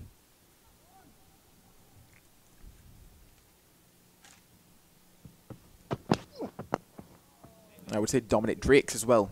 Stood out for me once again in short spells, also a short burst as well in terms of some of the areas that he was able to hit, some of the questions that he was able to ask uh, of the batters of the West Indies Academy. For me, Veerasammy Permaul probably was overused at one stage, especially given that there wasn't much in the surface for him.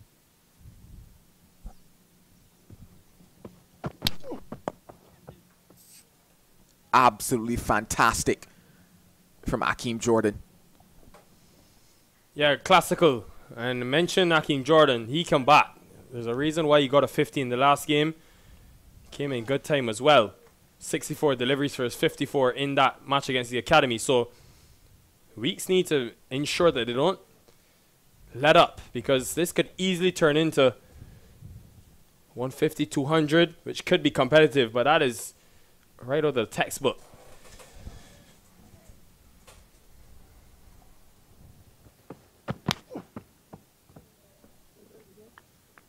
Attempts him with one outside of the off stump. Again, Raymond Reifer probably asked him to play a similar shot to that one, but on that occasion, probably just a bit more wide.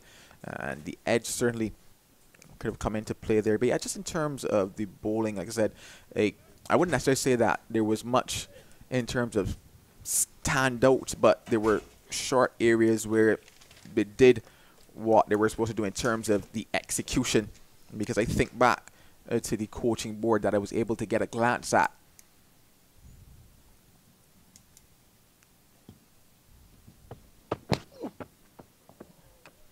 Five runs uh, from that Raymond Reifer over 90 for six. But just very quickly before we go into Keel, I was able to glance at the coaching board and it said for the bowlers, it was challenge the batter's defense, be disciplined in hitting good areas, work out plans on how to get batters out. And, and over the course of that game, we probably felt as if they didn't necessarily look as if, because I'm not sure that I could 100% with certainty say they did not have the plans to work the batters out. But it just didn't look like that, especially given that the surface wasn't necessarily responding how they might have liked.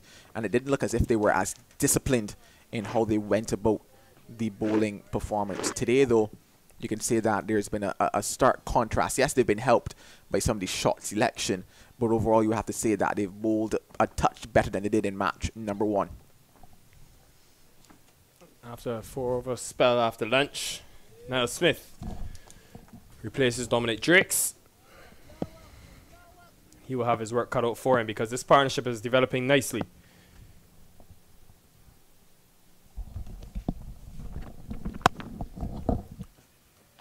Punched away. Should have the legs to get into the boundary. It does. Uh, quite a lovely looking shot uh, by Kavem Hodge. Something that we've seen uh, across all of his batting innings especially in the recently held first class championship as well. Enjoys playing off of the back foot Hodge on this occasion. The, the timing was truly the hallmark of that one. Not really looking to overhit it on that occasion, allowing the ball to come to him. Uh, just timed it beautifully uh, through the offside.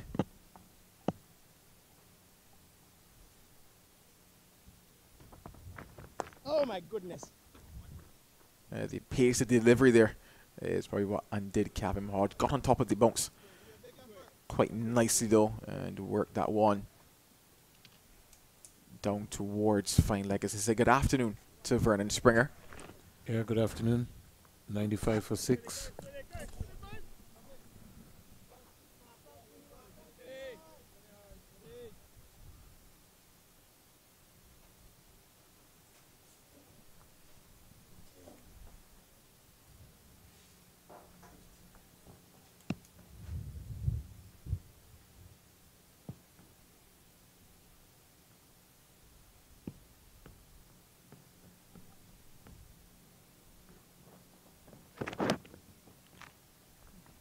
Strong but falls well short of Athanaze at slip. A lovely partnership here growing Vernon 21 for Team Headley. Uh, they'll certainly be hoping that this could be the one that kind of shapes or sets up their innings. I think the balance of the, the attack here is, I guess it's just what Athanaze has to work with. Um, they came back after lunch and went for Reifer and Drakes. Um, Nial Smith is really not settled in, is really not found his rhythm so far in the series.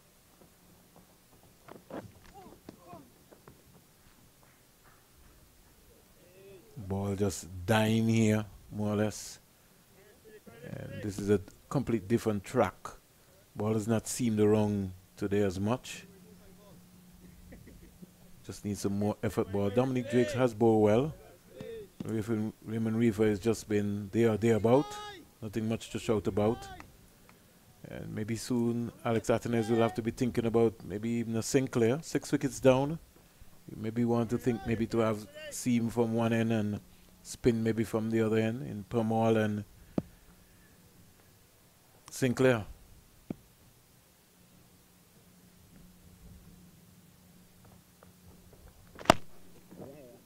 That shaping back in nicely, but handled well by Akeem Jordan. Uh, they're able to get three from it. Yeah, certainly conversation with regards to when we see Veerasammy Permaul being introduced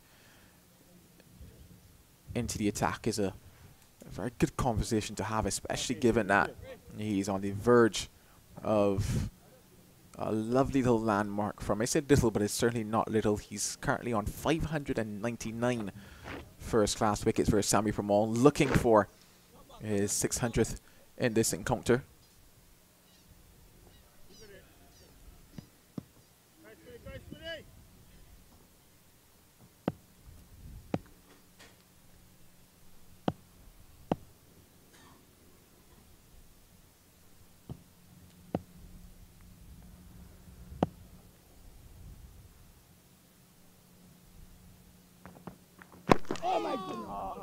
Honing in on those pads.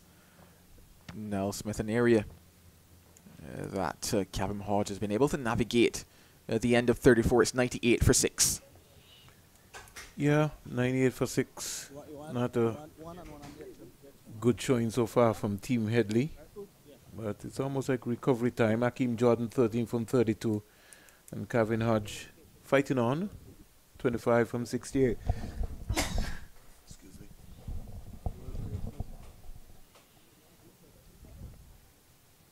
Still continuing with Reifer.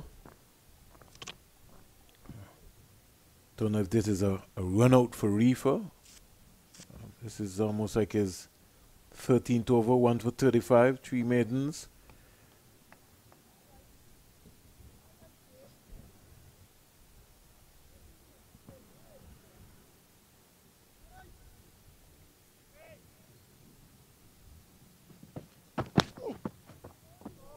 Into his fifth over after lunch. You probably thought that, okay, since it started with Reifer, maybe it would be maybe a stint of three or four, and then you could see maybe the introduction of McAllister, maybe the introduction of a spinner.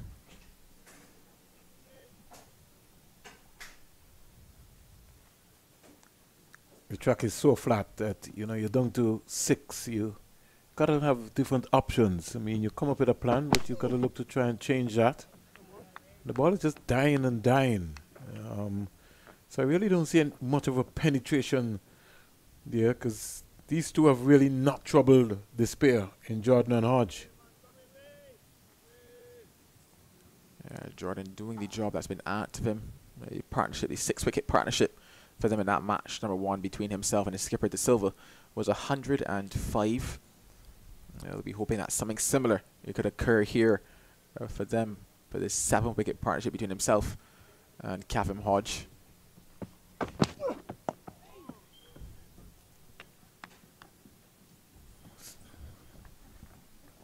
Still on 98 for six. Not a lot of options here. I welcome Mali as Joel step out quietly deciding to go for Drakes, mm. Reifer, Smith. I just come to apologize for, for Mali. Uh, I hadn't uh, occupied this. Apology.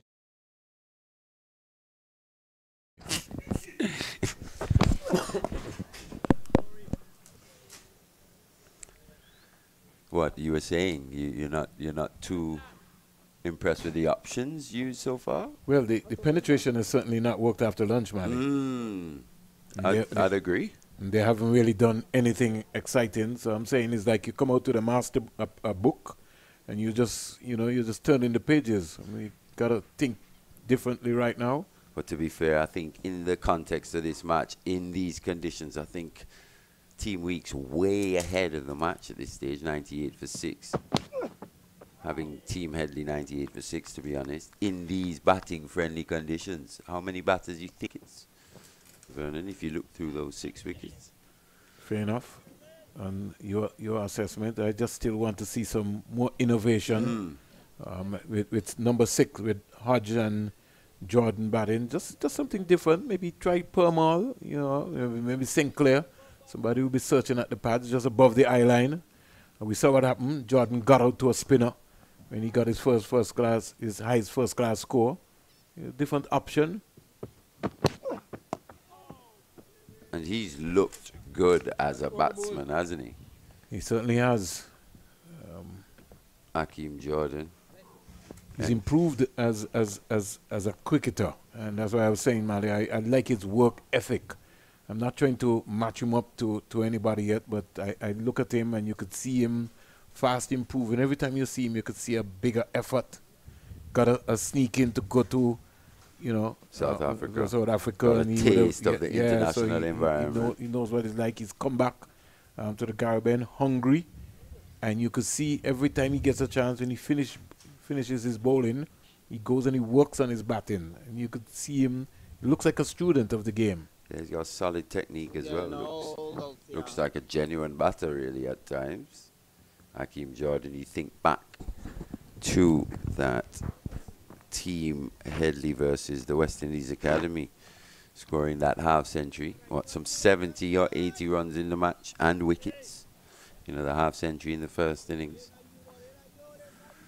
And his hard work has certainly paid off. It just shows you sometimes that you have to be patient. Well, it's not everybody um, is lucky enough to be patient. Some people get through, some people don't get through. That's the the beast, as Mali would say, of the nature of professional mm, sport. Mm, mm.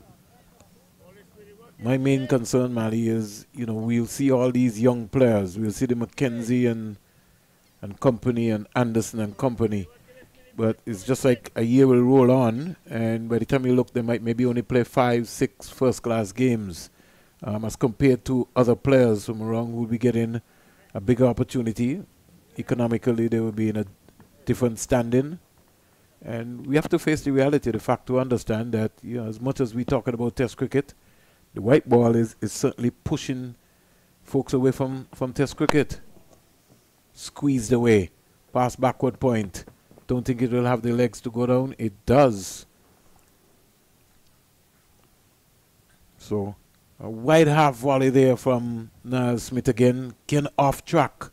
And Kavem Hodge doing enough to just squeeze it past the gully and backward point and down to the boundary for four. Yeah, Kavem Hodge now, the main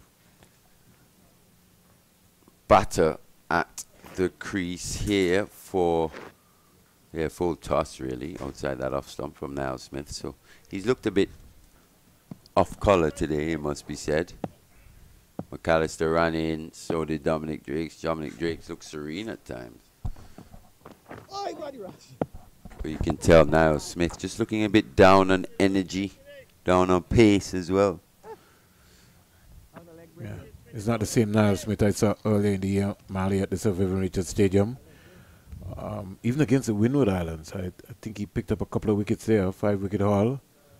But sometimes moods on different days, you don't know what players are going through. 100 up in the meantime for Team Headley. It's on days such as these where you've got to find a way, though. That's the difference, you know. That's what separates the truly good from the great. Half volley again. And Hodge pouncing on it. Square this time. Into the cover point boundary for four. Yeah, Hodge now. Just starting to grow in confidence. That fluency through the offside, especially in this over. Just showing good hands on that first one to run it down to that third man boundary. And this time, just applying a bit more force. Getting a good stride in. And quietly, Mali, this partnership is 32 of 67. yeah, it's just.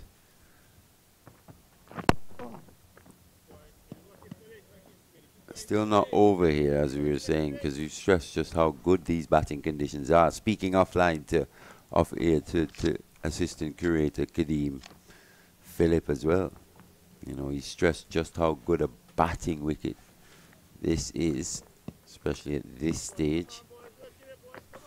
Can it be fair enough, Mali, for me to say that these are the conditions that they will get in Bangladesh, except that they will have some spin bite as well? Yeah, it depends on what the Bangladesh curators decide, to be honest. They might decide to bounce out the West Indies. Yeah, well, the last time West Indies went there, they opted to go for spin. Spin heavy attacks. Managed to lose that series. End of that Smith over. 106 for 6. Yeah, we were saying. So, losing that last test series to the West Indies at home.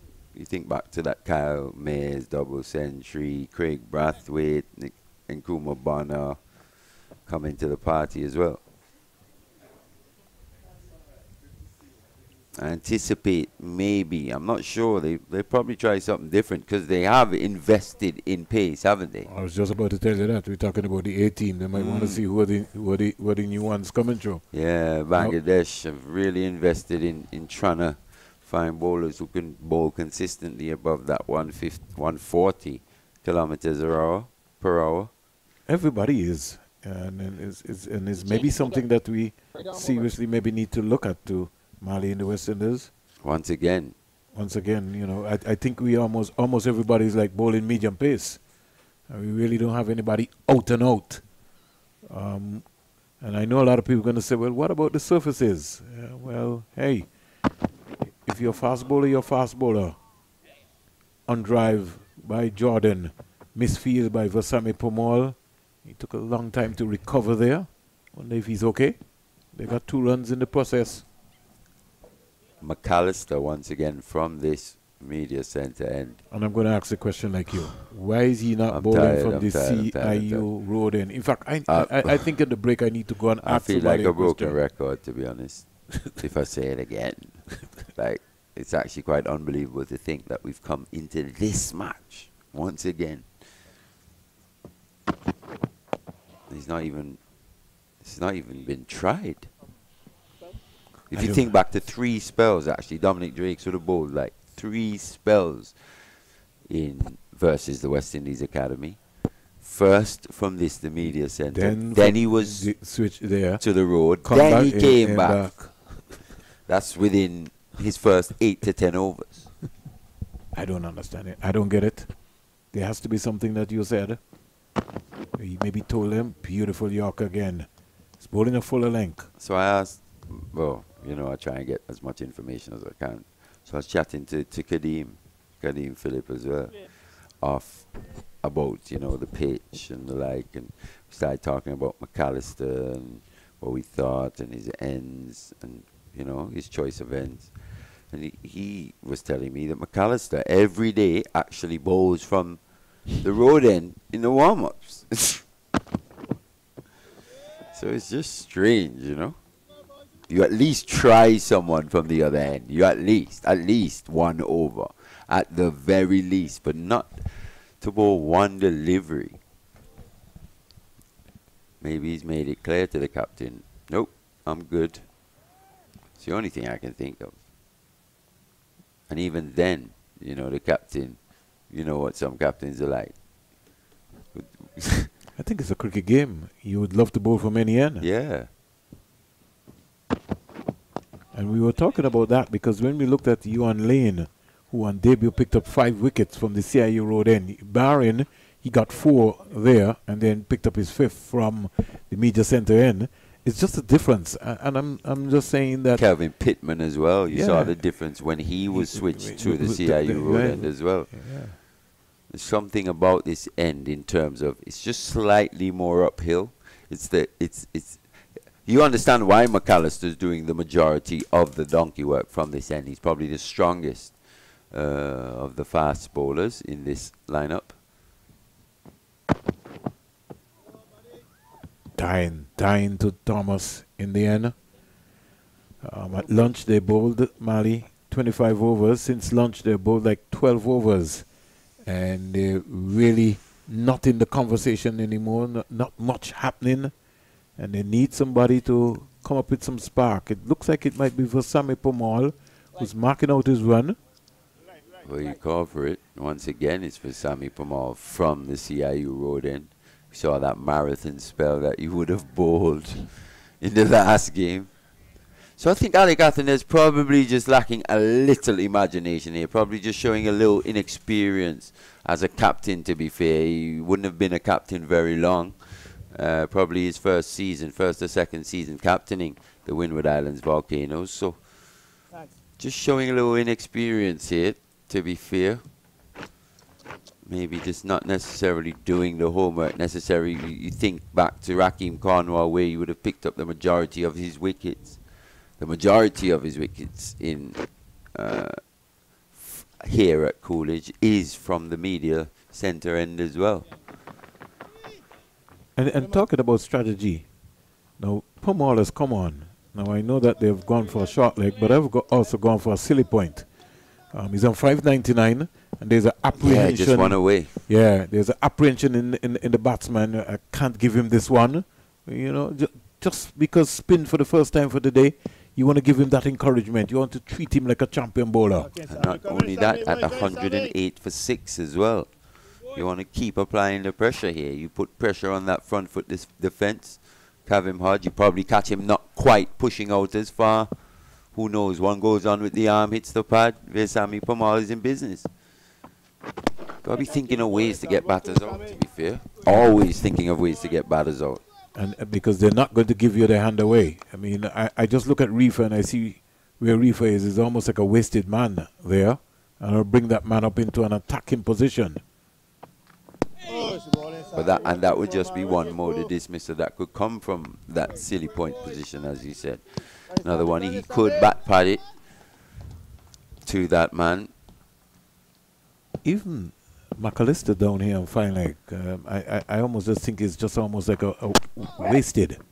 Um, my reckoning, this is the first time we've seen spin for the day. So you want to give them something to think about. He's on 599, 599 first class wickets. Psychologically, whoever is facing, they're going to be thinking about that. I don't want to be the batsman. To be the 600. To be the eh? 600. Yeah, it's a, it's a mental thing. He came into the previous match on 5 9 6, I think it was. He was four away. You see, you could look there. See, Hodge wasn't really right to the pitch of that ball. He was in two. He was in two minds. Yeah, yeah. And just get Raymond Reifer up a little uh, closer, force him to to play something different.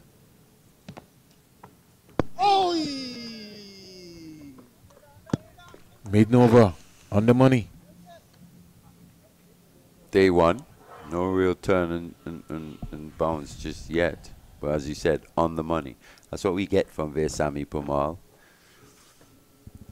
Especially at times at this level. Not at times, but consistently at this level. And the, and the mindset of, of, of batsman, Mali, is that if Mali Richards comes on to bowl, my, my objective is to come forward um, not looking to try to rotate the strike sometimes. And I think that is one of the things which tend to kill Caribbean batsmen. We don't look to try to maneuver to figure out how we're going to get a single. Yeah, especially when it's hot, such as this. You know, you really put pressure on the fielders and the bowler. It plays into your favor, you know. But it's also, Vernon, takes a toll on you as well, your fitness. That's what was so good, I think, about McKenzie and Wickham and Kevlon Anderson as well. That's where the fitness really comes in. Think of how many loose strokes those guys would have played, to be honest, in those long innings. Not many, to be fair. You think back, McKenzie almost cut his loose strokes in half. Last night in the conversation on Mason and Guess, um, Kevin Wickham was, oh, was you listened to that show? Uh, well, I was I was on on the panel, so that's why I I, I got to listen. It was a situation where um, Wickham said that McKenzie was getting tired, and mm. so he decided that he was going to, you know, take most of the strike and, and oh. Good delivery, good judgment here, indeed by Akeem Jordan. I think that's he's probably left that on length, and he's probably lucky, to be fair. Uh, that's just bounced over that off stump. Let's see what Ronnie has for us here. Slightly splayed front leg. Oh, just going past, actually. And I want to say something, Mali. Yeah. He got everything right there in that delivery. Very much His so. leading arm, everything went up. Clipped away. Beautifully. Won't go for four. Chanderpaul is after it, and they can walk three. I think they only picked up two in the end. But they should have been able to be thinking about Yeah. about, about three. They could, notice what I said. They could have walked, Walk three. three. Yeah, only picked up two in the end. I think Akeem Jordan did. Probably just a little guilty of ball watching, thinking that that was going to run away. Well, he, he maybe didn't know that they've been having some rain Mm. in Antigua and Barbuda. Kind of plugged in the outfield. So as much as it is might be hot here, um, almost every morning we get some early morning showers. These guys have done a remarkable job here on the outfield. They need something, Mali. They need a spark. There's nothing happening. The partnership is just growing. 36 from 86.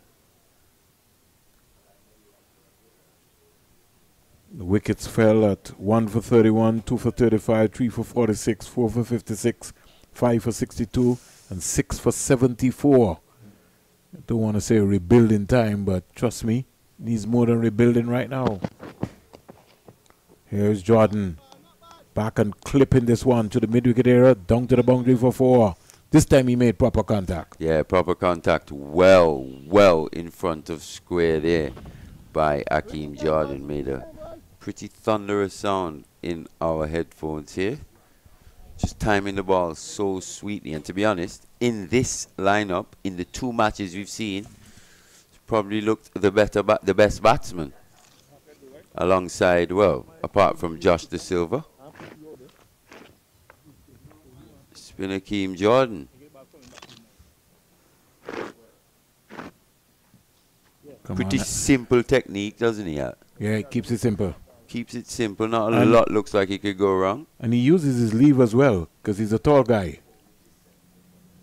He is. He uses his leave as well. You could tell that he's a student of the game. You know, he's somebody who studies the game. He understands what is happening. He would have looked around. They're having a complaint now about the ball. And they've been trying this for a very long time, Mali. They've not been able to convince umpire Leslie Reifer Jr. Looks like they've done it now. Yeah, no, I'm not too sure. Um, Mr. C- uh, Gregory Brathwaite is very particular about changing a ball. Doesn't seem to be going through that at the moment. Somehow seems to be oddly shaped. His umpire Reifer's trying to squeeze it through. He's trying to justify um, having Nigel Duguid come on. They're having a good chuckle as well. They're like, it's not fitting. So just a small hold up.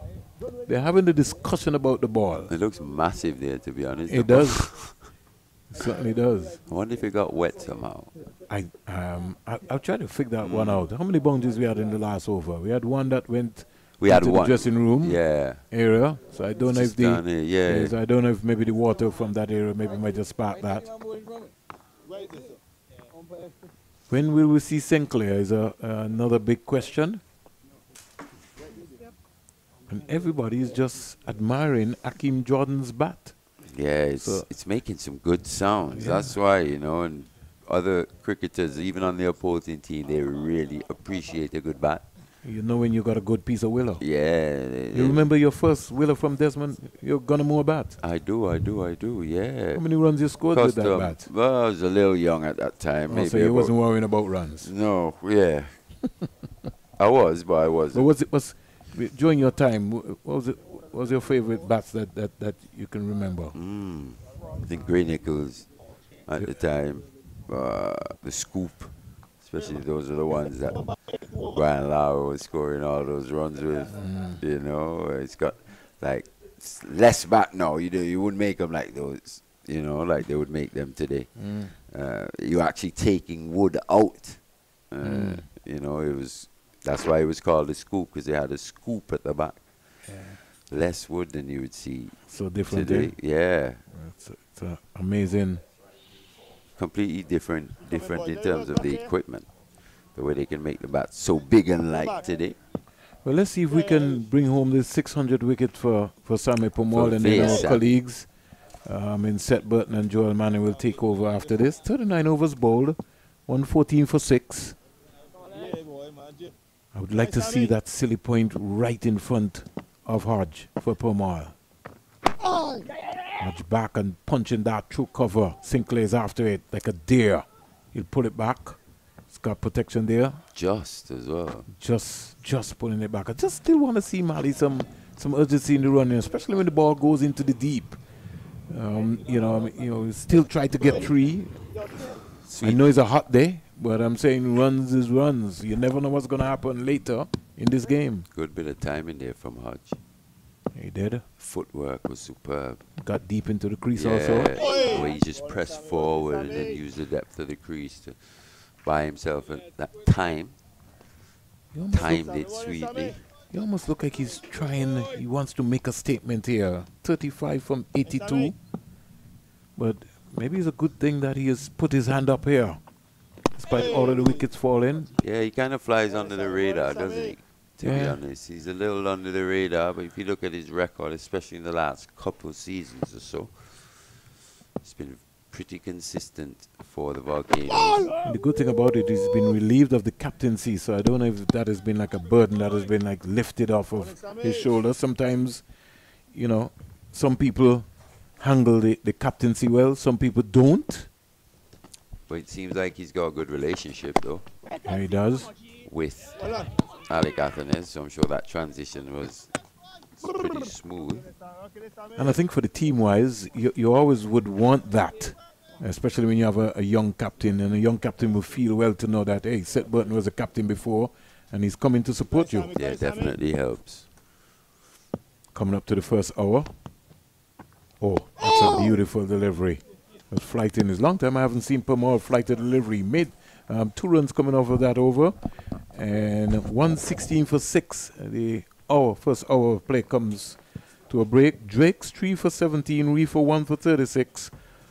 McAllister 1 for 23, and Hodge fighting. He's the top scorer with 35. Powell and Jordan. I'll give my colleagues a chance. Joel Manning and Seth Burton, they will come in after the water break. Mm-hmm.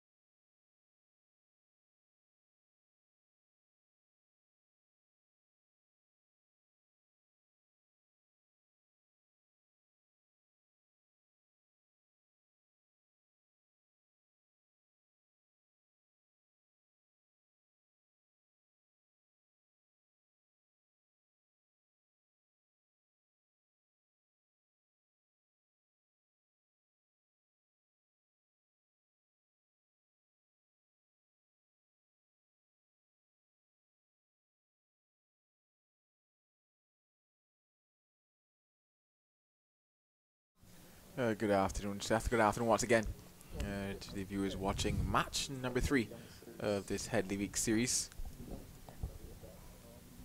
Any surprises? Uh, none really, to be honest.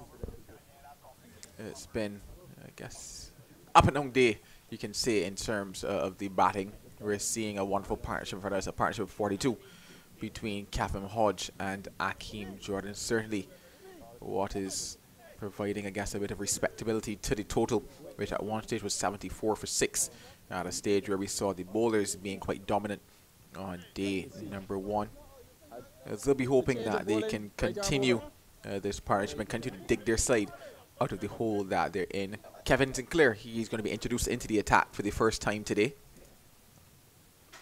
Well, and he comes in uh, just after Veerasammy Permaul was brought into the attack. It has been the medium pacers who have done the trick.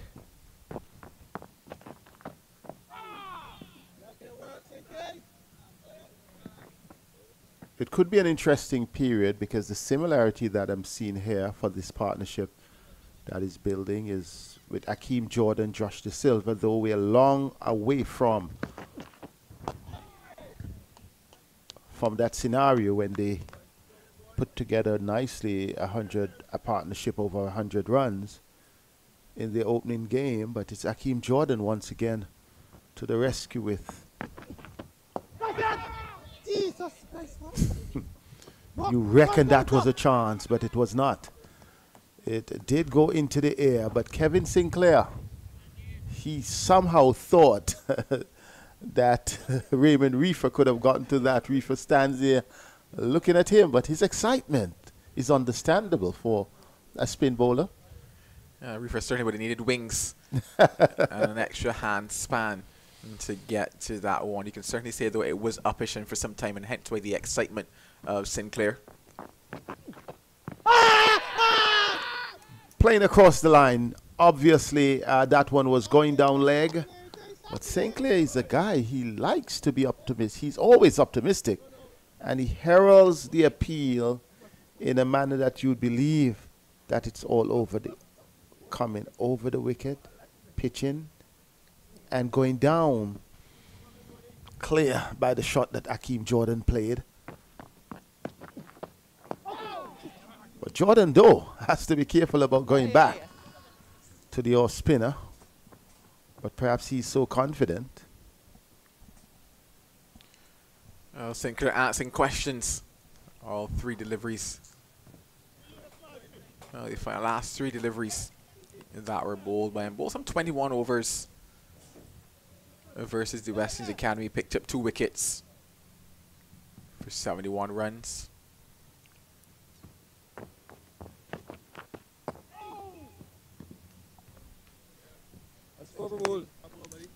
Well, he will tell you that at least he may have deserved a wicket by his appeal. He may tell you that it could have been an attempt, an attempted catch by Reifer, which Reifer would defer. but at least he would say, I started well, and it was definitely a good eye-opening over from Kevin Sinclair. Yeah, he certainly would say that the signs are there in terms of the possibility of taking a wicket Kevin Sinclair. Usually when you're introduced into the attack, you want to say, you know, take a couple deliveries, settle in, start to find your lines and lambs. He did that immediately, uh, Kevin Sinclair. Twin spin, do you have any uh, other option that you'd have gone for at this stage?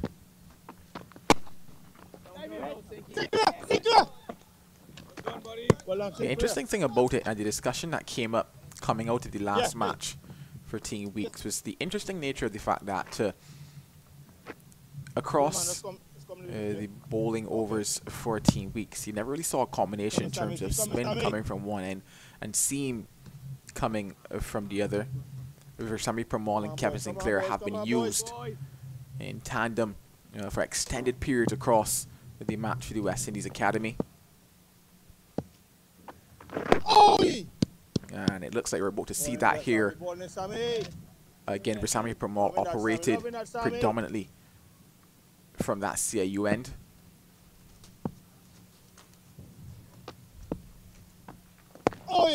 And we remind you that Veerasammy Permaul is on 599 first class wickets, 136 first class matches for 34 year old Guyanese. He has really been doing well in first class cricket. And when you look at he has a very high conversion because 35 five wicket hauls, that is a tremendous feat for this player. And that one was nicely uh, bowled, but I thought well negotiated in the end by Hodge. So he is a landmark away, a very significant landmark.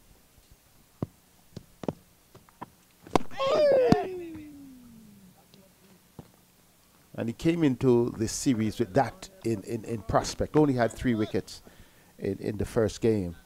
But now he has an opportunity, and when he gets there, it is a landmark that ought to be celebrated.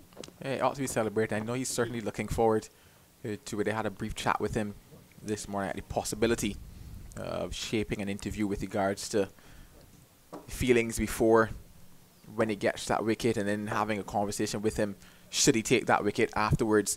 He said, I, I kind of just want to focus on, you know, going out there actually taking it because the funny thing about cricket is that at one stage in that match versus West Indies Academy, there was an extended period for which he did not pick up any wickets, well, 20 plus overs That's before right. he picked up a wicket in that game. And as such, you know, the, the funny game of cricket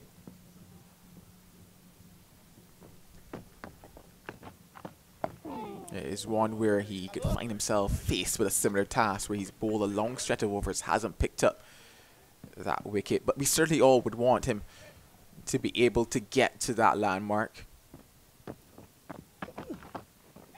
Oh, that one should have been taken. That one went uh, to the left of the diving first slip field, and Kevin Sinclair, he's feeling the agony. Uh, Joel, he's not happy. Uh, thought that effort could have been a better effort. It was a very sharp chance, you would have to say, uh, to the left of Alick Athanaze there at slip. He got a bit of a hand uh, to it at first glance, said correctly. Akeem Jordan just going at that one, and that's what we saw. That it just pushing out at it, going a bit uh, to his right at first. Athanaze having to shift the body weight back, and that's probably also what contributed to the fact that I was able to get past him because he had no base uh, which to start. But like I mentioned, Sinclair, from the time he's been introduced, asking questions. Definitely going down the leg side. Akeem Jordan missed out. Yeah, might probably tell himself he missed out on a couple of runs there, maybe one or two, given the fact that there's a man back on the deep mid-wicket boundary. But with almost every delivery, Sinclair is looking, asking questions, appealing. And that was one that asked a lot of questions. That was a special delivery. We want to see that again, Ronnie. It is. I, I got the first impression that it went too straight, but oh, that one had some bite and it really came back. And Akeem Jordan was deceived on this occasion. No, the Sinclair appeal is a very striking, impressionable one, but he has a very solid umpire, umpire Brathwaite. Yeah, he just asked a question of umpire Brathwaite whether or not it was going down. Instantly, Brathwaite said yes, it was heading down that legs. And you see, there's some sharp turn and offer for Sinclair. So we wondered if there would be turn. We expected there to be turn, given the dryness of the surface. And we're seeing that here now uh, from Sinclair. Yes, and the fact, uh, 124 for 6. The fact, though, that we expected turn on, let's say, the second day, but with the heat conditions here, which was already forecast, well, we had a forecast in the morning to say between 10 and, and 4, you would have expected the pitch would have really dried out, and I think it did uh, by the time we got to lunch. And this has been good bowling from Sinclair, and no one better to back him up than his countryman, Veerasammy Permaul. Yeah, fantastic bowling so far from Sinclair. He's been in the right areas to challenge the bat. The fact that the ball is turning as well.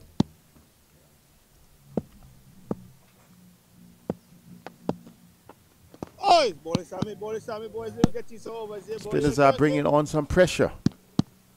He just wanted it to be similar purchase for Veerasammy Permaul from the CAU end.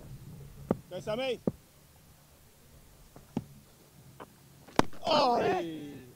it's interesting because earlier on commentary, the question was posed with regard to whether or not Veerasammy Permaul could probably come from this media center. And given some of the cracks that are out there at the opposite end in front of the batters, the roughage that is there already as well. Well, but I guess uh, the way in which Sinclair has pitched, and not that it negates the argument, but that there could be justification for Sinclair coming from this end.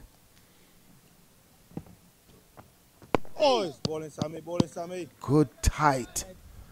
Bowling on the part of Veerasammy Permaul. And this period is crucial because the batters looked as though they were middling things well. Against the Seamers in that. the partnership today is a quick single. And they get it in the end. Keacy Carty was unable to hit. Had he hit, perhaps it would have been another run out to join that of Josh Da Silva's. I actually felt like as if the, the real danger was for Akeem Jordan at the non-strikers end, or well, running towards uh, the strikers end. In fact, given that Kavem Hodge actually set off quite early for that single, Akeem Jordan, however, wasn't necessarily looking for it. Gets home comfortably in the end, though. I think I understand the approach by Hodge Well, this could be it. No, it falls safely away. I see Rodney. From Kevin Sinclair. Joel, I see that you're really anxious for the 600. Well, no, you see, the, it, it, went into the air. It looked as if it would have been going directly uh, to cover. But it was a big uh, shot on the part of Akeem Jordan, perhaps trying to uh, break the shackles here. Fortunately for him, it went away from Sinclair. I believe exactly what Hodge was trying to avoid. I made the comment, he, I believe he forced the single uh, in the penultimate delivery of the over because he wanted to be on strike, realizing that Akeem Jordan had some challenges with Sinclair. But now he ends up, uh, Jordan again, having to face Sinclair.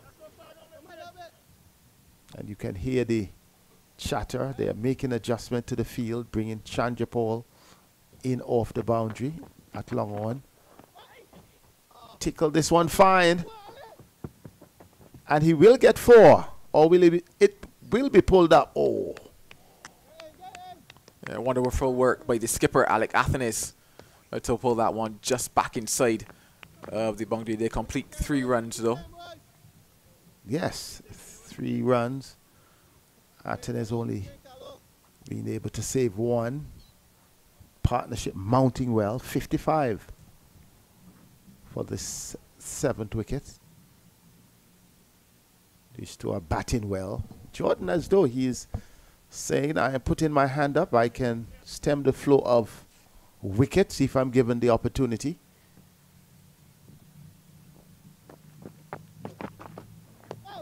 But Hodge will have to play a knock, similar to what Joshua Da Silva did in the opening game against the Academy because it's obvious that Team Headley's top order, they are not really a consistent batting team.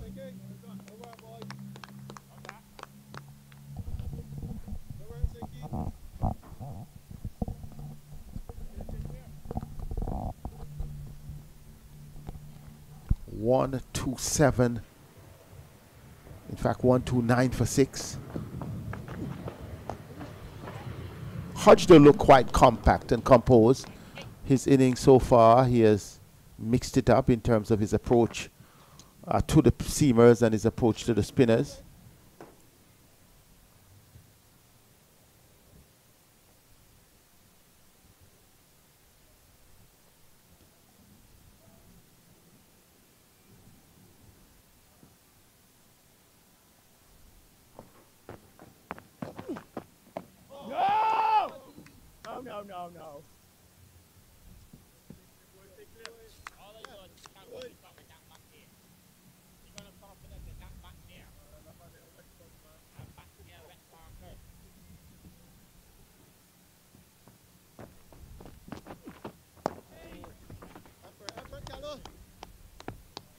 Good rotation. Once again. Over completed. 131 for six. And you see those two. The Two stand out so far in this innings. Jordan on 34 and Kavem Hodge on 37. Yeah, this partnership continue to do the job asked of them by team. Come on, Wave, what going in the middle? Headley. Jordan, what, me want bat? yeah, Devon Thomas asking Jordan if he doesn't want to bat. Coming, boys? Keep coming, Sammy. That gamesmanship. Trying to put pressure on the younger player. Jordan would not have that, though. He has shown a brim of confidence from day one of this tournament.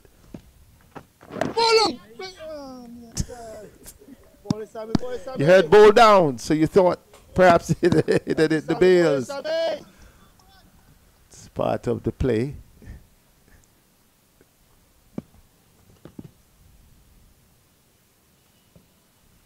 Oi! Next side, yeah. Permaul keep making an adjustment. You're hearing the chatter. Devon Thomas reminding him of his 50 and tell him he's on having a rich vein of form. Well, that one couldn't bowl him for sure because he did well to steer it down to the short third man fielder. But it's quite intense. You get the impression that the fielders are even making it more challenging for the batters. Oh! What do you say in a situation like this? That one went through him. All you can say is whoa. And this is the reason why he has 599 first class wickets Sammy Permaul. Skill, guile, craftiness, words that describe him.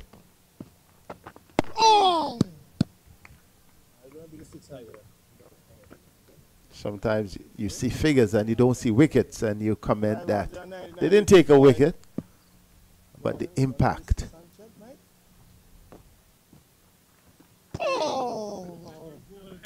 Well, Jordan must be filled with confidence because he chose to leave that one alone. That one definitely went away. Could have gone straight through, but he's still there on 34. He was tempted with that one, Jordan. It was slower. He had some flight as well, and it was just wide of the off stump. Probably could have played a similar shot or rather invited to play a similar shot to what he would have done on the last ball of the previous for Sammy Permaul over. But one thing I can guarantee you is that none of them want to be 600. I remember Kieran Powell this morning saying that he will not be Permaul's 600 wicket. A lot of them out there do not want to be that wicket. They do not want to go in history as that man. But the question is why? You just want to play. Why, why, why would that be foremost on the mind? I don't want him to get me. But the thing about it is that in terms of the record books, nobody wants to be known as that person, whether or not the, the bowler on the end of the six sixes, uh, the bowler uh, that would have won when Lara was batting and got into the 400. You know, all these little things. When you go down in history, you're on the wrong side of history, they would say. And if you're the batter to be dismissed by Veerasammy Permaul, you would technically be on the wrong side of history and remembered for something that you don't necessarily want to be remembered for. I, I could understand the bowler with the six sixes. But but but uh, if Veerasammy Permaul is is a is a great and outstanding bowler in the Nash in the regional context, if I'm the 600, I'm the 600. I just want to play good innings, but that is lingering on the batter's mind. That is interesting. So then there is a mini battle. always, always. I mean, apart from, the from personal from egos involved as well, the chatter that goes around. I mean, yes, you would want to play a good innings, and you know anybody can dismiss you.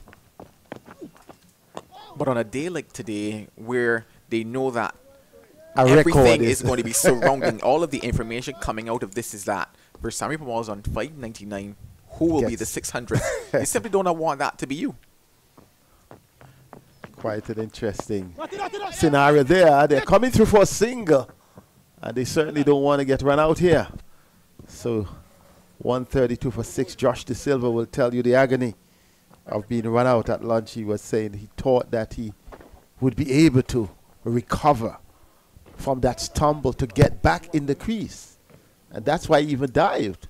But at the end of the day, he was short. So, question: Would you choose to be the 600 or would you choose to be run out? I don't think there's much of a choice involved in terms of the route for the dismissal, but certainly uh, you might prefer the run out.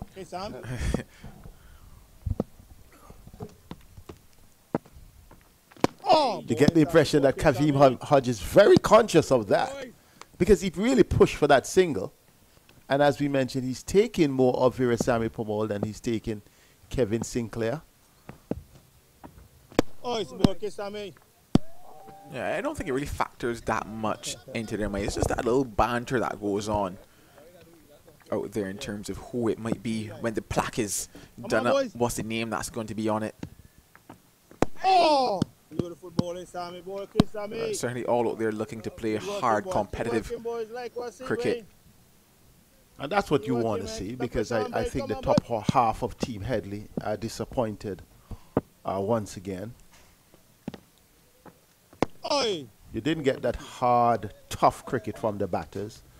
We, we cannot discount uh, the, the, the, bowling at the top of the order. I really thought that Dominic Drakes really represented himself well, uh, really showed why he, why he is here. But I also got the impression that the top batters, uh, some of them were a bit loose, probably looked good, and then had that what I would have called a swipe across the line.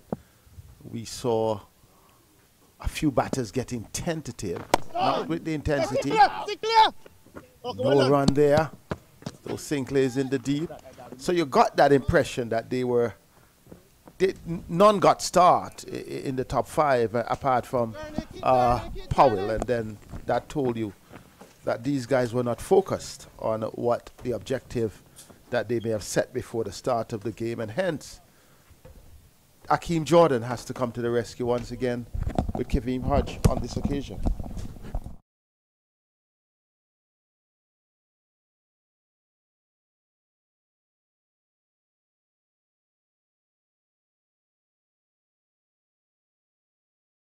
Clear continuing.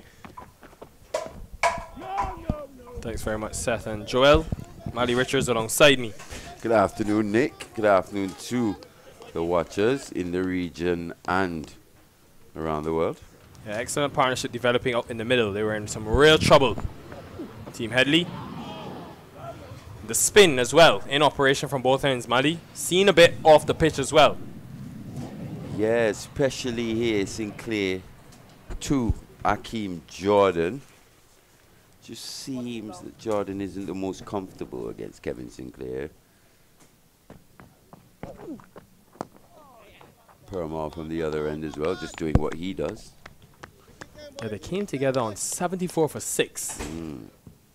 So have done excellently well to rebuild the innings. And I know Jordan has caught up to Hodge in significantly less deliveries. But for me, this innings from Kavem Hodge is extremely valuable because of the time.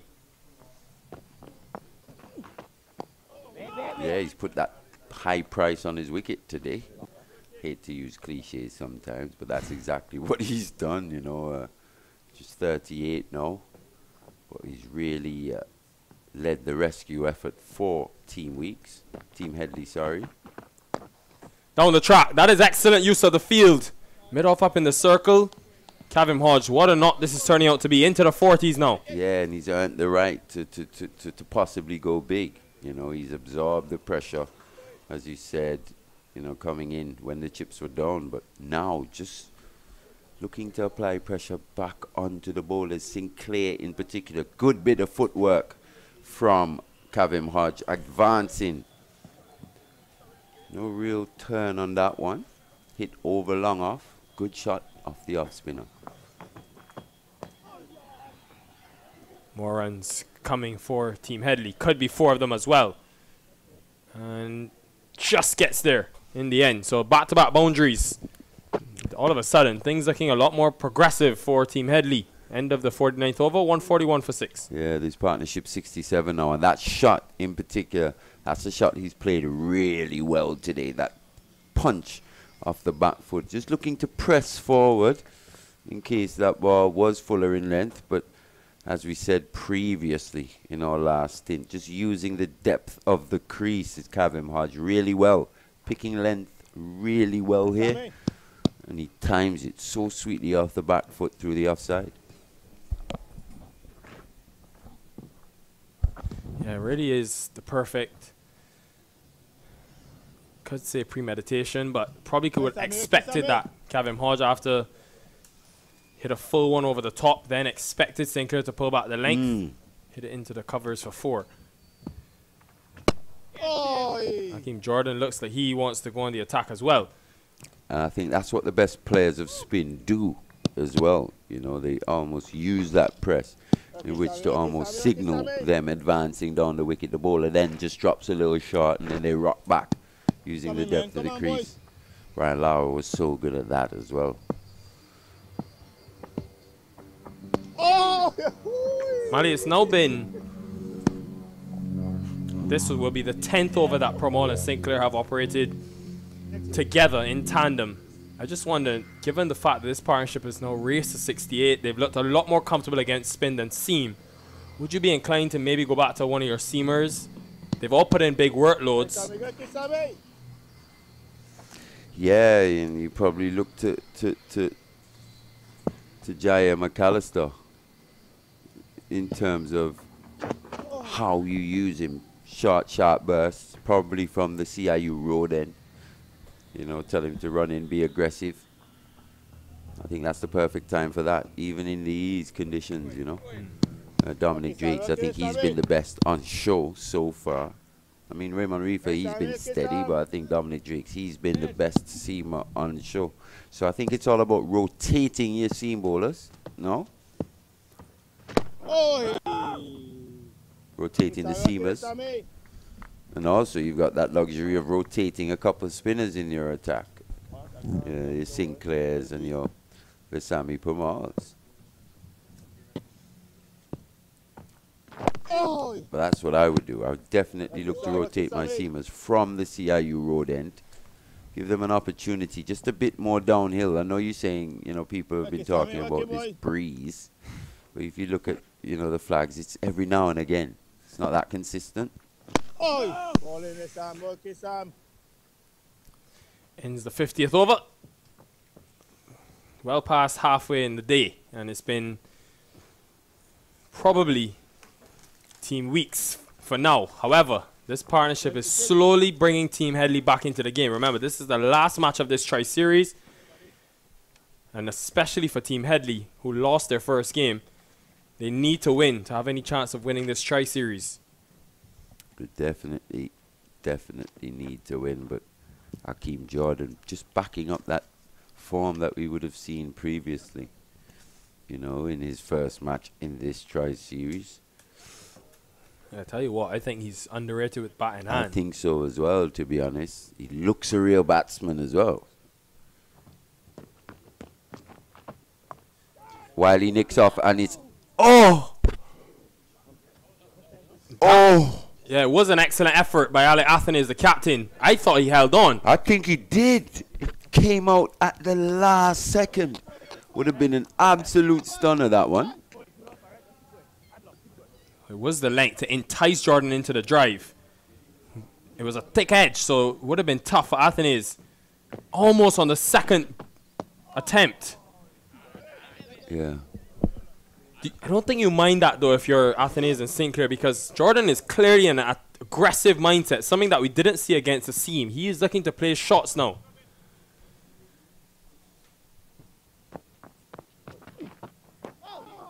I think he's just recognized or he's signaled an opportunity in which he can he can score more easily. And he's looking to take it here. But Sinclair so far has been up to the test. Especially in this matchup. Ah! The only thing he hasn't done is really taken the wicket to have that catch go down as well. I think a couple overs ago, a couple LBW shouts just seemed all at sea, almost. Down the track this time, but doesn't connect. Hakeem Jordan. That tells you. That shot tells you that. Probably not feeling quite as assured against the Kevin Sinclair here. Just needs to get off strike. Something like that. Well played, young man. Yeah, Sinclair is making things happen though out in the middle, especially against Hakeem Jordan. Just one run from the over, 145 for six. Yeah, this partnership 71 now. And as you said, Kevin Sinclair just creating the opportunities now, showing his worth, all round worth as a cricketer. Kevin Sinclair, maybe not the biggest spinner of the ball, but he looks an improved off spinner, that's for sure. His his his guile, his variations, especially his variation in pace. They calling for no water. We we we we we not feel long now, you man. Good little banter happening out in the middle between Hold him, man. Hold him, hold him. Devon Thomas and Hakeem Jordan.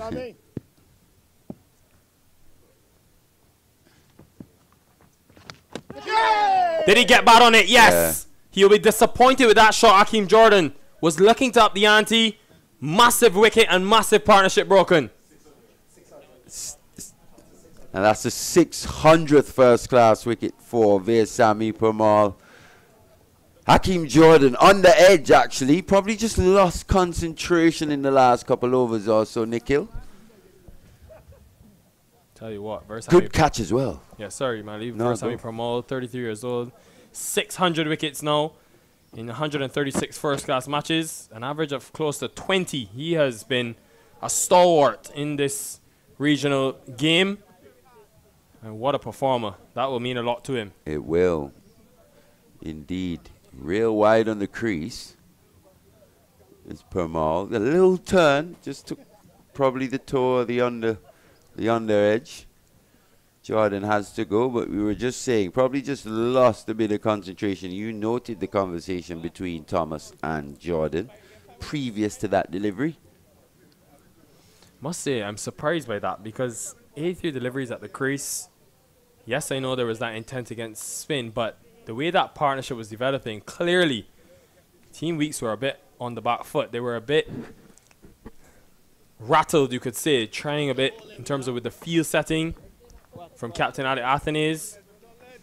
May have just let them off the hook. Nonetheless, though, Shem comes out to the middle. Yeah, the second batter we've seen succumb to the slug sweep today. one off pace, one off spin.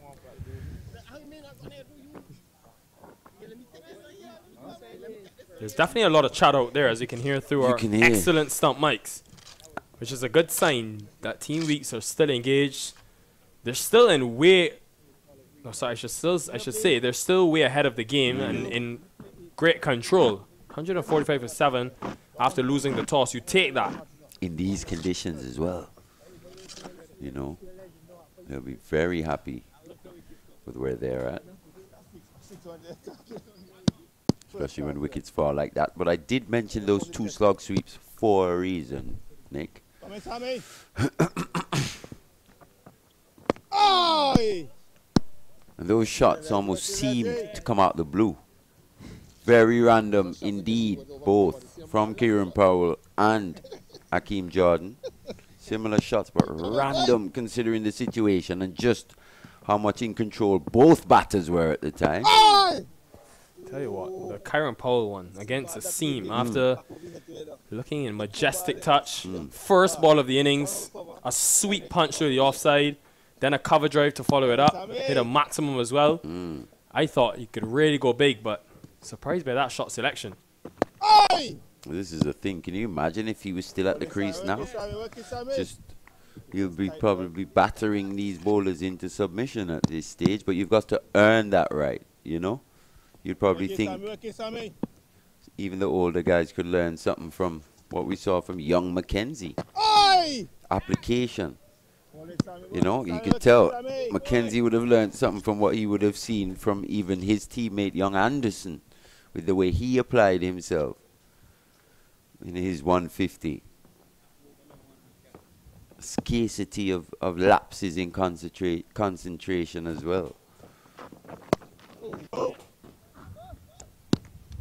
But Holder can bat. He, he'll need to support Kavem Hodge.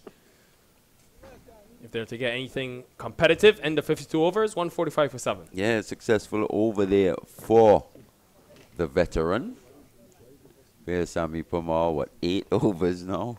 As you're saying. Just seven runs conceded. Wow.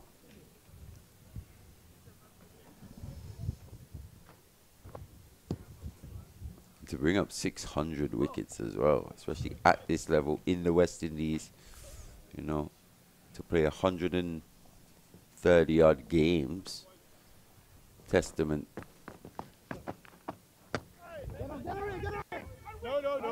as well. Testament to the fitness and the skill of the man, especially at the first class level. I know some will say that he probably hasn't fulfilled his his potential, especially at the international level. But he's also won us games at times. He's played his part at times. Sammy Permaul.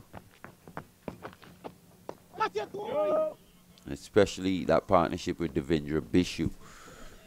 You know, that partnership would have gone a long way in securing those a lot of titles for the Guyana Harpy Eagles over the years as well. Oh, a bit of turn and bounce now. Now, this is a clear plan from Kevin Sinclair. I've watched him in the last couple of deliveries, and he keeps trying to engage Zachary McCaskie at that short, fine leg position. Pulling the length back and trying to get that bit of extra bounce with the overspin. Almost had his man here, Mali. Yeah, almost. Probably just not quite taking the glove. Can see though the line very straight and trying to induce that flick shot.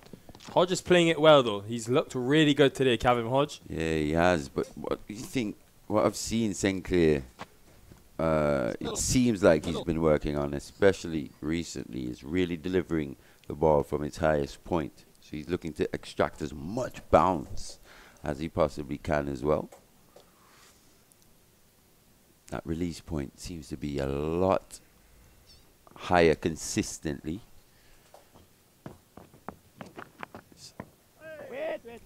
And at times, because of that, just forces him to overpitch slightly.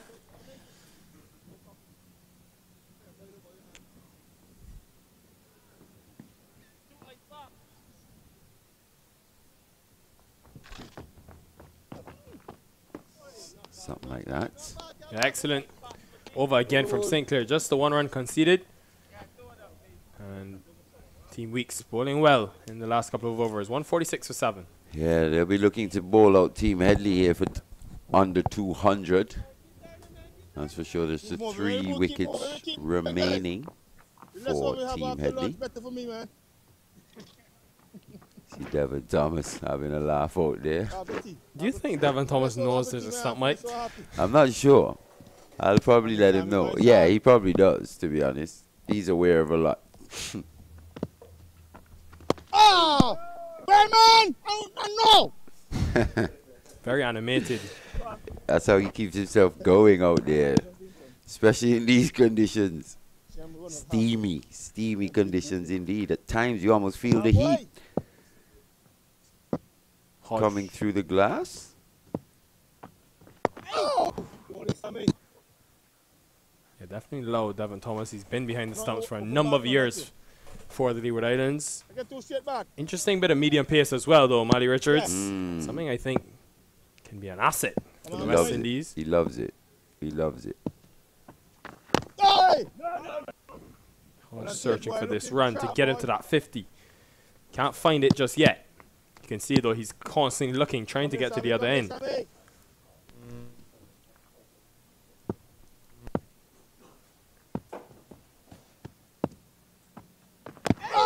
Plays it late, and there it is.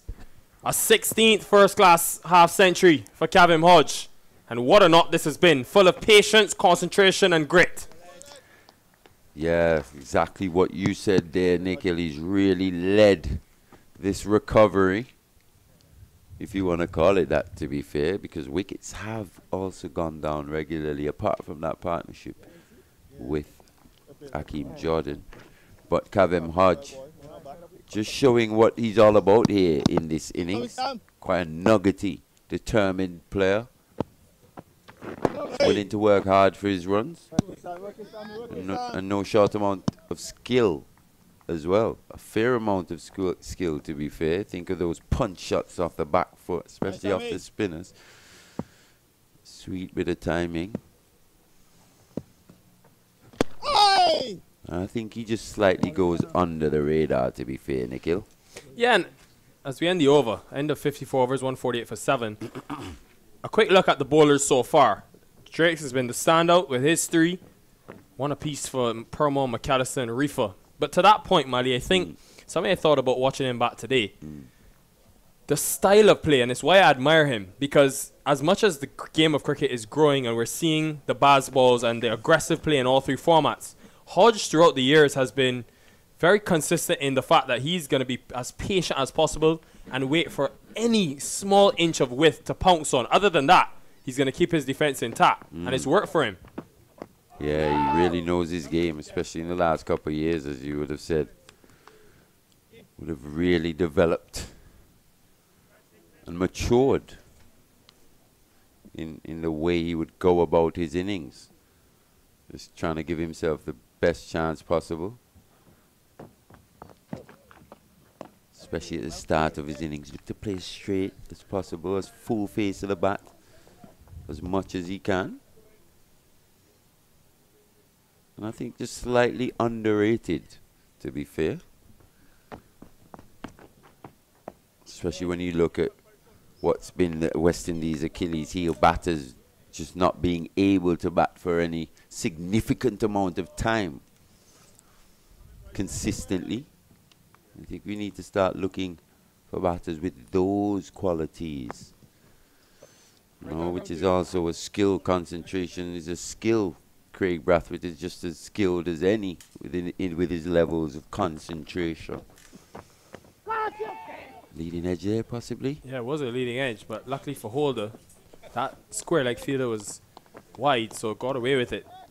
But just on Hodge, it's been interesting in terms of the journey because initially selected in that West Indies tour that went to England. Mm. He's been in and around the setup. But in 2022, he only averaged 21 with mm. the bat. And I felt you could just see the disappointment on his face. Mali was really not happy with that season. Went went back, worked really hard at his game, and this year, averaged close to 40 in the five matches, a massive turnaround, two fifties and a hundred, and then after not getting many in the first game in this series, a gutsy 50. You could almost say this innings could be worth a hundred because of the way things have gone at the other end. And shots like that should be a boundary for Hodge. Yeah, just comes out with one. There is Hodge just showing all his skill. Just slightly getting inside that one. Using the pace of Sinclair. I wonder Good. if Sinclair, sorry, Mali, is getting a bit predictable with that line. Mm. Very straight. A bit too straight, to be honest. As you said, he's trying to to, to, to get Zach McCaskie in business there keep him interested. But at the same time, it's not the most difficult to play in terms of right arm off spin to the right-handed batter. End of the 55th, 154 for 7. These overs are actually racing through I think it's the amount of spin that they Yeah, especially the type of spinners as well. Sinclair and Permaul in particular, they really get through these overs. Can you imagine if Rahkeem was in, was here as well? Wow. They only bowled 25 yeah. overs in the first session, so they've made up for it massively with Permaul and Sinclair in mm. tandem. You think they're the type of bowlers that you could possibly finish the session with, given the fact that they haven't conceded much runs. Permaul literally nine runs from his nine overs. Sinclair on the other end has been a bit more expensive, but has now kept things tight. Yeah, I think so. I think the rotation of him, possibly after T. Uh, you probably given the, the fast bowlers a bit more rest. They probably come back a bit fresher. The good thing is, as you said, they've bowled well as a tandem. You know, Sinclair hasn't picked up a wicket, but he has looked threatening at times. And Permaul, he's been economical and picked up a wicket. Yeah, the pace at which they're bowling the overs, all of a sudden you look around, the last five and a half overs now, they've only scored 10 runs. And it's because they just keep tying together the dot deliveries over after over, took the crucial wicket, broke the partnership. Happy with this from Hodge, or do you think maybe he can look to expand a bit more? Well, I think he just continues playing in the same vein, you know, uh, at least up until the eighth, well, definitely the ninth wicket, I think. Think he just got to look to continue to, to, to bat, to be fair. Conditions are still good for batting. End of that Permaul over. 154 for 7. 56 overs now gone. Yeah, I wonder how long these two go forward. And mm. T is not far away either. Seven minutes away, the tea time interval. So I'm pretty sure they will go into the break, these two. But I think Alick Athanaze, young captain, surely he'll have something in his mind on that second new ball and wanting to have a fresh Dominic Drake, given the way he bowled earlier today. I don't think there was any touch there, but. Round the wicket here to the right-handed holder is Sinclair. Probably just going with the angle across holder.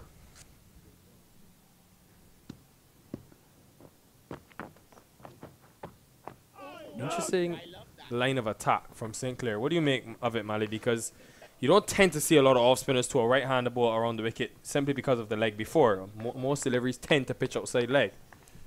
Yeah, he's he's trying to bring the outside edge into play here, Nick. He's got that slip. There, he's got Captain Alick Athanaze as at first slip, so he's just trying to bring that outside edge into play, hoping that Shem Holder probably pay, plays for a bit of turn. The ball just goes on with the angle, takes the outside edge. Just trying to add a more to dismissal here. But he's taken a couple out of the equation as well. So just to balance, I think he's just had a look, just having a look.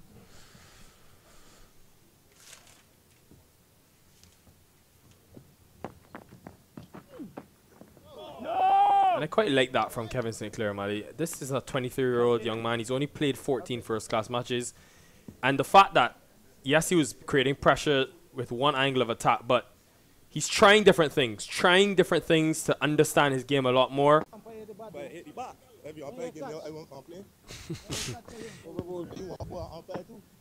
yeah, good rivalry between the two off spinners, Holder and Sinclair.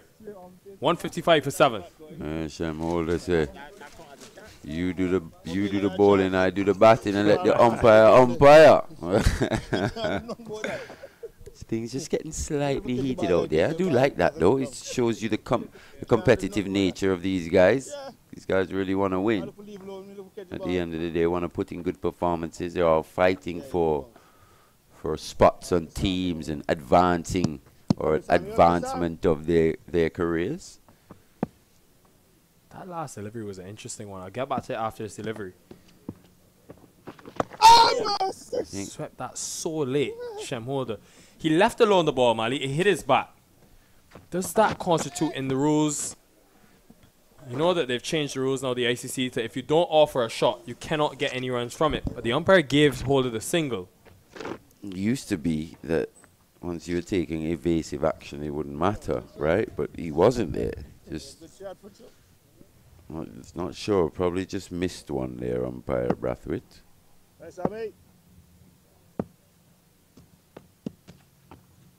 Hey. That is a top class shot. Too full from Veerasammy Permaul. First time really in this spell that we've seen him vary in terms of the length. Kavem Hodge says thank you very much. Yeah, tossed up that one actually, Nikhil. You could tell he really went for the flight there, but the ball didn't drop out of the sky quick enough for him. Just a long half volley in the end, and Hodge Looking good, especially when he's getting that big stride in to the spinners. At times just plays from the crease and he can get into trouble when he does that. But his footwork, I think that's been a hallmark or a trademark of this innings of 60 so far is the footwork. Just how decisive it, it's been. Oi. Work it,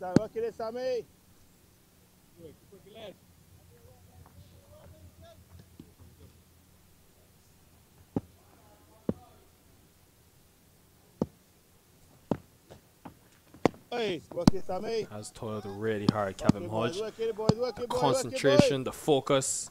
142 deliveries now out there. Mm. It's been hot today at Coolidge. Steamy.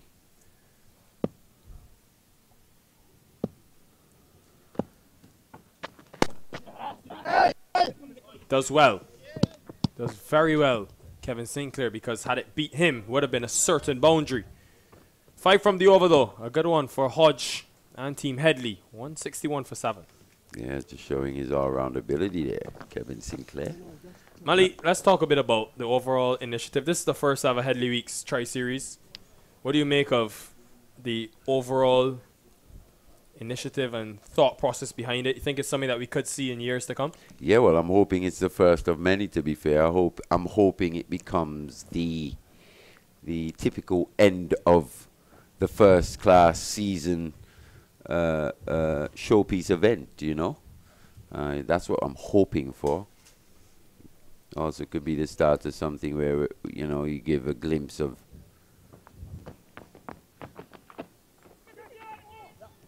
Uh, well, more runs for Kavem Hodge. A bit of a risk because there is a leg slip in place, but Hodge backed himself. And the run's beginning to flow for him and Team Headley now. Yeah, he moves on to 65 now. And as you said, he's just looking to be slightly more positive here in terms of grasping, grasping scoring opportunities. And he's timed the ball so well as, as well today. Doesn't seem like he's a particularly powerful guy, is he? Quite short, quite small in stature, but really does pack a punch. Times the ball so sweet.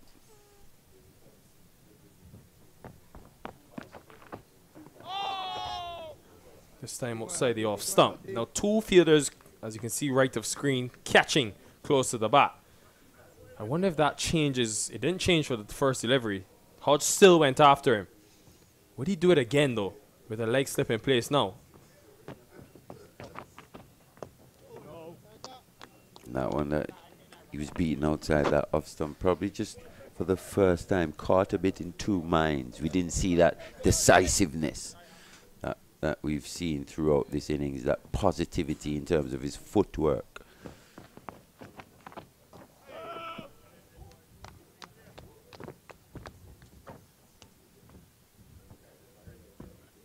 But yeah, as we were saying, yeah, it's been a great initiative, Nikhil, to be honest.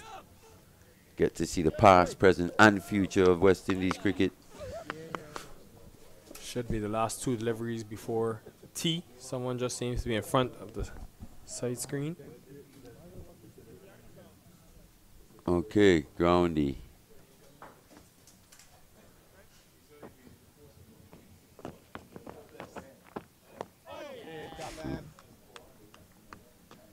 Just going past 2.40 p.m. local time. So should be the final delivery. Should.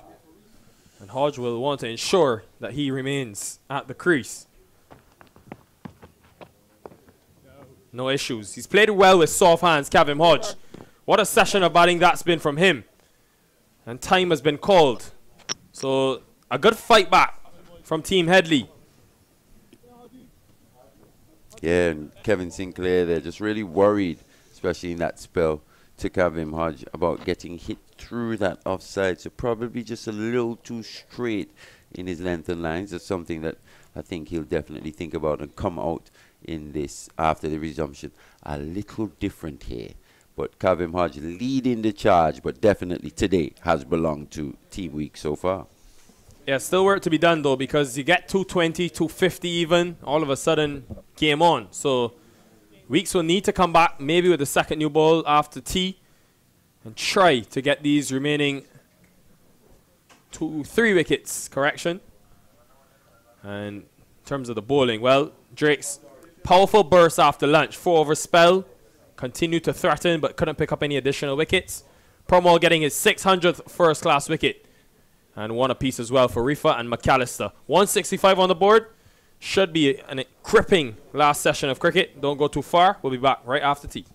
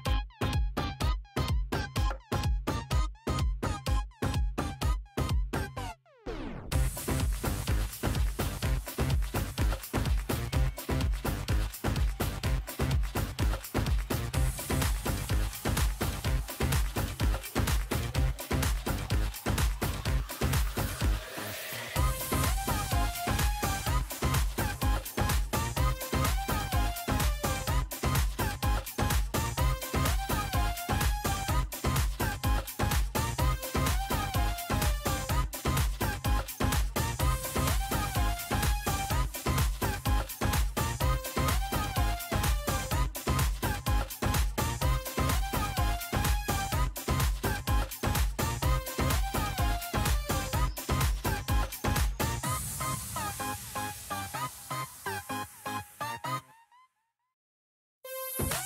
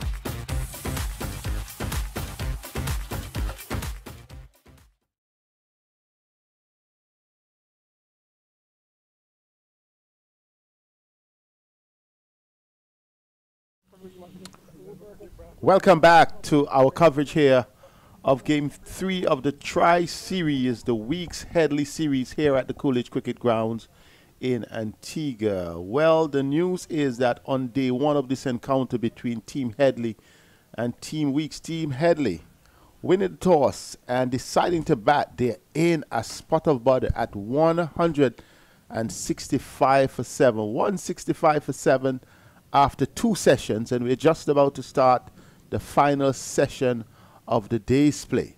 They started out looking good, looking solid, but then pleated away in a manner in which you thought that they would have, well, been bowled out below 150. But there was a partnership between that man there, Kavem Hodge, who is not out on 66, and Akeem Jordan, who scored 37. That really gave them at least a measure of stability. But Jordan, after his departure, Shem Holder has been partnering Kavem Hodge. Before that, in the earlier part of the innings, in the morning session, only Kieran Powell with 23 uh, really made an impression. I'm Seth Burton, and with me is Vernon Springer. And Vernon, it has been really team Weekes uh, in command, but it's good to see a good fighting knock from the Dominican right-hander Kavem Hodge, the formerly Windward Islands uh, captain. Well, I think the day has to go to Veerasammy Permaul. And you know, I, when I was on with you earlier, when we started today, I was writing down 600. And I was just writing the number 600. And to see somebody get 600 first class wickets, I mean, really, uh, I really have to commend and I have to celebrate Veerasammy Permaul's yes. performance. And while celebrating his 600, I am also celebrating Kemar Roach's 500. 500. Yes, we have. I mean, within the last week, we've seen two servants of West Indies cricket. And sometimes I don't know if our administrators really appreciate the amount of overs. You can imagine how many overs Permaul has bowled for those 600 wickets? That's right. And every year, every season, he's always amongst the wickets and he has always uh, been there serving the Guyana cricket uh, with distinction and being a servant of both Guyanese and West Indies cricket. He must be happy. 600 wicket was that man Akeem Jordan and he was delighted. And here is he now. Bowling. you can hear the call of bowling. Once it's Devon Thomas behind this down. These keepers are amazing. They, he played it with the full face of the bat. Uh, but Devon Thomas is saying bowling. And, and another thing, Seth, and you know, I was talking to you off here, and even when I was on air, the, the Athanaze has to recognize when he's on top. Yeah, for for Shem holder, you, you need a silly point. If you don't look sharp, you need a leg slip. You know what I mean? You, you got to know when to prize your action. Even when Hodge came on, the first bowler was Veerasammy Permaul. You got to look to prize. The, the, the, the, objective is to get wickets. That's right. And I thought they missed the trick when Holder came out. In particular, because uh, he came out to bat, and then you had still a mid wicket deep, a long on deep, and the opportunity was there to pressure him with a close in field and make further inroads in, in, in this into this team law order. I also feel he'll have to look at his angles. Where Raymond Reifer is feeling is just too close, and there were a lot of balls that of Hodge which went to cover. Those really should have been fielded. You got to cut off those, especially at this this this level. Sinclair's fielded well. Yes, and where Raymond Reifer was, Hodge, uh, in fact, Kevin Sinclair was also at backward point.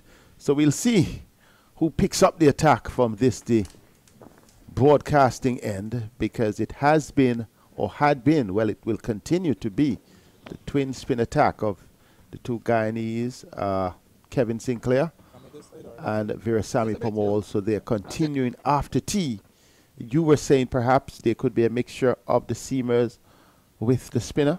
Yeah, well, the, the, the, the ploy is you have to understand the surface. So spin from one end because you have 30 overs remaining in the day's play. You already were behind in terms of the over rate.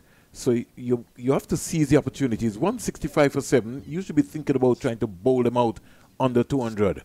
So you don't want to let them rest on their laurels and keep staff Kavem Hodge of the strike. Well, Hodge is looking pretty, and that is an elegant shot. Will not go to the boundary, but between cover and point, he will be happy he gets two runs. It's quite a good flowing knock from Kavem Hodge. It was a wide delivery set. As an off spinner, if you're bowling that wide, that's a badly lined delivery. And I just want Sinclair to relax. I just think Sinclair is just trying too many things. He wants to get in the wicket column, and that's how life goes sometimes. Maybe today just not your day. And he gets him. He gets him. He went down the track, missed it completely. Devon Thomas, you know, he's not going to miss that stumping chance. Sinclair gets the wicket. It's caught behind. Uh, we, we want to check on that. But it could be caught behind and stump as well because he was off balance uh, as well there. But, but he has he been given. The standing umpire has given him out, so I think Ronnie is right. He's all caught behind.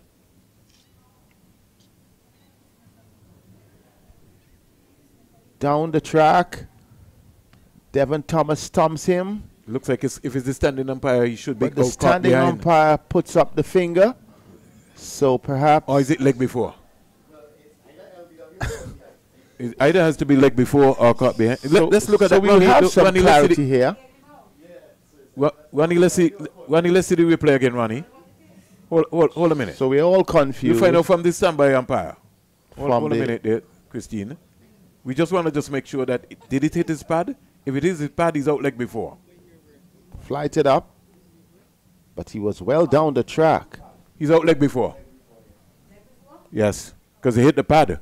The standing umpire give me can't be out caught because he was stumped wow. in. He, he went off balance in the process. Well, he, he, he made a very big stride down in playing that shot, but I guess we would have that confirmed because the official scorers as well have come to get the peak on what the final decision is, which we would have. He can't be out caught behind um, set because he, di he didn't get a nick.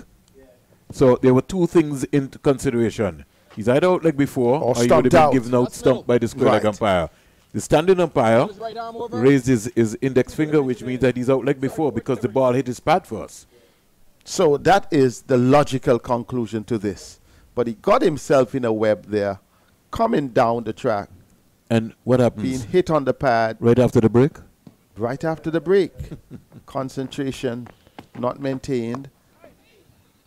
That's too easy. That is too and easy. And Phillip getting off the mark. Got to stop those balls. Nicely with the first ball to him. Second over, over after T. And we have already seen the fall of a wicket, which is in fact the most significant scorer, the top scorer in the team Headley game. Caught? So this down the leg side on this occasion. We are now getting finality that the decision was a court behind. So, so we had a situation in which there were three options, and it turns out to be that Kavem Hodge was out caught.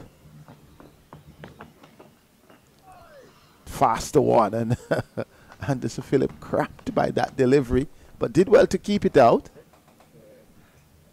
at the end of this over uh, um, set, I'd, I'd, like Ronnie to pull that, that, that, that, that, that flicker up again. Really, you have so to give the umpire a break. I'm, I, I'm, not. I'm, I'm, not. I'm not. Not. I'm not saying anything. I just. I just want to see it again, um, to be on my conclu conclusion. And Ronnie is pulling it over. Um, you know, he's human like everybody else. That's right. But he was walking down the track, so that's where I could see that it may have been caught behind because no way I'm not saying no way, but it would have been difficult to be given LB. Look at the huge stride out.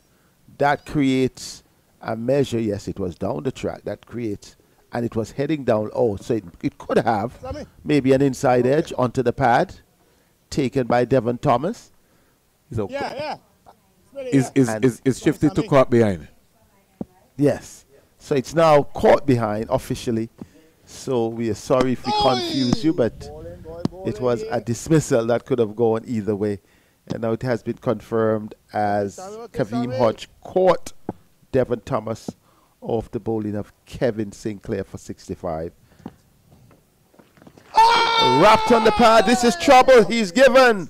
Veerasammy Permaul gets his 601 601. That is the big guy. Shem Holder. Trying to play across the line, trying to slug sweep a ball on middle stump. And uh, wicket number nine goes. It is unbelievable. The third over after the tea break, two wickets. And uh, Team Headley, they're definitely going down a bad path. So they're all crumbling here. And really unnecessary. It first started with Kavem Hodge, um, who was in two minds to Sinclair. And in the end, Sinclair um, claiming the wicket of Kavem Hodge, caught um, of Devon Thomas. He could have been also out stump as well, That's too. That's right. Um, but I thought that Shem Holder played a poor shot there. If yes. it, when you're sweeping, you're taught to sweep length. Um, you know, you just don't make up in your mind that you you're going to, you know, just go there. And that well, that ball was pitched between wicket and wicket. If you know Veerasammy Permaul, he bowls wicket to wicket. So Akira Mindley comes out, and the Jamaican pacer would really like to stay around and give Anderson Phillip, the Trinidadian, some comfort because he has the capacity to bat. Now let's let, let, let's talk here again, Seth. We we got number 10 and 11 in. We will never silly point, no short leg. You, you, you, you got to be looking to attack. Permaul beats him again. Good for No? I think this time for two, that's true. And it's all fun there for Team Weekes. They are the ones who are on top. Permaul having two wickets. Sinclair having one, so three to the spinners. the man who really got them into this good position. He's the one who is feeling the ball now, at least chasing the ball. Dominic Drakes had three wickets. His earliest spell was nine overs, well, eight overs, and three maidens, three for nine. And then McAllister had one along with Keep coming, Sammy. Keep coming, Sammy. Come in. So Sammy has two, and well, now they are bringing in Smith from long off. Oh, dropped in just in front of Captain Athanaze. So he could have had another in that over. 170 for nine.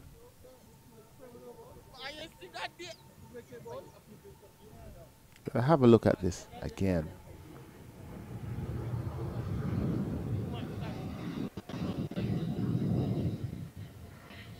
Just taking the outside edge and just falling in front of the skipper.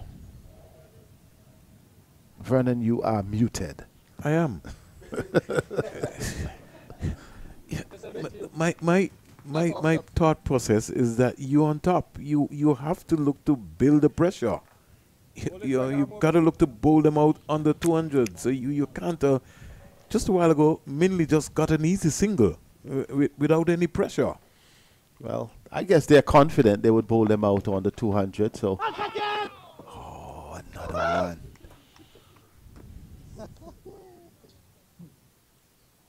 So you're, you're suggesting perhaps they should be crowded, crowding Mindley?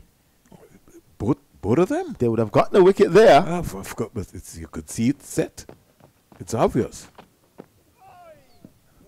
Another one goes a bit in the air. If there were perhaps a silly mid off or a silly point, that could have been an opportunity. But perhaps the bowlers are not calling for it. And this time he gets a hold of it and drives a flowing drive out to long off for four. The You extra cover fielder could not catch up with it. You know why is it? Because Sinclair now decided now that he was going to overcompensate by trying to flight the delivery. So he ended up bowling a, a wide yes, half volley. flighting the ball, well pitched, but well played. Got Good in the shot. line of the ball and pound it.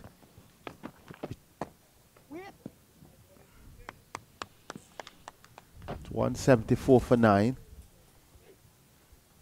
This would be, well, if they fall below 200, it would be the lowest first inning score of the tournament. So they would really want to bat on.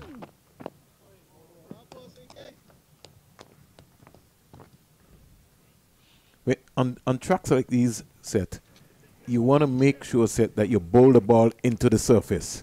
And Sinclair has got good revolutions. Once he bowls the ball into the surface, he's a more danger bowler. As, as you see that. When he tries to flight, he overcompensates the ball by bowling wide deliveries. So he's got to bowl the ball into the surface. 174 for 9.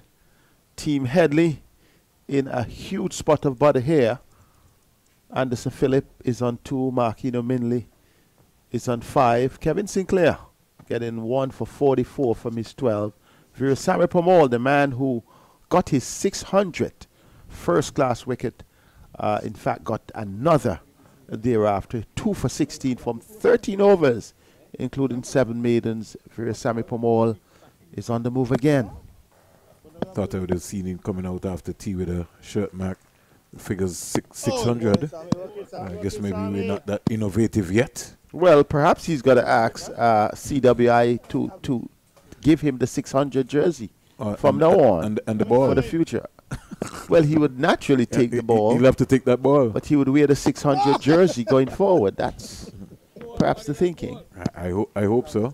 Somebody might say when he get to 650, we go, we're going to ask him to change the number from 600 to no, 650. he's comfortable with He's 600. comfortable with 600. Maybe he might doesn't. I don't think he wants a bigger number. He likes 94.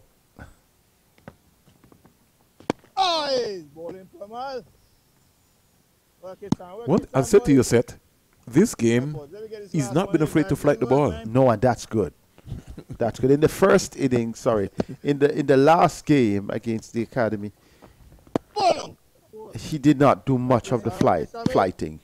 We didn't see much of that. He was flat. He was well calculated. Uh, the batters calculated him well, and, and and really and truly, he was not looking penetrative at all.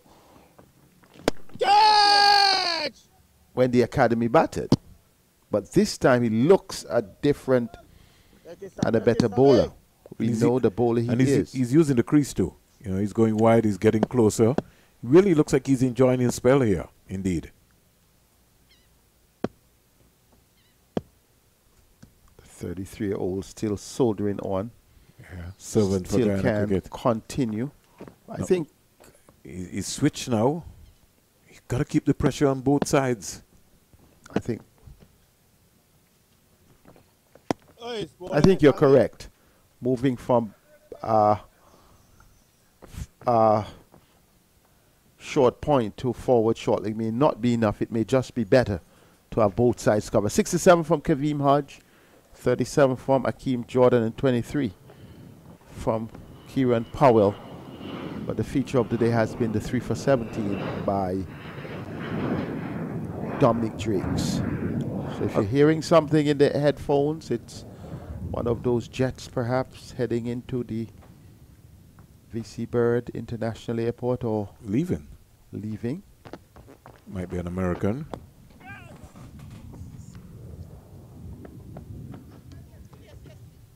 These two batters are really showing intent to go after the bowling. Sinclair has to bowl the ball into the surface. Um, and just be patient. You know, he's I like his attitude. I like his passion. He feels that he can get a wicket at every over. As you go higher, you have to understand your role and you have to build pressure.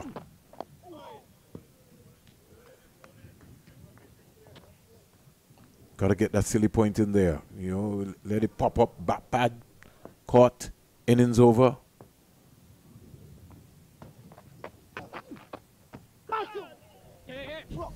Hmm. They look as though they're uncertain as to what to do. The two batters and the Sir Philip there. Playing that one in the air, a bit uppish. Wasn't quite decisive as to whether he wanted to go over the top. This one beats him. And I would have brought it the long on. If, if well, there's only one uh, that went down to Chanderpaul, and it went on the ground to him. Invite them to hit over the top. Good delivery.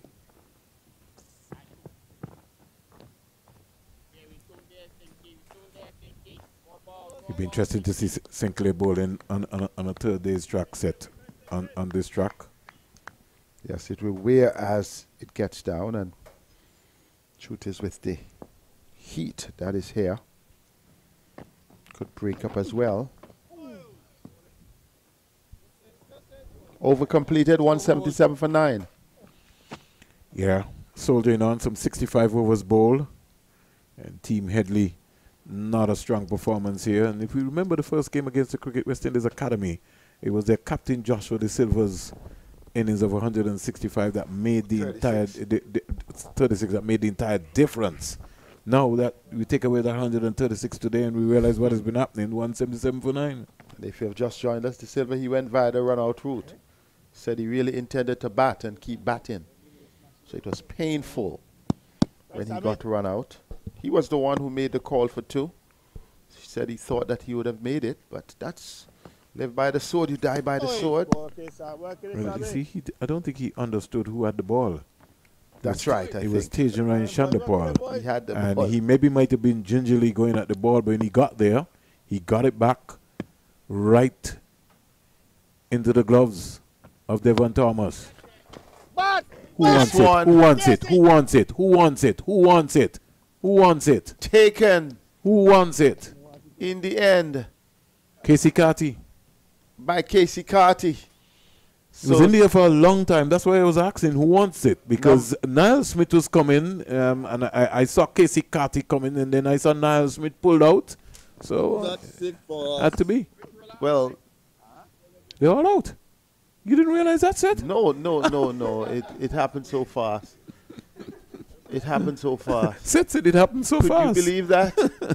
177 all out. Look at it, set. Marquino Mindley didn't really want to spend any time at the crease. It, it went miles, miles into the that's right. It's coming it's out coming of the down, cloud coming, wow. That's a good, that's a great Excellent catch, catch, by Keacy Carty. And good camera work because oh, they picked superb. that out. superb, superb. From the back of that cloud. And Keacy Carty has good eyes. Superb, superb. And picked that one up. He tumbled over on the ground, but made sure that he had everything covered. A little bit of a disappointment uh, because it just took, what, 4.2 overs uh, 5.2 overs after tea for them to get the, the remaining three wickets and not a good showing uh, in terms of Team Headley being bowled out here for 177 from 65.2 overs. And I, I, am glad that I'm living at, uh, presently living that I can witness this moment where for Sammy Permaul, I was here to see him take 600, 600, wickets. Yes. This, this is a remarkable achievement. I want to celebrate with you on behalf of the entire panel. He receives a standing ovation uh, from the coaching staff and from the rest of the players. Stuart Williams coming out and recognizing him. And that is a tremendous achievement um, from young Permaul. I have to call him young Permaul because he's still active. 3 for 16, 14.2 overs. And he's just a mad He's just a, a, a, miracle set compared to what would have happened a week ago.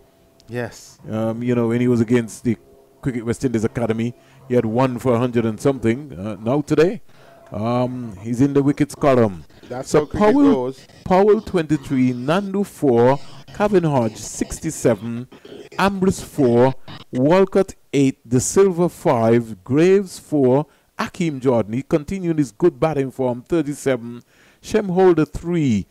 Um, and then we have Mindley who got out for 7, Anderson Phillips was left not out in 3. Devon Thomas had a great day.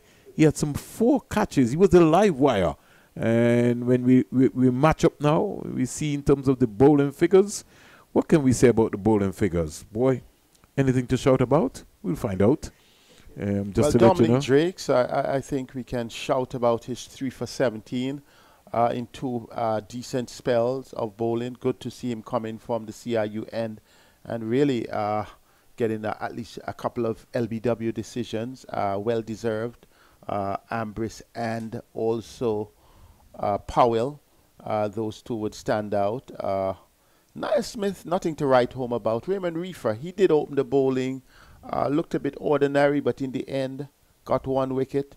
Uh, Jair McAllister, he had some good, good, good, good uh, spells, but not really uh, hitting anybody over. One for 23.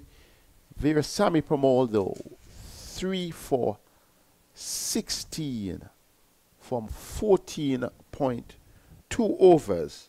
The Guyanese left arm orthodox spinner becomes the first person in the history of West Indies cricket domestic uh, from that side. 600 wickets, in fact, earlier.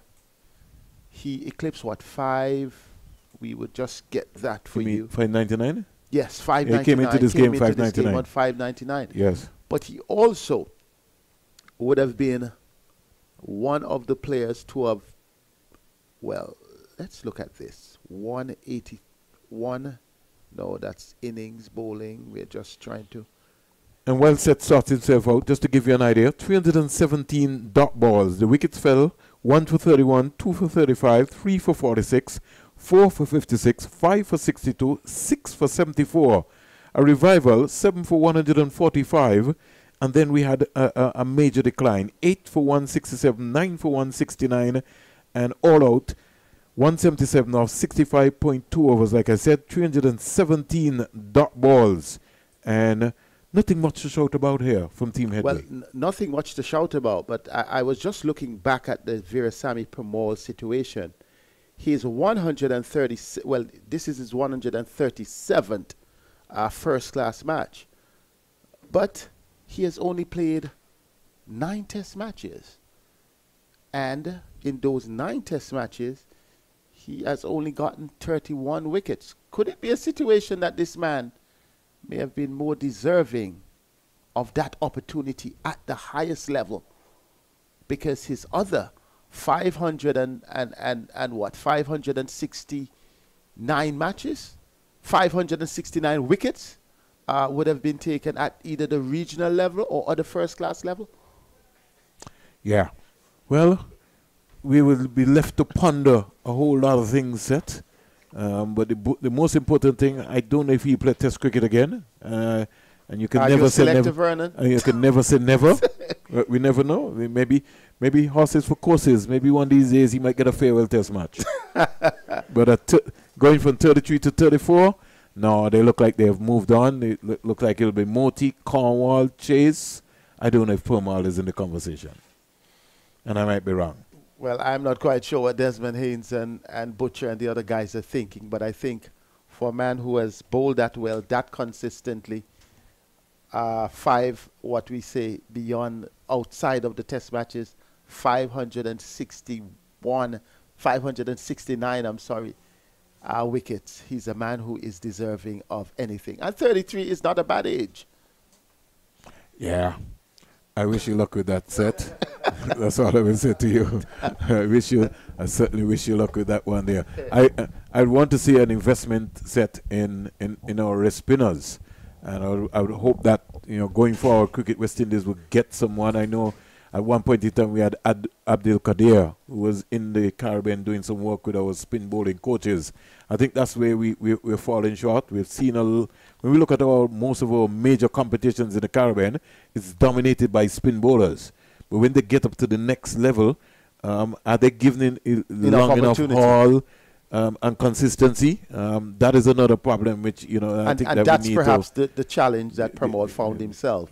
So so we, we we have a lot of work to do, and like I said, Seth, whether we like it or not, with the way how the International Cricket Council is looking at the ICC Test Championship, it is always going to be a challenge for Cricket West Indies if you have eight, ten Test matches in one year. It, it, it- how do It you how, how do you balance? How do you balance by if if you only have eight, ten Test matches? How do you balance that? It's a it's a real serious situation that we we seriously have to address. But we'll be back, set. In fact, it won't be us. It will be Joel Manning and Mali Richards who will be coming back out after the break. And just to let you know that Team Weekes, yeah, will need 177 in their first up. That will be their first task at hand They'll need 178 more. Well, they'll have to get to 177 first to maybe make a match out of this. And based on what is happening in set, let's see if there's a disease in fall of wickets. That's all I will say to you.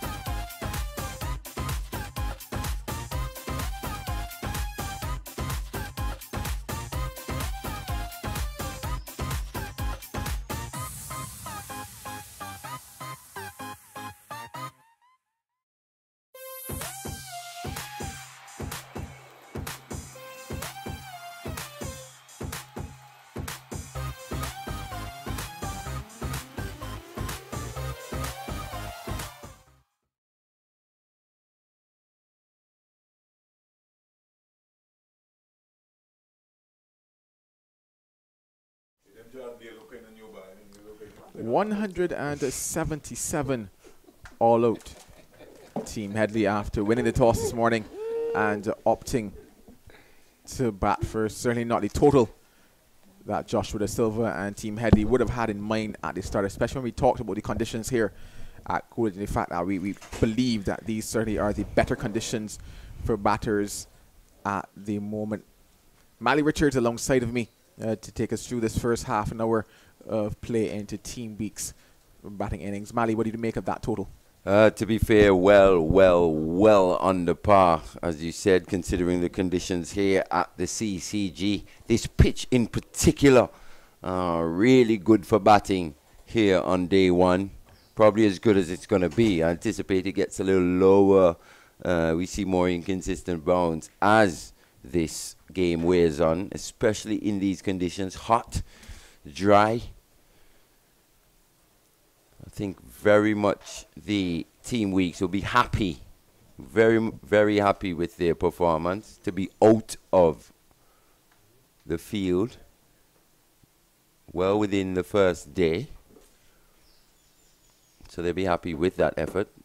But interesting to see how Akeem Jordan does with the new ball here, Joe. We would have spoken at length about him, especially in these conditions. Slightly different, maybe more grass covering on the previous pitches he would have bowled on. Maybe not quite as hot as well. Swung and seamed the ball quite a lot. Here, ball one. Oh. And there's that movement that you talked about. And I instantly cast my mind back to the dismissal with Tatum Chanderpaul and Nyeem Young at this ground from the other end. It was Nyeem Young, but that was shaping up to, to be something similar there. Very similar indeed, just shuffling across the crease. Just struggling, you know, planting that front foot, struggling to access the ball, especially early in his innings. If he gets through this period, you'll see the footwork and everything just become more cohesive.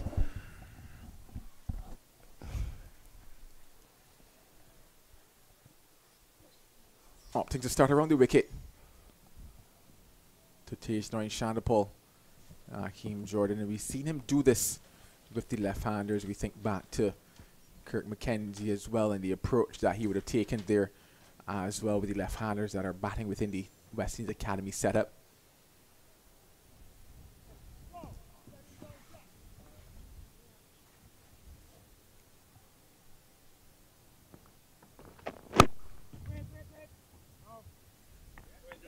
Stands tall. And that one, similar to that punch up we would have seen from Kieran Powell. What, ball one today. Wickets just held up, but just recently, maybe just not only flattening out, but just getting lower and lower. This ball's a new ball, obviously, but that first delivery would have been of some concern.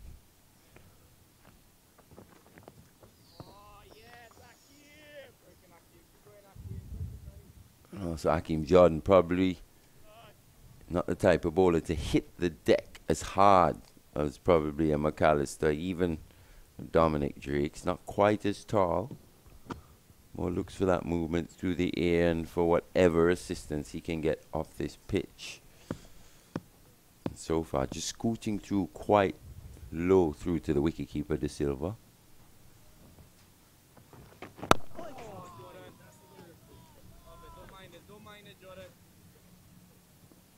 Actually, interesting to see Josh Da Silva taking the gloves, Joel, in this match.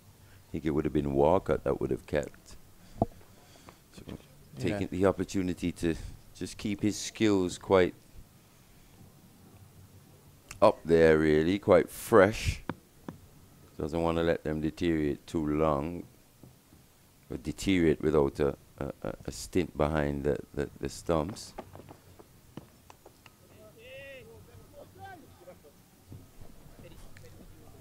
At the end of the first over, it's none for none after one. Yeah, just taking that opportunity to hold the gloves, uh, Da Silva. I wondered if it was just because of that long innings that he had, mm. and knowing that he had Tevin Walcott in his side that he opted to ask Tevin Walcott to hold the gloves on the occasion, whether or not that was the team plan uh, from the start. That we will never know. But yeah, holding the gloves here in match number two for them, match number three overall in this Headley Weekes series. Just a bit to you. That's middle. It's going to be Marquino right Mindley.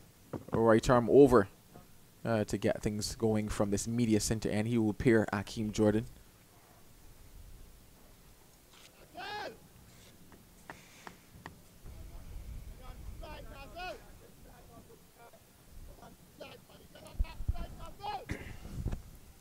Just see two wickets for him in the first match versus the West Indies Academy. 2 for 47 his figures were.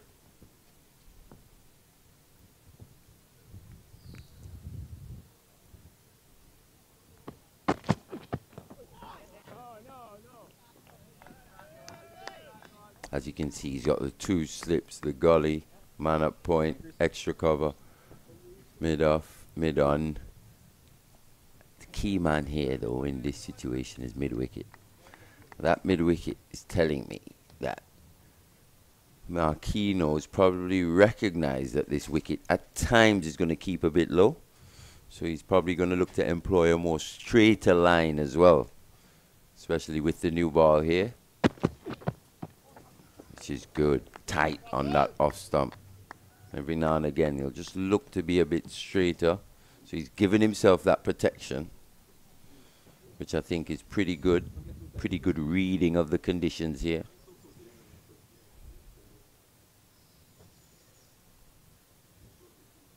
Can he execute, though, is the question.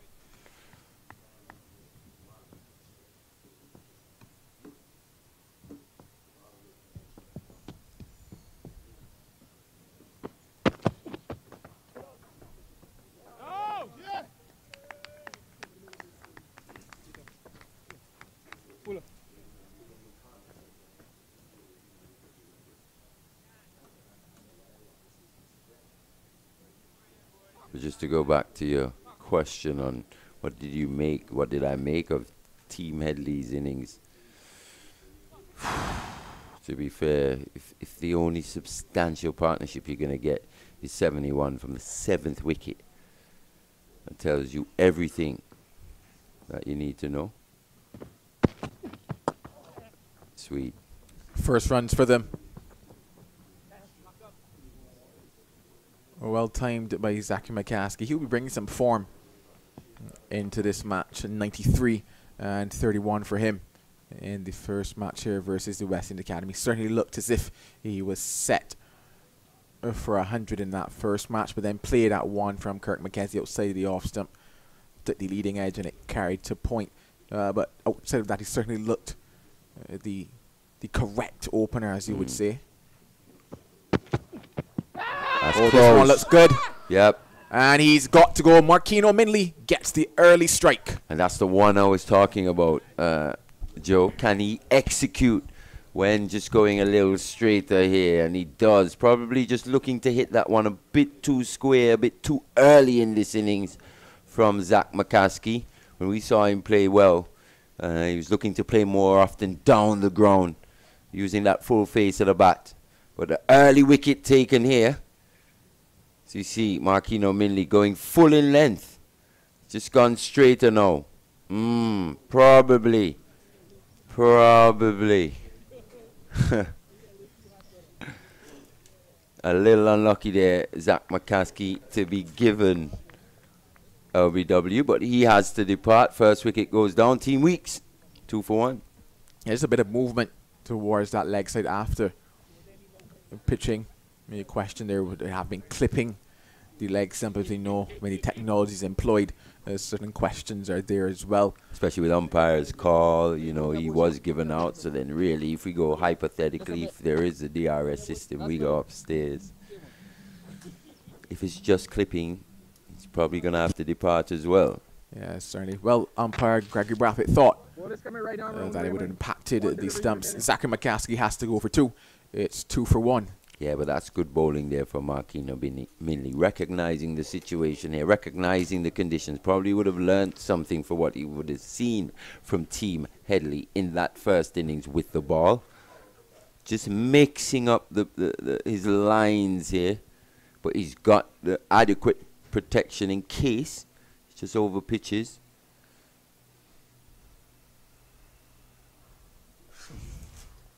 Instantly going around the wicket to the left-hander in Raymond Reifer. The closeout, a uh, very successful over for himself and uh, Team Headley. It's two for one after two. Yeah, successful over there. The first for Marquino Mindley. I'll be happy to remove Zachary McCaskie. Looked in good form. Stroked one nicely on the previous delivery to the, to him getting out. It does look a good player indeed, and you're not going to score runs every innings unless you're uh, Don Bradman or someone like that. But looks a good player. Looks definitely a player that one can work with. I think we can even unlock another level. He can go to another level. Zach McCaskie as he gets more comfortable at the first class level. Well, the big question was with regards to where would Raymond Reifer bat in this lineup. There have been some who've been calling for him to bat higher in certain setups. And he's walked to the crease at number three today. Where he's been more uh, recently for the West Indies, especially in Test cricket, he's occupied that number three position. I think he's done quite admirably, to be honest, since getting there, scoring what some two half centuries.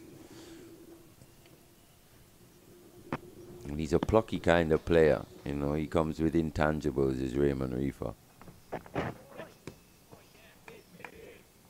Overstepping. Zakeem Jordan just striving for that extra piece. As you could tell, that one just zipped through a bit more from the young Barbadian.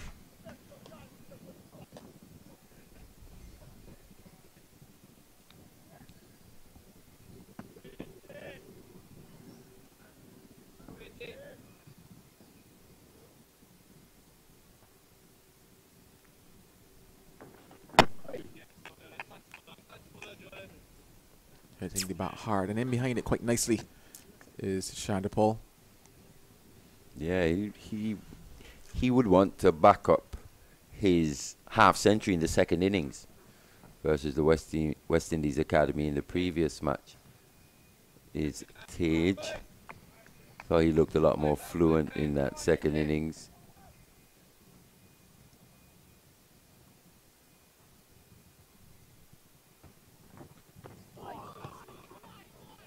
It's touched down and left him. It's gone away slightly. Yeah, from Hakeem Jordan. So we're seeing the skill on show, and he's one of the bowlers. He tends to, regardless of conditions, against tends to get movement regardless. You know, especially with the new ball in hand. Some guys are gun barrels straight, but for whatever reason, I think it's because of that wrist of his. He's got a nice strong wrist, keeps it behind it upon upon uh, delivery. And if there's anything available out there, Hakeem Jordan will be the kind of bowler to, to extract it. Uh, he certainly will, especially early on with that new ball mm. in hand, as you would have mentioned. And that certainly has, uh, I guess, been the blueprint for him in terms of how he's gone about his wicket taking across the first class championship. The reason why you saw him being taken across to South Africa as well mm. with the test side is because of the movement that he gets and the early breakthroughs that he usually gets as well just tends to just take wickets every time he bowls. As he bowls yet another no ball, so he'll have to redo that one again, especially in these hot conditions. Can be quite frustrating for, for the bowler himself. So he's probably best served to keep that. What what, what size is he? Size 12? Uh, roughly about there. Yeah, behind the line. It was interesting, Mali, to see the type of shot that was rehearsed by Tagenarine Chanderpaul in terms of the, the height of that one, how he had to jam down. Get down on, on it. it. Especially against Jordan. You know? I, I think that we, we can begin to understand how Hakeem Jordan is looking to pick up the wicket uh, of Tagenarine Chanderpaul. One, he realizes that the surface is sort of in his favor, almost in terms of the bunks that he's getting. He's really honing in on the pads of Tagenarine Chanderpaul, looking to maybe sneak one through there. You can say the front pad is in trouble. Not necessarily stumps because he's really always been getting behind it, especially in terms of the type of stance that he has. He gets behind the ball.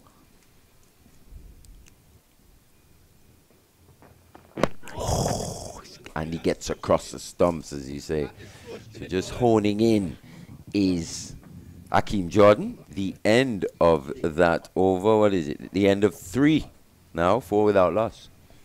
Yeah, probably just looking at uh, the type of setup. So probably, as we saw, one or two were just slightly off. So probably drag him across slightly, then starting to get straighter, straighter and straighter, and looking to see if he can just get past the bat of Tagenarine Chanderpaul. They had three O's, uh, as you would say, in terms of close calls uh, from a bowling perspective, but he thought that could have been the one that snuck through. So in terms of that, uh, moral victory to the bowler. He, he, he's, he's done what he set out to do in that over. As you said, he's looked to, to, to bring him across, bring him across, keep dragging him across with the first two or three deliveries. Then he's just honing on the pads. But the good thing is, Tage kept his eye on the ball. And that's two down. Oh, oh. he's dropped him. No, no ball in oh, fact. wow, he caught, wow. Third one. What happened there? Well, that would have been the ideal start for Marquino Mindley. A, a wicket in his first over would have been a wicket in his second as well. Catching height, it was perfect for him. He took it as well. And just uh, slightly going over that front line. He took it and then he dropped it because of that no ball call. And but that's the shot. insult to injury almost, you would have to say on that occasion. Driven back down the ground quite beautifully by Raymond Reifer. Not sure if Ronnie could play us a replay of, of the actual drop catch again. But uh, you could see the bat face just closed upon impact on that one, whereas the four, wow, just managed to keep that bat face open was Raymond Reifer.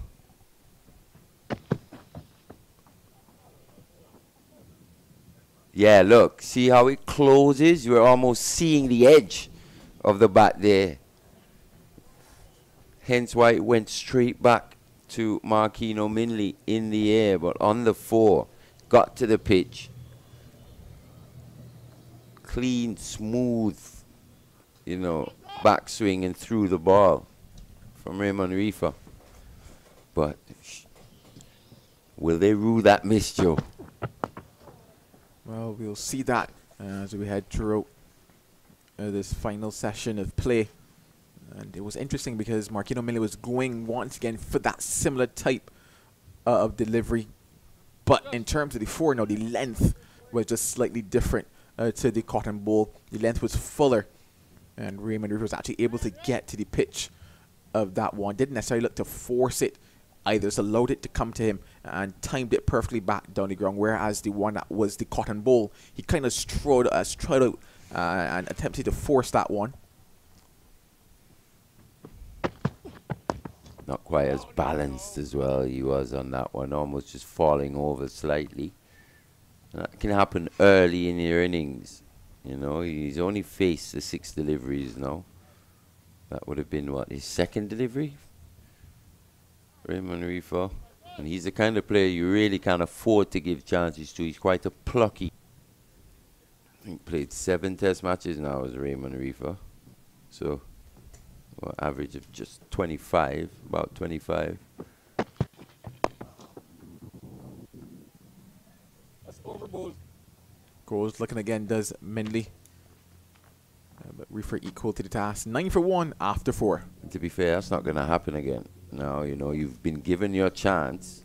Uh, don't anticipate you're going to get another one in a similar vein, especially with Raymond Reifer. He's just that type of guy. You really do have to take your chances and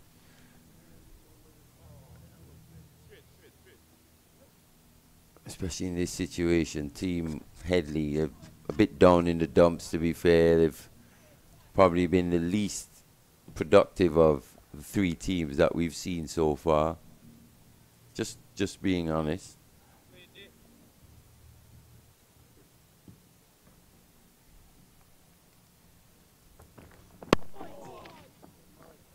It'll be interesting to see if Akeem Jordan is able to bowl all six deliveries again at Tagenarine Chanderpaul.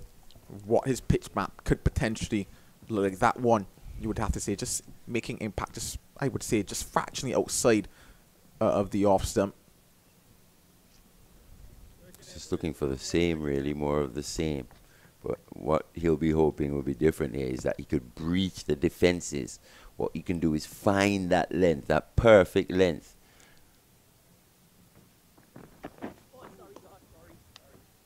He apologizes. Yeah, he went looking with mm. that delivery. So we would have seen in, in the over before this, he delivered maybe two or three before he went towards looking for the pads of Tate and On this occasion, just do one delivery just around that off stump, then going with the angle down that leg side, looking to make impact with those pads. And patience applies to, to, to bowlers as well, not just batters. It's better. He's better off just being patient. That's what. That's the challenge that a batter like Tagenarine Chanderpaul will pose to a bowler. Is he'll play on that patience of yours. You probably think, yeah, he looks, he's got that kind of technique where, yeah, I can just go for that innie right away. But you still got to set him up, or else he will pick you off. He will frustrate you.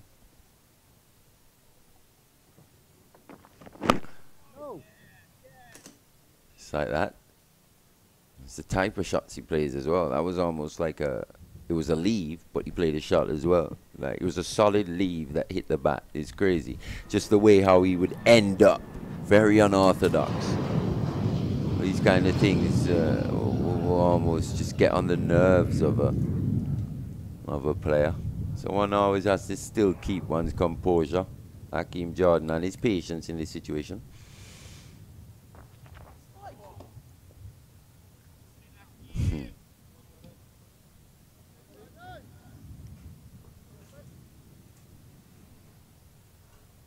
You have to say he probably enjoys bowling uh, to right-handers just a bit more than he enjoys in bowling to left-handers, especially given that he enjoys right-handers who, who like to get that front foot out and drive the ball with that big booming in swing. It's like different proposition when it comes to the left-handers.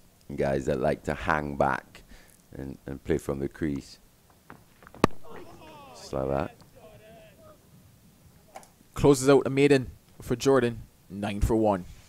Yeah, just more of the same there from Hakeem Jordan. Maybe not quite as good an over as the, the one previously, but economical none the same.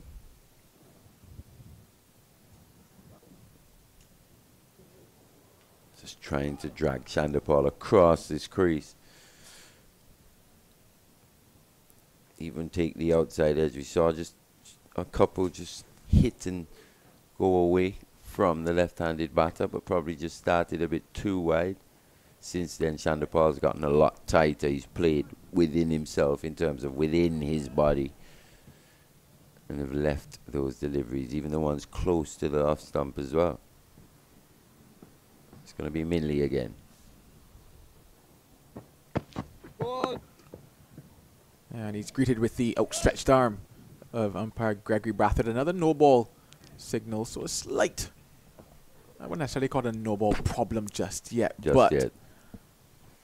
Yeah, a few instances where bowlers at either end I've been guilty of overstepping. What, the fourth in five overs or so? It's a bit too many, to be honest. One cost you a wicket, a valued wicket in this situation, Raymond Reifer. So it's already come back to hurt them. Shows you the benefit of the basics, just staying behind the line. Something that you think would be pretty academic.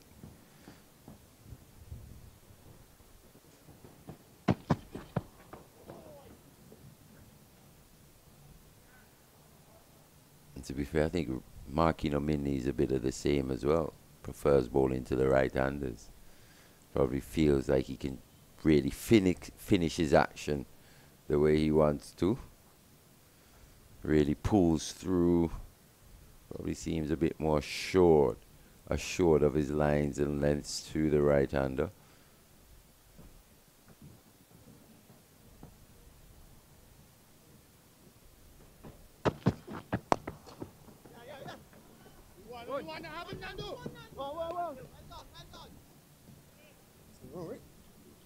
It was quite interesting to watch Nandu sprint in pursuit of that one. Not the tallest of cricketers, his legs really doing a, a quick rotation there in pursuit of that one. It's always interesting as you look around the field, the, the various body builds that you Mm, have. The shapes. It adds to the color of cricket. Yep. Middle this way. That's middle. Page takes What is right arm room? middle. That's off stump. Stump guard. Took off as well. Interesting to see where he sets up. Looks like he set up just on that middle stump.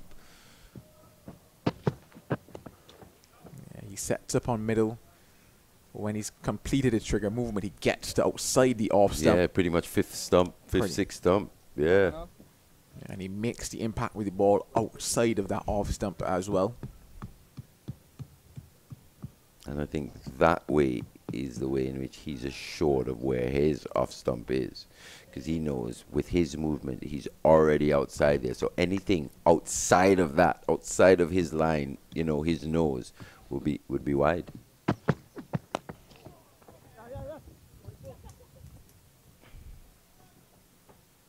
Works that one into the offside. Just so interesting how different batters mm. employ Work different out. techniques and mm. How we realized that to because at one stage the conversation was always about you know this is is the way to go about getting your run. This is the way that you need to set up. But as we've gone through the years or come through the years we've realized how many different techniques can actually be successful for batters.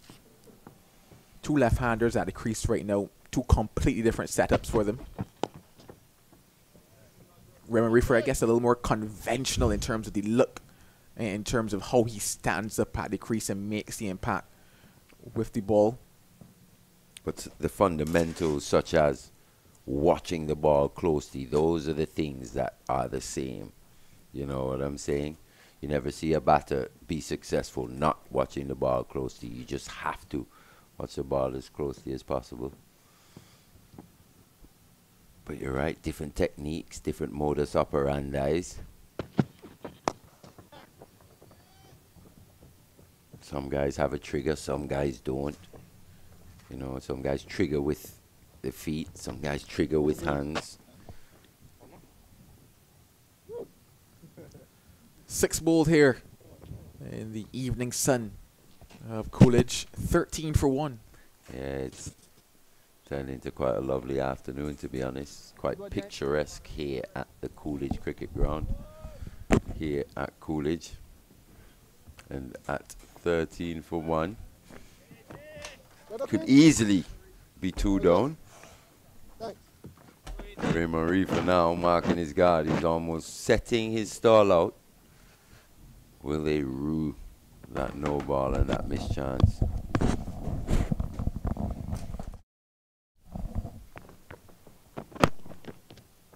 Here's Hakeem Jordan continuing. Good day to you, Mali Richards. Hi, Nick. 177 on the board. Nowhere close to what you think would be par on this surface. Seen a lot of T20 cricket recently. That's why I'm saying the words par and par score. But still think Joshua Da Silva would have looked at it today and said, surely would have wanted at least 300 and would have wanted to bat the full 90 overs. Oh, for sure. I mean, very, very disappointed with the output from Team Headley, to be honest. But, as he said, bowled out well within that. Only 177. No real partnerships. No scores of substance. Uh, Kavem Hodge, Hakeem Jordan to a lesser extent.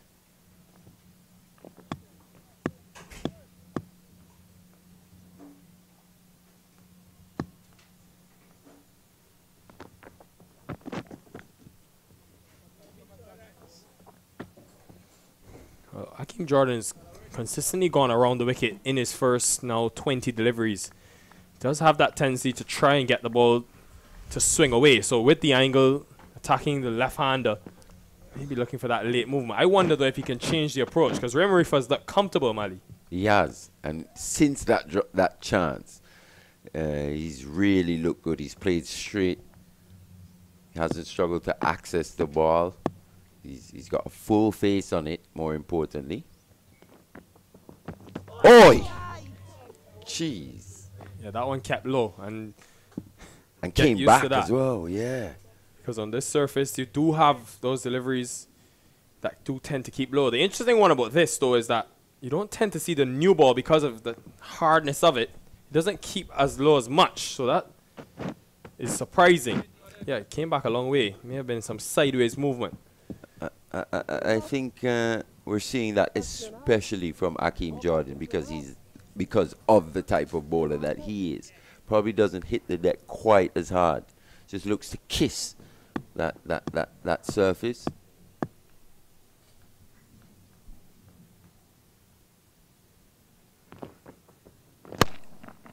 Down the ground.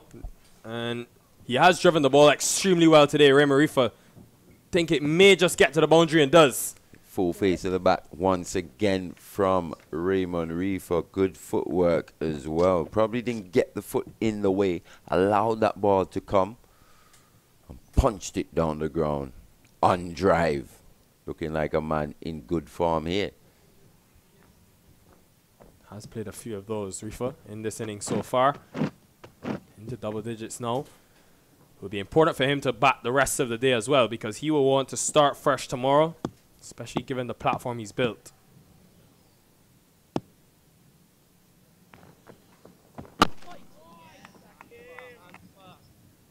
Stayed a touch low. Four from the over, 17 for one. Look at proceedings so far. A day that belongs to Team Weekes. after just about 72 and some overs. You never know, though, in this game of cricket. Still a number of overs remaining in the day. 15 of them to come on day number one. As Seth Burton joins me. Seth, good day to you. Yes, good day, Nikhil. Not such a good day, I would say, for Team Headley because the prospect would have been there for them to bat the entire day. And to see them bowled out, being bowled out with over an hour and a half to go, I thought that was not just what we expected, especially given the higher uh, first innings performances that we have seen both from Team Weekes and also the academy team. So Mindley will continue. Open the bowling. It has made that happen a couple of times. Seen some balls off the inside edge, and it hasn't been convincing for Chanderpaul. He's still there, but it has been a bit of a struggle. Just his second run in 23 deliveries.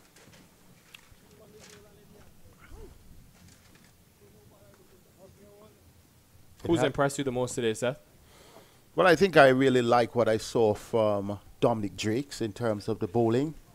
Uh, he was pretty good, a much improved performance than in the previous game. And Kavem Hodge did show some good skills in terms of his batting. Apart from that, not much to write home. Akeem Jordan, once again, coming good with the bat. Uh, as a lower order batter. I won't say as a tail ender because he shows that all round tendency. And once you're consistent, which he has shown, uh, that is good. And then he's shaping up as good as usual with the ball.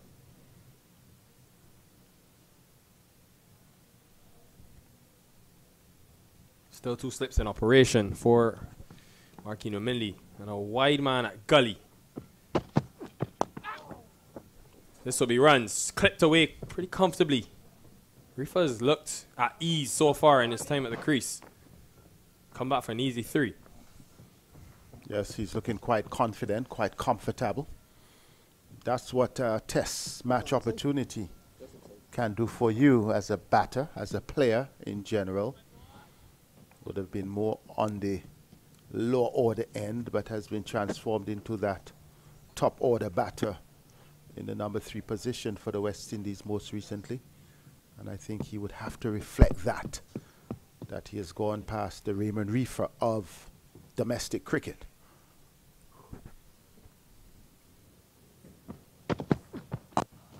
Oh, gorgeous. Absolutely gorgeous. Don't think he'll have the legs to go all the way.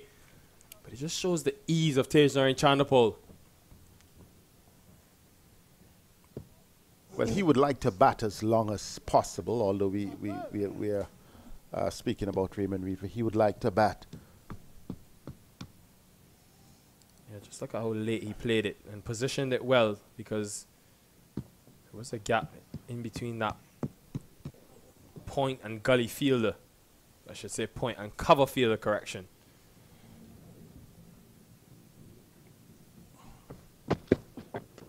Seth, when we look at the journey of Raymond Reifer, a man that's been with the West Indies team for years, but now really getting his opportunity, what he did in 2022 to go up the order for the Barbados Pride, bat at number three, got runs in that position as well. Do you think based on that, he got some 345 runs at three that season, averaged 49 with three half centuries. After this delivery, based on that, do you think he belongs at number three for the West Indies or he should bat a bit later? I think you like to throw me in the hot seat, uh, Nikhil. That has been a debate that we have had uh, going back to the West Indies team facing Bangladesh uh, last year or year before. And um, at that time, we really thought that he would not have been suitable for number three because in those games against Bangladesh, really struggled, and I believe it was more a pressure situation. Uh, since then, he has gone on to play uh, in, a, in a couple more test matches in Australia and in Africa. So those would have given him that confidence that he needed, and I think he has done well so far. Two half centuries, you give and take.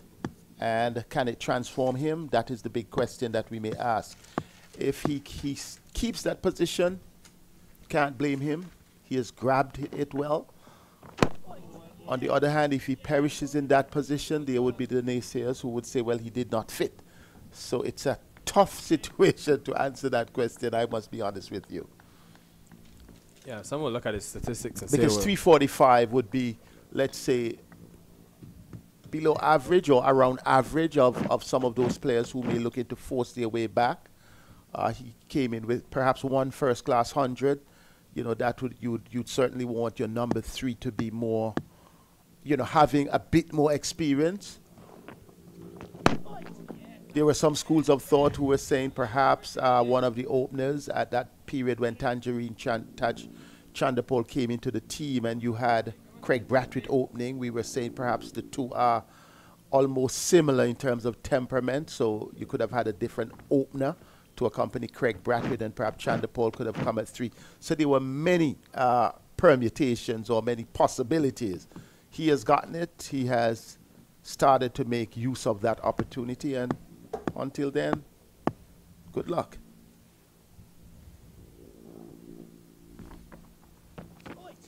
Yeah, when I look at Remo Reifer and analyze his seven test matches at the highest level, he's only now begun to bat at number three, and I think people have been fast to criticize him in terms of the performances. But for me, what I look at is the grit he brings. I think the mindset that Reifer, similar to Kavem Hodge, mind you, that just resolute defense that he can come out there with. He's a real crisis man, can get you out of a crisis. And I think probably deserves a bit more opportunity. Got that 62 against South Africa, got in a couple starts, 53 against Zimbabwe. I think he deserves a few more opportunities, Seth. No ball signaled at three before we can decide whether he's the man for the job or not.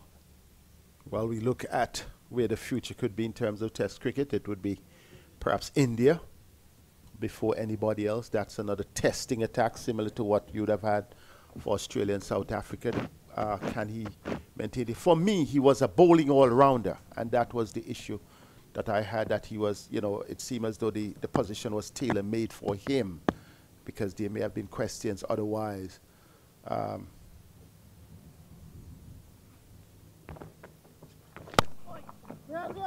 And let me just say, bowlers like Kagiso Rabada and Anrich Nortje, even Gerald Coetzee, who's just made his debut, Marco Jansen, when we forgot that 62 in that partnership with Blackwood, he looked like he was batting against a different attack. He looked extremely comfortable. It's a real pity he couldn't go on to get the 100, but for me, it shows that he has the ability to be able to bat against high quality seam at the highest level.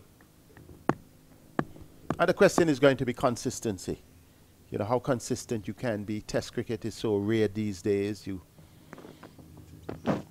you may not be tested. You may be tested in one situation, do well. There may be a couple of other situations you may be tested and don't do so well. So how many opportunities would come during that period? I think only he can answer that. He has gotten the opportunity. His responsibility is to seize the opportunity, and if not, the selectors would have their say. Be looking to cash in here, given this start. A couple of sweet drives, a couple of boundaries as well. That's another one. Add that to the collection. Right out of the top drawer from Ray Reifer. Really a, a lovely shot. He actually walked into it on the front foot and he just played it without any power, just sheer timing using the pace of Akeem Jordan and he will be happy with a four of that quality.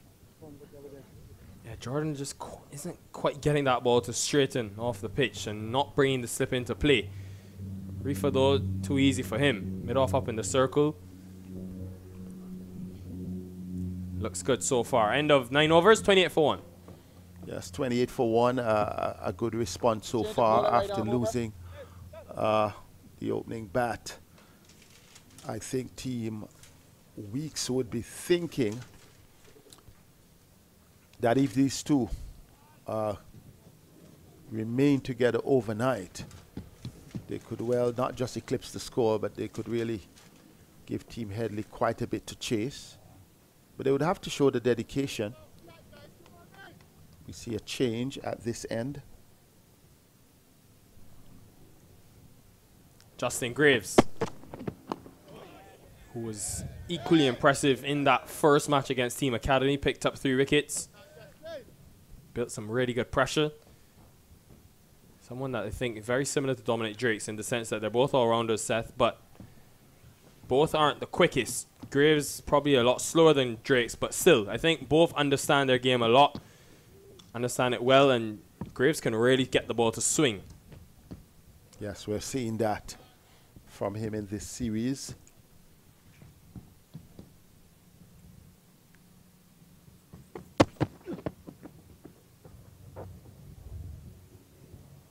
Just seeing the ball die on its way to Joshua Da Silva, and it tells you about the surface, especially for bowlers that don't have as much pace.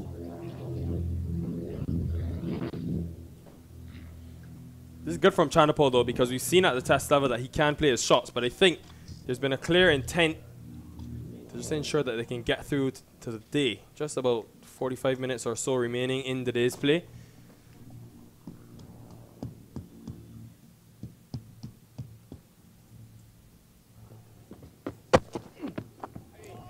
That's a good delivery, Nikhil. That one really nipped back. and the funny thing is, Raymond Reifer out there and Justin Greaves, their story is almost the opposite. Greaves, known as a top order batsman, opened the batting for the West Indies and won international cricket, but now, after going to the Windward Islands last season, has almost been seen now as a bowling all-rounder. Well, we have even seen players in international cricket shift in perspective uh, you know about the KP, the Kevin Pietersen situation, Steve Smith. You go on and on. They're players who transform themselves. He's hurrying Chanderpaul on that occasion, but that's a player. You're a cricketer. You, you, you can't just see yourself as a batter, as a bowler, but what you see opportunities and you take them, and that's what the good cricketers do. As I spoke about Raymond Reifer, I think his focus must be to transform himself into that frontline batter. And not necessarily that he would trade the all-rounder option because he's first, was first the bowler. So whatever opportunity comes, grab it and grab it well. Yeah, Greaves still trying to find that right line. I can see the intent, trying to be full, trying to go across the left-handed Chanderpaul. Hasn't quite attacked the stumps just yet, or even brought that outside edge into play. With Greaves, though, you can see that he's built for fast bowling. Maybe a top-order batter. He's built for fast bowling, and he has been relatively consistent in his spells uh, during this series. Again, too wide. Ends his first over though with a maiden. So not bad from Justin Greaves. end of 10 overs, 28 for 1. Yes. Uh, didn't concede any run, but struggling a bit uh, with his line, trying to decide whether he should be closer to the batter or whether he should be outside the off, wide outside the off stump. I think he's comfortable though because the truth is Chanderpaul is not going to heave at anything that is wide outside the off stump. So he has the luxury of working on his spots and he has done so far he has done that so far.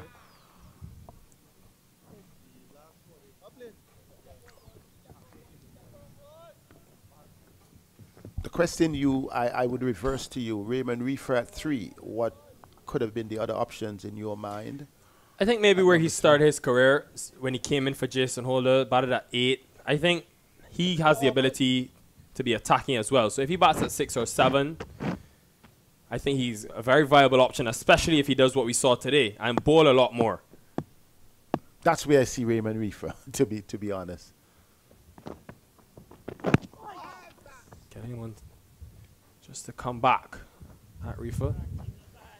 I still think though, Seth, given what we've seen with the three half centuries in Southern Africa, to me it says that he deserves a bit more opportunity. Maybe the India series about at three, maybe England at the end of the year.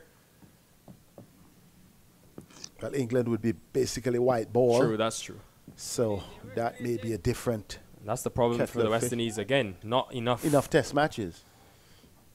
I do wonder though if the selectors was opt to have him go to somewhere like a Bangladesh on an A-team tour and test him at three there again. Well, well, I read into that from the selection of the in, uh, the first game when I realized that himself and Devon Thomas were basically left out of the team. I read it that day as saying, okay, you guys are going off to Bangladesh, so you know, let's see what others have to offer, and if they do, they're within their rights because I do think without any other cricket after this, they would need to keep focus, refer as your number three. I'm even thinking that Josh Da Silva possibility, a possibility in that setup to keep playing cricket because that's the only way they're going to get better. That's the only way they're going to improve. I think on that A-team tour, for the players like Reifer or Joshua Da Silva, and I know Reifer's been in and around the T20 international setup, but for those players who probably will not be in that West Indies one international squad going off to the qualifiers – that Bangladesh tour could be a real great opportunity for them to get ready for India. But on the flip side, you have some young players like Alick Athanaze, who probably will be going as well, but some other players who have done well regionally that may want the extra cricket as well. You can only carry maybe 14, 15 guys to Bangladesh, so you have to try and find that, that balance. It's tough. Well, certainly, but there are some who have already written their names uh, down on that sheet. Kirk McKenzie, we, you're looking at Kevlon Anderson. They have already done that. I like what I'm seeing of Kevin Wickham. So they have already written their names to some extent, barring injury, barring something. I, I also believe that balance must be with some of the senior players. You really don't want to go to Bangladesh and find yourself, you know, losing an A, a series. So it must be a, a, a good mix. I just wonder if Jordan could maybe change this approach. All six of his overs now have been from around the wicket. Hasn't really got many deliveries to go past the outside edge. He's forced batter to play. Haven't seen a lot of those players and misses. And he can swing the ball both ways, Seth. Yes, that's one of his attributes. We have watched that for a couple of years. Uh, and I guess he will be boosted by his inclusion in the West Indies touring party. That has some implications in terms of confidence, understanding where he's going.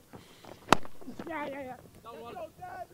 Well, well, I was about to say well fielded, but it goes through. um, an additional couple of runs. Chanderpaul ends the 11th over. 32 for 1. I think on Akeem Jordan, it would be interesting set to see the way he's used. Again, the problem being that there's only one test series in the year for the West Indies. Was went to that South Africa series. Then you have a fit Jayden Seales who's coming back. Anderson Phillip as well, who was injured. Been on the last West Indies, last couple of West Indies tours, I should say. So there's a lot of decisions. Marquino Mindley as well went to Australia. Yeah. Decisions for the selectors. And didn't play, well, played and had to pull out because of injury and then found himself out of reckoning. So quite a lot of decisions. But I think eventually uh, they should get it right. This presents the opportunity for them to get it right. The players themselves, the selectors can only respond to the performances of the players. Drinks break and 32 for 1 after 11 overs. 31 partnership developing between Ray Reifer and Chanderpaul. Reifer's been the main aggressor. Yes. 17 from 29. And his aggression is was quite is quite measured. It's not the aggression that he's going over the top recklessly. Calculated aggression. You look at it, his 17 ones from 29 deliveries already have three fours. In fact, all the fours struck so far in this innings, they have come from the bat of Raymond Reifer through the offside. Really top class shots. Yeah, and still a lot of batting to come. Devon Thomas, his West Indies teammate. Alick Athanaze is the captain so far. Good work being put in by Jordan. Six overs on the trot. Greaves just the one over. Hasn't conceded a run just yet. Wonder, after we saw Permaul and Sinclair get something off this surface set, I wonder how important Shem Holder will be as the days go on. Maybe tomorrow well, uh, we would wait. Uh, the surface is now dried out. It is evident that there is some grip uh, for the spinners. Uh, the question would also be how would the captain, when would the captain bring him in? Because if we notice that it took quite some time before Veerasammy Permaul was brought into the attack, but that was against the background that wickets were tumbling uh, to the seamers and the captain made the right call to, to persist with the seamers and eventually uh, Veerasammy Permaul had his opportunity. In terms of ho Holder, I think it depends on how far this partnership goes. I would not expect to see him bowl this evening. But if this partnership remains, don't be surprised if perhaps after the first spell tomorrow morning, you'd expect to see the spinner. But there was a debate, a discussion Vernon and I had off air. Was the selectors reluctant to play the spinner in the West Indies team? Uh, we have had, you look at Veerasammy Permaul in doing the analysis of his 131 first class matches. 136, I make that. Prior to this, he has only had nine test matches. Who were the spinners given the opportunity? Yes, nine for Cornwall. Uh, Chase as an all rounder. Uh, during Sammy Permaul's time, a bit of Bishoo. So they have been very reluctant in playing the spinners. So the question is, as we see all these spinners in this setup, are they looking for one? Are they looking for two? Gudakesh Motie, he's the one in current standing. So I'm, I'm not quite sure how many spinners they will be looking at at this time. Justin Greaves to continue things.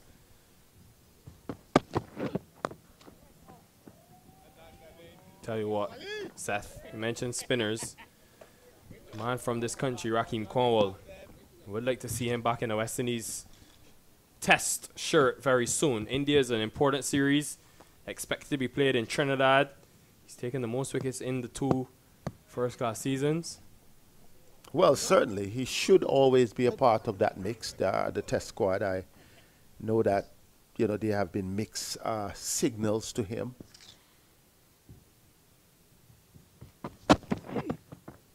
And those mixed signals have been not just in terms of his performance, but in terms of his selection. Uh, because for the Australian tour, tour, he was selected and then you could call it deselected. that selection was reversed and no clarity. So, you know, there's some psychological pressure on him as a player. Yet he came out 35 wickets from five games, again, top in the bowling, excellent distribution in terms of five wicket hauls. And I think he has answered the critics, he has answered the concerns because some may say, oh, size. But then he would put his hand up and say, performance.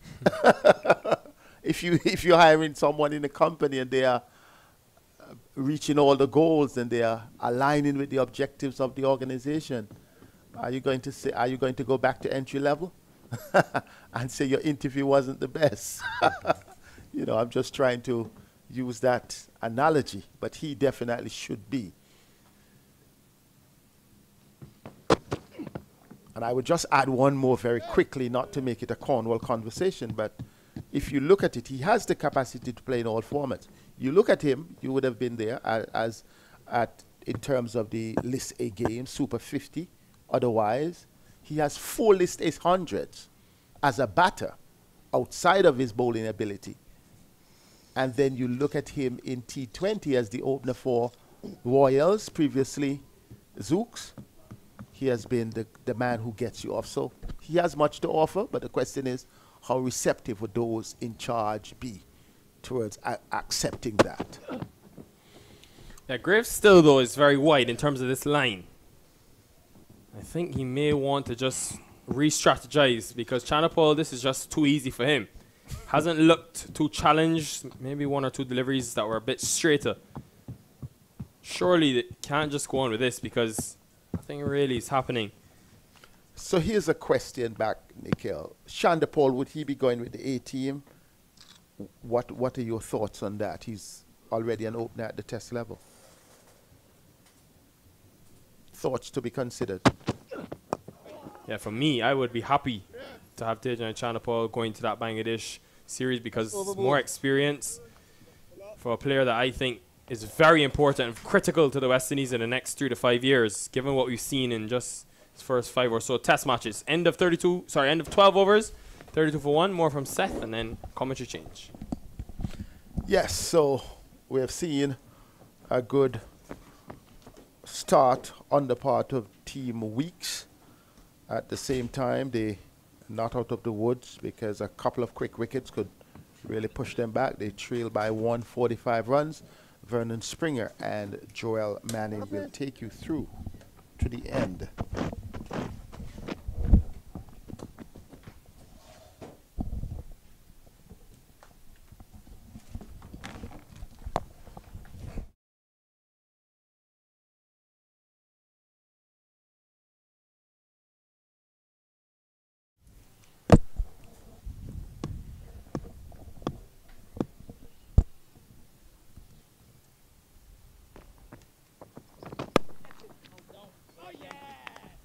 Anderson Phillip introduced into the attack now with his first.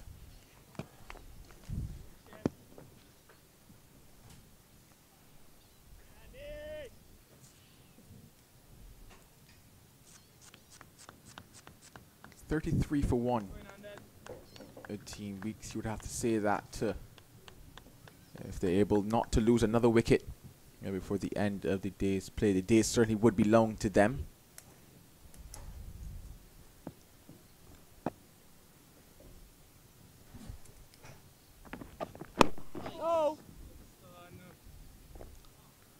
tend to have a different version, Joel. I listen to talkers, to some players talking, or some of our broadcasters, comrades talking about just test cricket. I think if you're a cricketer, you're a cricketer. And playing almost every format of the game helps to develop your own game. Had a point in time when fellas in the old time days would have played 60 over cricket would have played test cricket. Doesn't matter what form of cricket it is. It, the fundamentals and the basics remain the same. That's something that I think we should be promoting and concentrating on.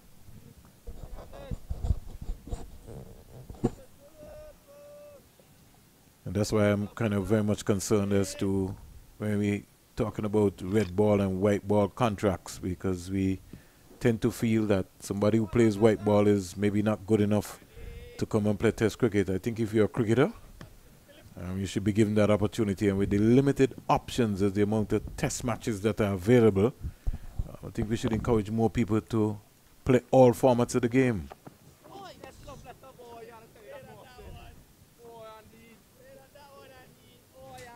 I'm just searching, say that off stump is Anderson Phillip. Yeah, it would be interesting in terms of the direction that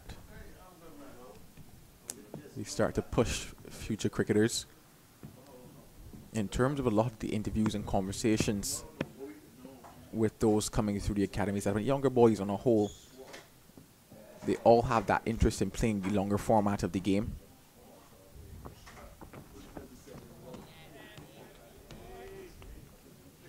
I think of like a Kelvin Pittman, who in a feature recently released by West Indies cricket. We have talked about the fact that he enjoys bowling those longer spells. Kirk McKenzie would have mentioned it as well, along with Kevin Wickham.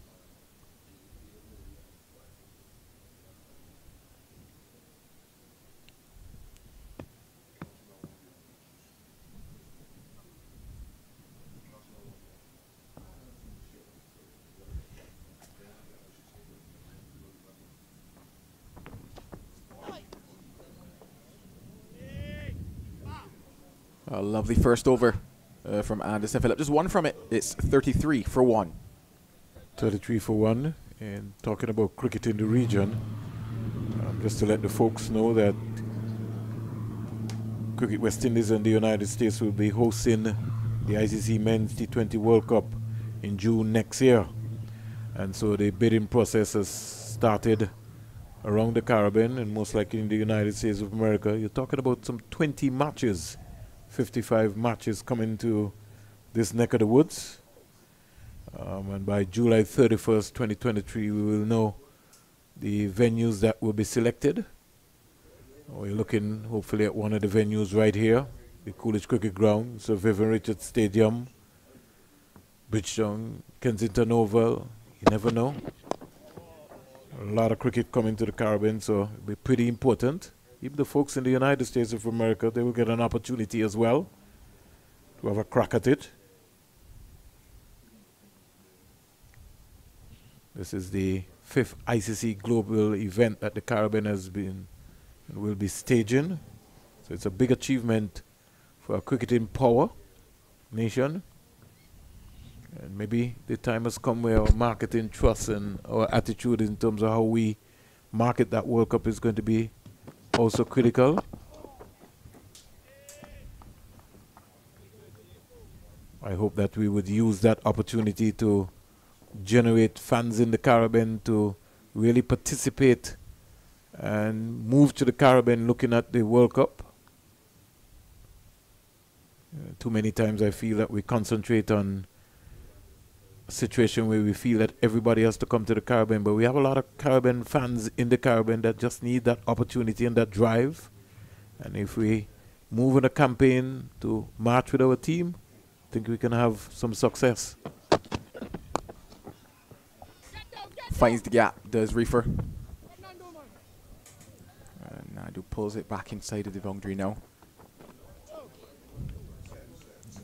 Partnership ticks up to 33 for them.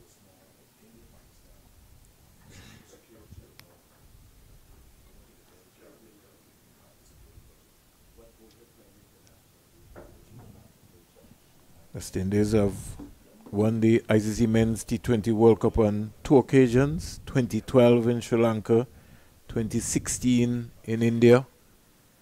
And most people feel that with the components of the players that we have available, that we can compete at that level.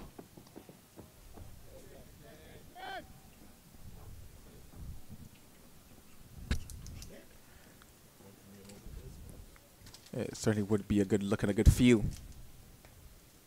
if the West Indies side could keep that trophy here in the Caribbean and what it would mean to everyone. It certainly will be a fantastic World Cup, though. The, the, the ideal thing, Joel, is if we believe that we can compete. You know, we all have to believe. It can't be some and some saying we don't believe. All of us have to, to, to buy into that concept.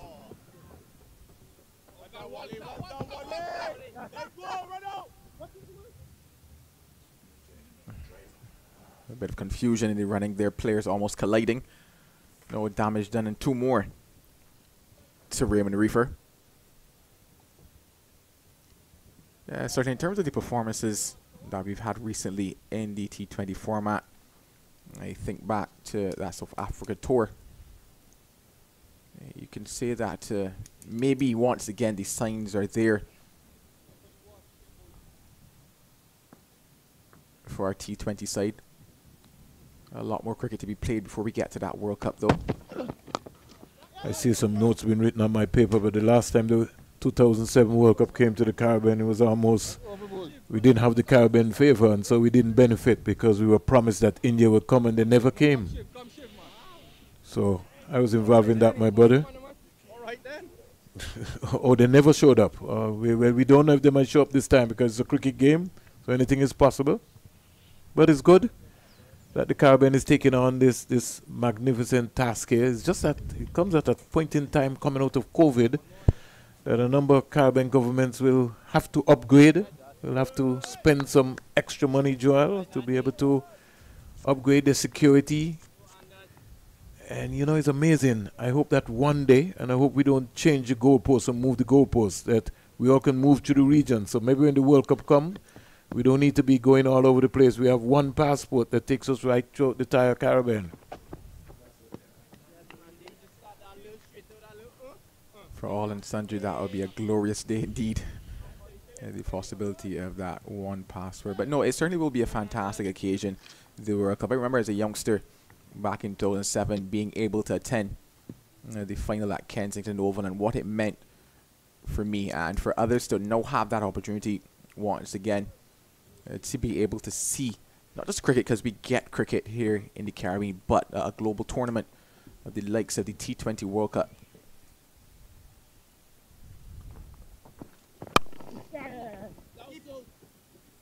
Yeah, it certainly would augur well in terms of not just raising the profile of cricket in the Caribbean, but inspiring another generation uh, of youngsters. Because I do remember, especially during that time, how everyone gravitated towards playing cricket at lunchtime and in the streets, etc., and what it means to be able to just attend a World Cup match. So certainly looking forward to that next year. I also want to see more of our professionals in the Caribbean be given a, a opportunity in critical roles um, of the event coming to the Caribbean so that at least it can leave a legacy and continue to build the sport administratively throughout the entire region. Because the business of sports is a billion dollar industry. And so if our people in the Caribbean don't get an opportunity to showcase into the areas that you know can inspire not only you Joel as a as a young broadcaster but even somebody would want to feel that hey cricket administration is a way for us to go and to get in there. Too many times I feel that we we are left in the in the in the background. We're not given that opportunity. And the event will be come and gone and we won't have a lot of people from the Caribbean benefiting at the end of it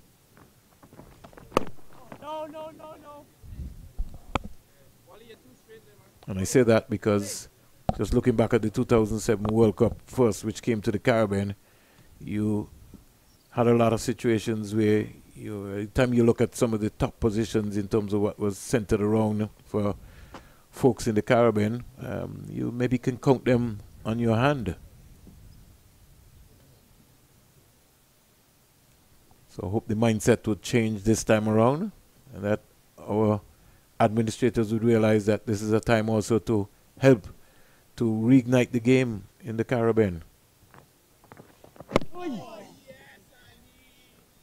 This is going to be an interesting period of play, Joel, if this wicket starts to behave the way we see with that delivery. Well, that kind of behavior in terms of service definitely expected. I think everybody that had a look at that surface this morning, just counting the time until we see a bit more of that just because of how dry it was at the start of today and given how it's played across the other matches that were played on this strip as well.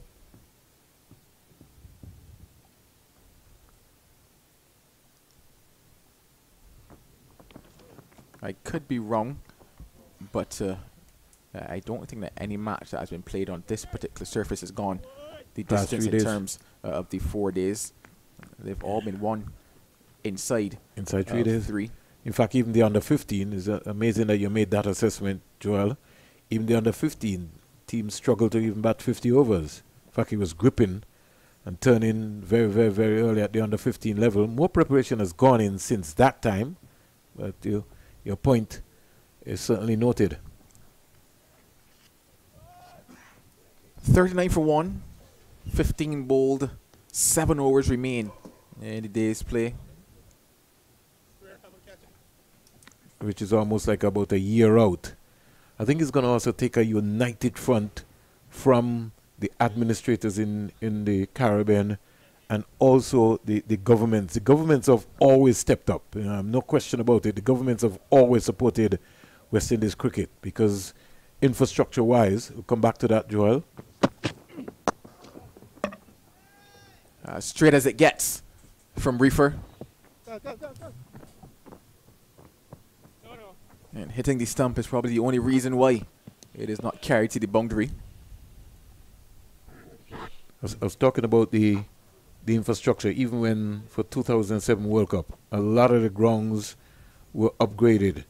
Um, you you look around in, in, in, Grenada, you look at right here in Antigua and Barbuda, you'll see that the Sir Vivian Richards Stadium, there's still this big discussion that should the government have moved from Antigua Recreation Ground to go to the North Sound Cricket Ground. I'll come back to that. Right, so we, we, are talking about change of venues, and you, you realize that you would have had a, a number of venues which would have been upgraded. Now, since that upgrade, a number of those venues would have been even scrabbling um, to even fill them um, in, in, in, in the context of what was expected at that point in time. And so, for small populations in the Caribbean, you know, small economy scales with the private sector, um, should we have gone that way? But it's how it was sold um, to the Caribbean people, how it was sold to the governments, why that investment was made so huge.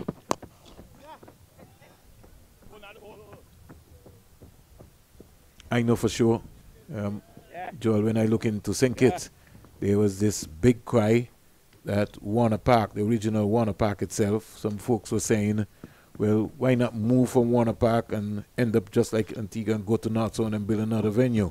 Uh, you might have maybe built another White Elephant, 50,000 people in St. Kitts and Nevis. You're going to build this big, massive stadium that you maybe can't be able to maintain. I mean, you only feel for the people in Grenada when you look at that situation and you see how big St. George's Park is there also.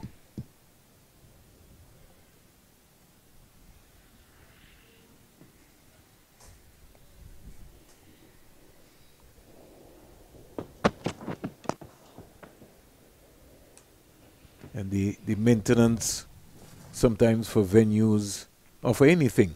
Um, that's something in the Caribbean that we we don't expedite very well. You know, we build things, but we, we don't put a maintenance plan in place um, for them. So by the time a, another event comes around, you know, we have to find huge sums of millions of dollars um, to upgrade, and that happens throughout the entire Caribbean. We huh? we can't hide from that.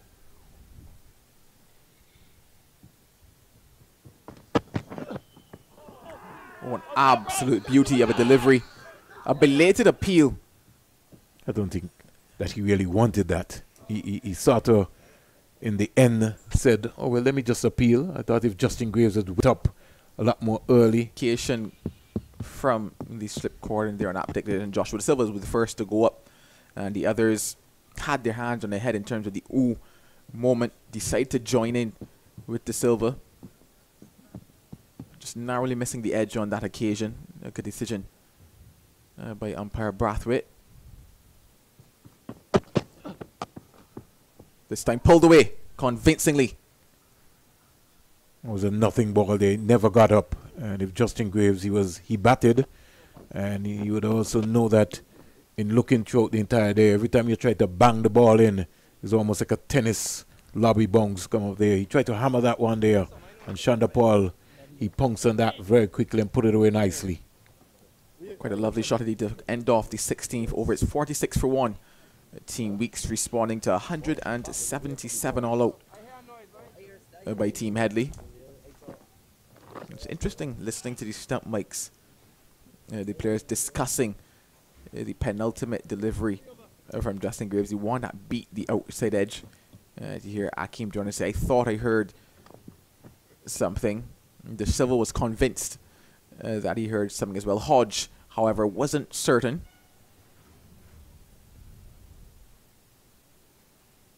As we've been to wind down on day number one of this final match of the Headley Weekes Tri-Series.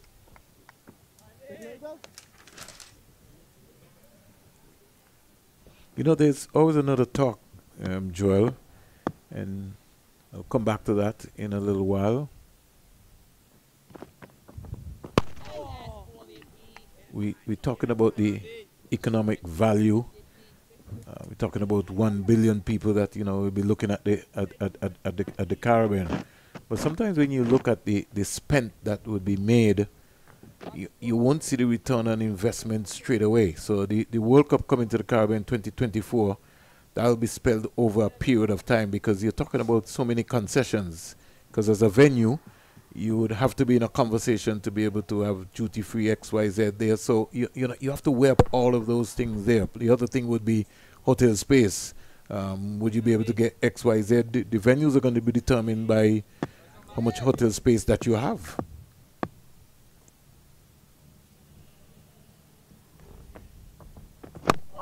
And when I say hotel space, I'm talking about hotel rooms. You know what I mean? So you take place like your, your hometown, you know, Barbados, you know, Jamaica, you know, they, they will come into the, the, the reckoning for that as compared to, let's say, a game going to St. Vincent or going to Dominica where you have less hotel rooms. All those decisions will have to be made when the folks sit down to determine who gets what matches. Some countries might get warm up matches, some countries might get the regular matches.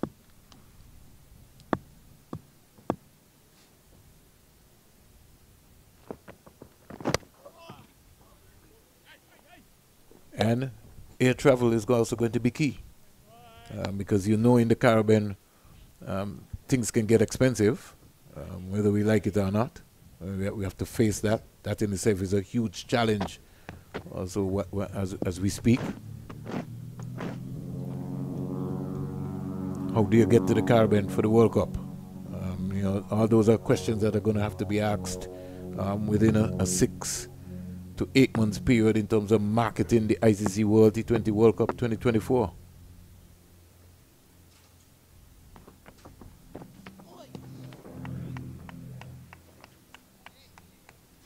you know for sure that the, the, the Caribbean atmosphere, a carnival-like atmosphere, is something that Cricket West Indies would want to promote. This didn't happen in 20, in 2007. You know, I mean, we took away the Caribbean flavor of the drums and the music and all those stuff there. Since then, but the damage would have been done from that period of time.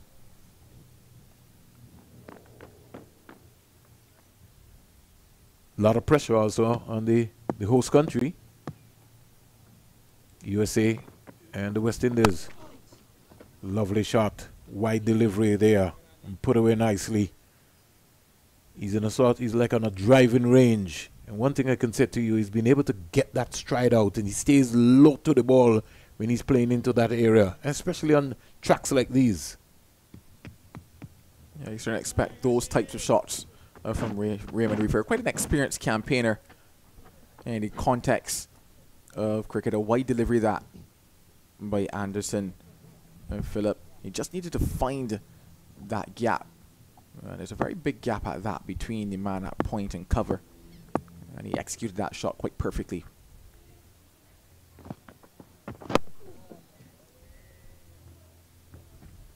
They have to come up um, at the end of the over, Joel, as to what side they're going to, what line, what side they're going to bowl Raymond Reifer. If they're going to bowl Raymond Reifer on the, on the off stump, then it means that you have to close that gap between cover and extra cover. So you have to maybe bring another man in and force Reifer to hit the ball um, inside out over cover. Um, if you're just leaving just the cover and the backward point and you're bowling th th that sort of line and length there, um, that's going to be easy for Raymond Reifer because he stays low to the ball and he gets that stride in and he executes well when he plays the ball on the offside.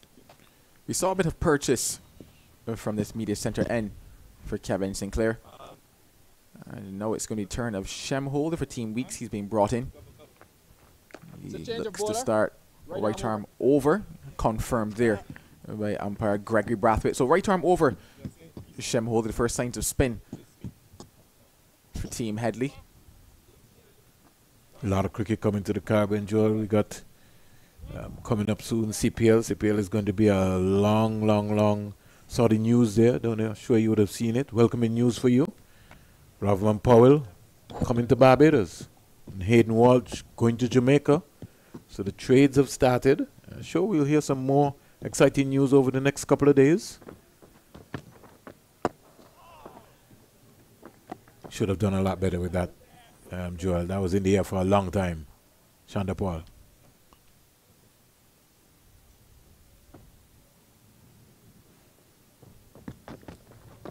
Well, that's a sharp chance to Matthew Nandu. Dropped. At short leg. Haven't seen many chances, if any, for Tagenarine Chanderpaul. Those are the ones that have to stick in, and it didn't. They're peeling off at the inside edge of the bat. I think this is going to be an interesting contest here. He's already getting, he's looked a, a complete different bowler as compared to when he played against the West Indies Academy, for sure, especially in his first outing.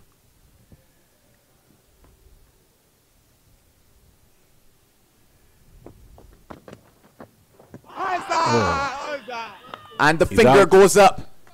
So Holder introduced, and he gets the breakthrough for Team Headley. But you know what, what, what caused that, right, Joel? The, the, the, the second ball before he was dropped, Chanderpaul now decided now that he wasn't coming forward. He was playing from his crease. And to me, that's a straight ball. He missed a straight ball. Um, there, he was neither forward nor back. Let's look at it again, um, Joel. As Ronnie, our man, would have got that worked out. And that was always the question for me. Where did that delivery pitch? That was always going to be a question. Coming around uh, the wicket is always harder uh, to get those LBW decisions for the right-handed bowler to the left-handed batter. Umpire Gregory Brathwaite, the judge that the ball pitched. Let me see that again, Ronnie. Probably on leg stump there for him. I think it's an interesting conversation because Chanderpaul maybe feels that he might have been hit outside the line of the off stump, even though the ball was hitting his left pad. Let's look at it again. Yeah, the first conversation is where did that ball pitch? And he, he squared up also. to get pitched outside. Yeah, it looks here yeah. on the screen as if it pitched outside. Chanderpaul will feel very maybe undone. If I could have removed the pads and legs of Chanderpaul. To see if it would have hit the off stump? Not necessarily, just to see in terms of how much outside that leg stump, if indeed it was, or whether or not there was some of the ball just inside there. But yeah, another decision where umpire Gregory Brathwaite believed the ball pitched on leg stump, going on to hit the stump as well. So the second wicket falls. It's 50 for two here as Alick Athanaze, the captain, strides to the crease. Hopefully the next time Ronnie will have ball tracker. So we'll be able to mark umpire Gregory Brathwaite a little harder. But at the international level, uh, Ronnie is getting there. Next time we see Ronnie, maybe in a year or so, we'll certainly have that worked out. So good afternoon to Vinod. Success over for Shem Holder.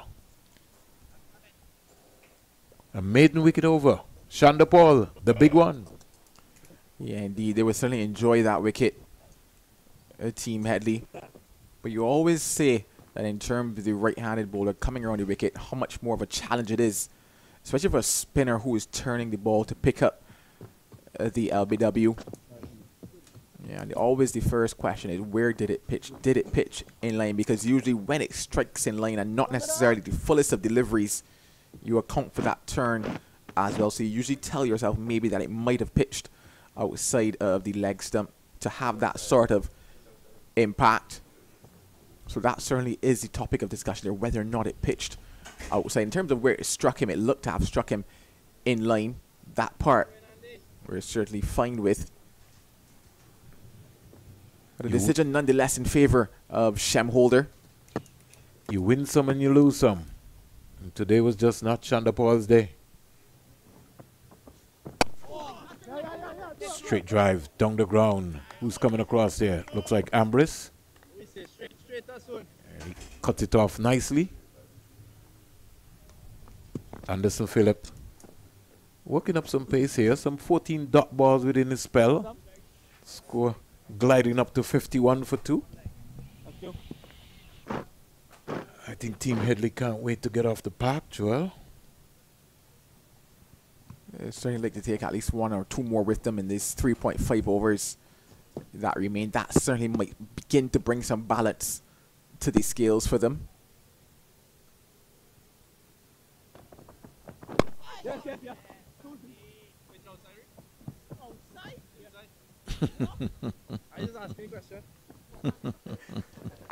Yeah, another question with regards to once again talking about the right-handed bowler coming over uh, the wicket. Remember, if you're just working that ball into leg side, there's still no questioning whether or not had he missed it. You know, did that delivery pitch? You mean Athanaze? Sorry, Athanaze. Sorry. Yeah, question whether or not a delivery pitched outside. But it, it came off the middle of the bat, Joel. Or actually, in fact, maybe I wonder if he's questioning the, uh, the LBW decision that was given. uh, in fact, it, it, hit me that the conversation actually could be with regards to the LBW decision that was given for Shem Holder. It couldn't, it couldn't be that delivery there. that one certainly pitched outside leg. uh, it's almost like, and I know you looked at hitting across the line. Uh, you read the book by Sir Viv Richards, hitting across the line. And most people, uh, you, you, whenever you look at Viv Richards' position, his head was always still. And everybody was like, oh, he's hitting across the line. Oh, he's hitting across the line. Um, but you, you look at the, the, the finished product as to where the person ends up.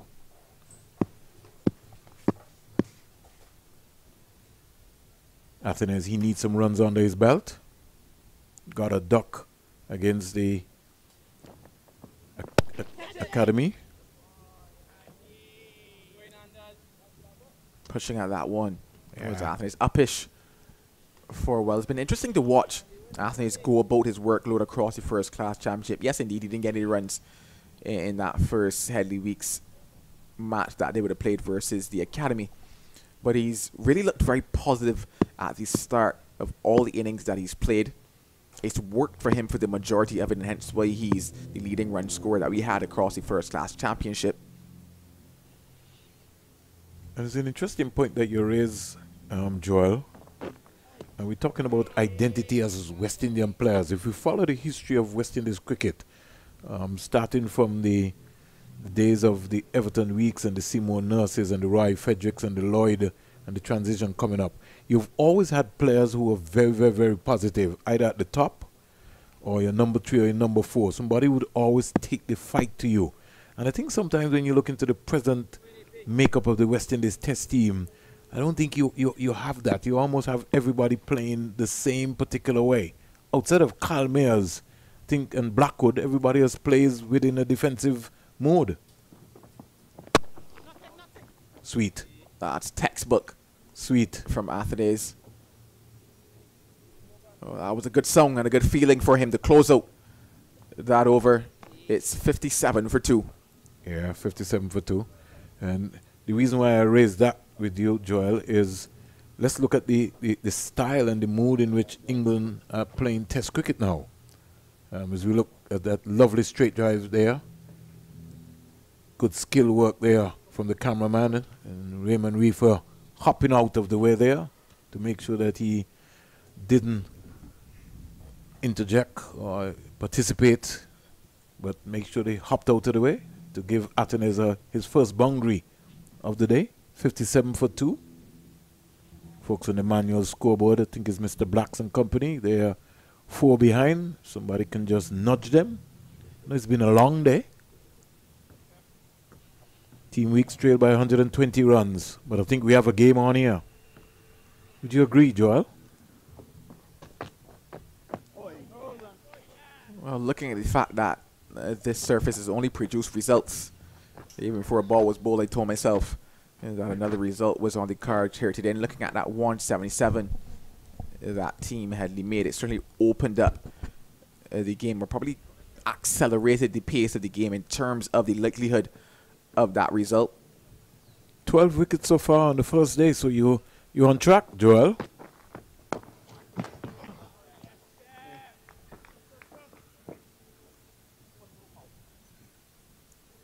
Holder might have to go to the laundry later. He was diving away there to stop that straight drive.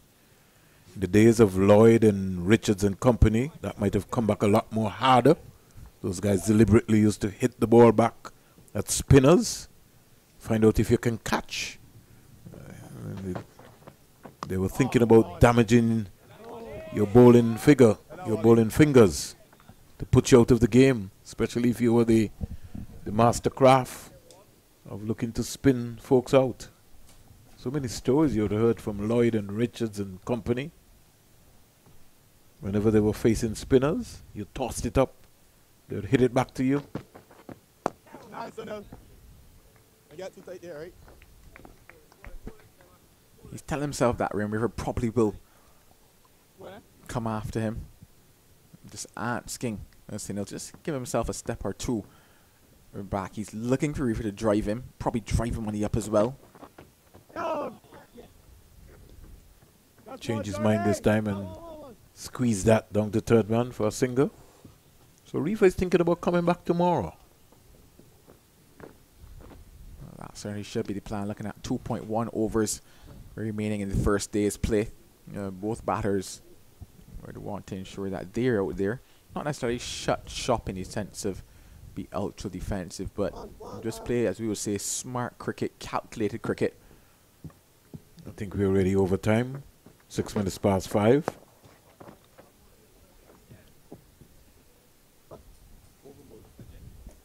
Overbowled.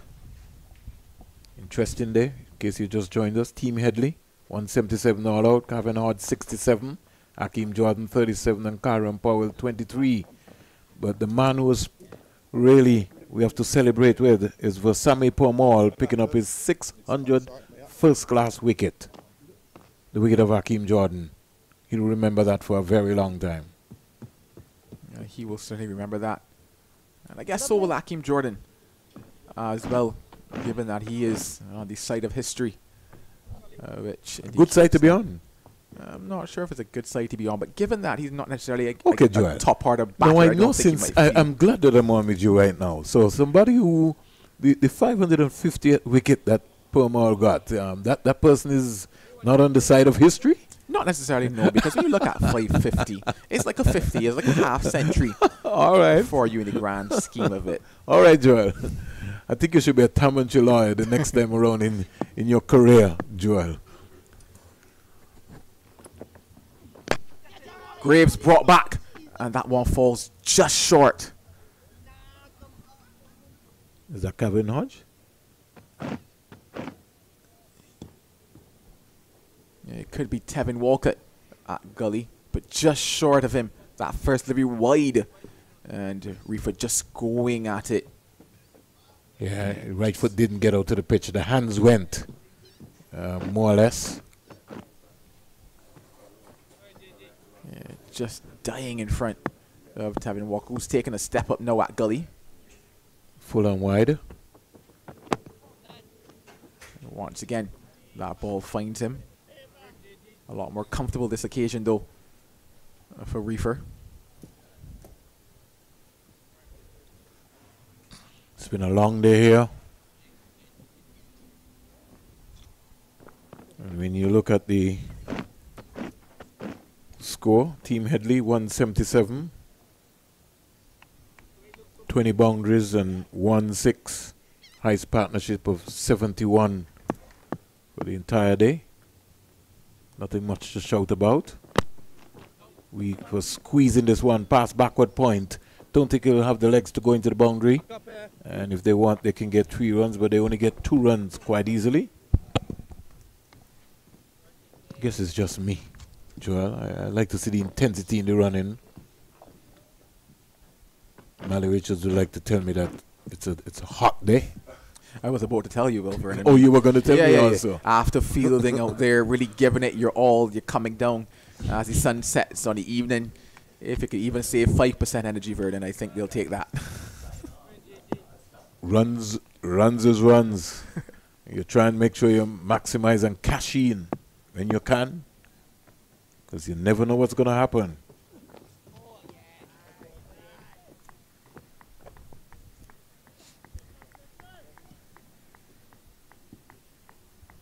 So we're looking at Justin Greaves, who's been moved from the CIO end, from the media center end, has now switched to the CIO road end.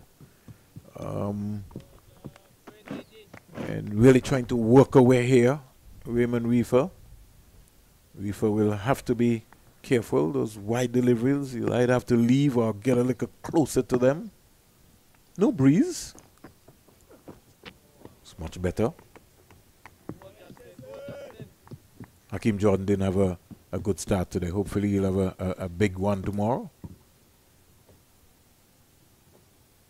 Uh, definitely didn't necessarily see the movement that he usually gets. Didn't ask as many questions as he usually does at the top of the order. Also, you just wonder if the left-handed batter at the top were the reason for that. Didn't have a chance to bowl much at McCaskie. Ooh. Edge found again. He's searching, he's searching, he's searching. He's worrying Reifer here. Reifer caught in two minds whether to leave, whether to play. But in the end, he survived. 21 overs bowled, 60 for 2. Reifer 34, Athanaze 6. This is should be the final over of the day's play. Once again, we want to thank Ronnie and his entire team, 360 team, who have done an excellent job here in Antigua and Barbuda. It's a real pleasure working with a, a whiz in Ronnie, who gets things up very, very quickly. And if Ronnie can't, then nobody else can. Sounds like you're looking for promotion here, Vernon. no, I've got promotion already. Coming over, or rather around the wicket now. Yeah, no, you see, this is the this is the impatience level, you know, because I was saying to you, Joel, I'd have brought a silly point right in front of Athanaze right now, final over. put some pressure back on him. If I was Joshua Da Silva, so final over. Make him think. Make him. They brought a silly point right there in front of him. Crowd him. He might be surprised. He might pick him up. Now looking to employ a second slip. I think he won a silly point also, especially for Shem Holder. And if I was him, I would come back over the wicket and not around. Give Athanaze something to think about.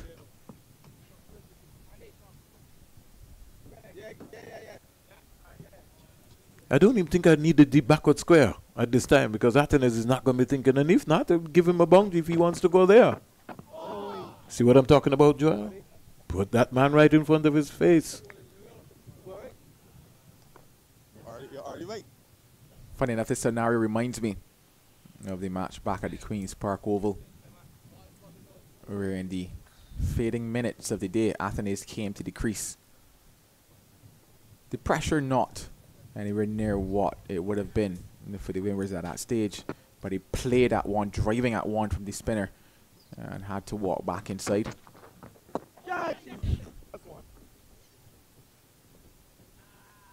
You see, when you go at the, the higher level, Joel, you, you're not going to be given that luxury to be that comfortable. Yeah, they're going to look, especially if you are the prime batter, the, the captains are going to try and apply as much pressure as possible, and you're going to have to survive. And I'm saying we have to begin to prepare our, our players and our batsmen for that next level of pressure. You got to be uncomfortable.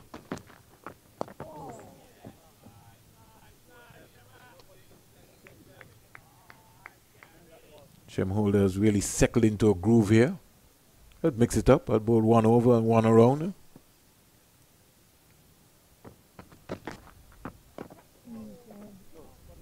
Don't like that there from Raymond Reifer. Joel playing away from his pad. He's got to be careful with that. Uh, so the final delivery of day number one. Providing he doesn't bowl a no ball. Providing he doesn't bowl a no ball. will be delivered by Shem Holder. and Nandu comes to a third slip.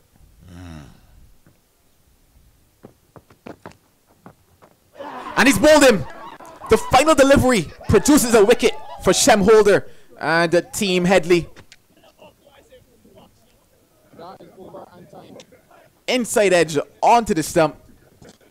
And with one to go, Raymond Reifer strides back in. 61 for 3 they are now at the end of the day's play.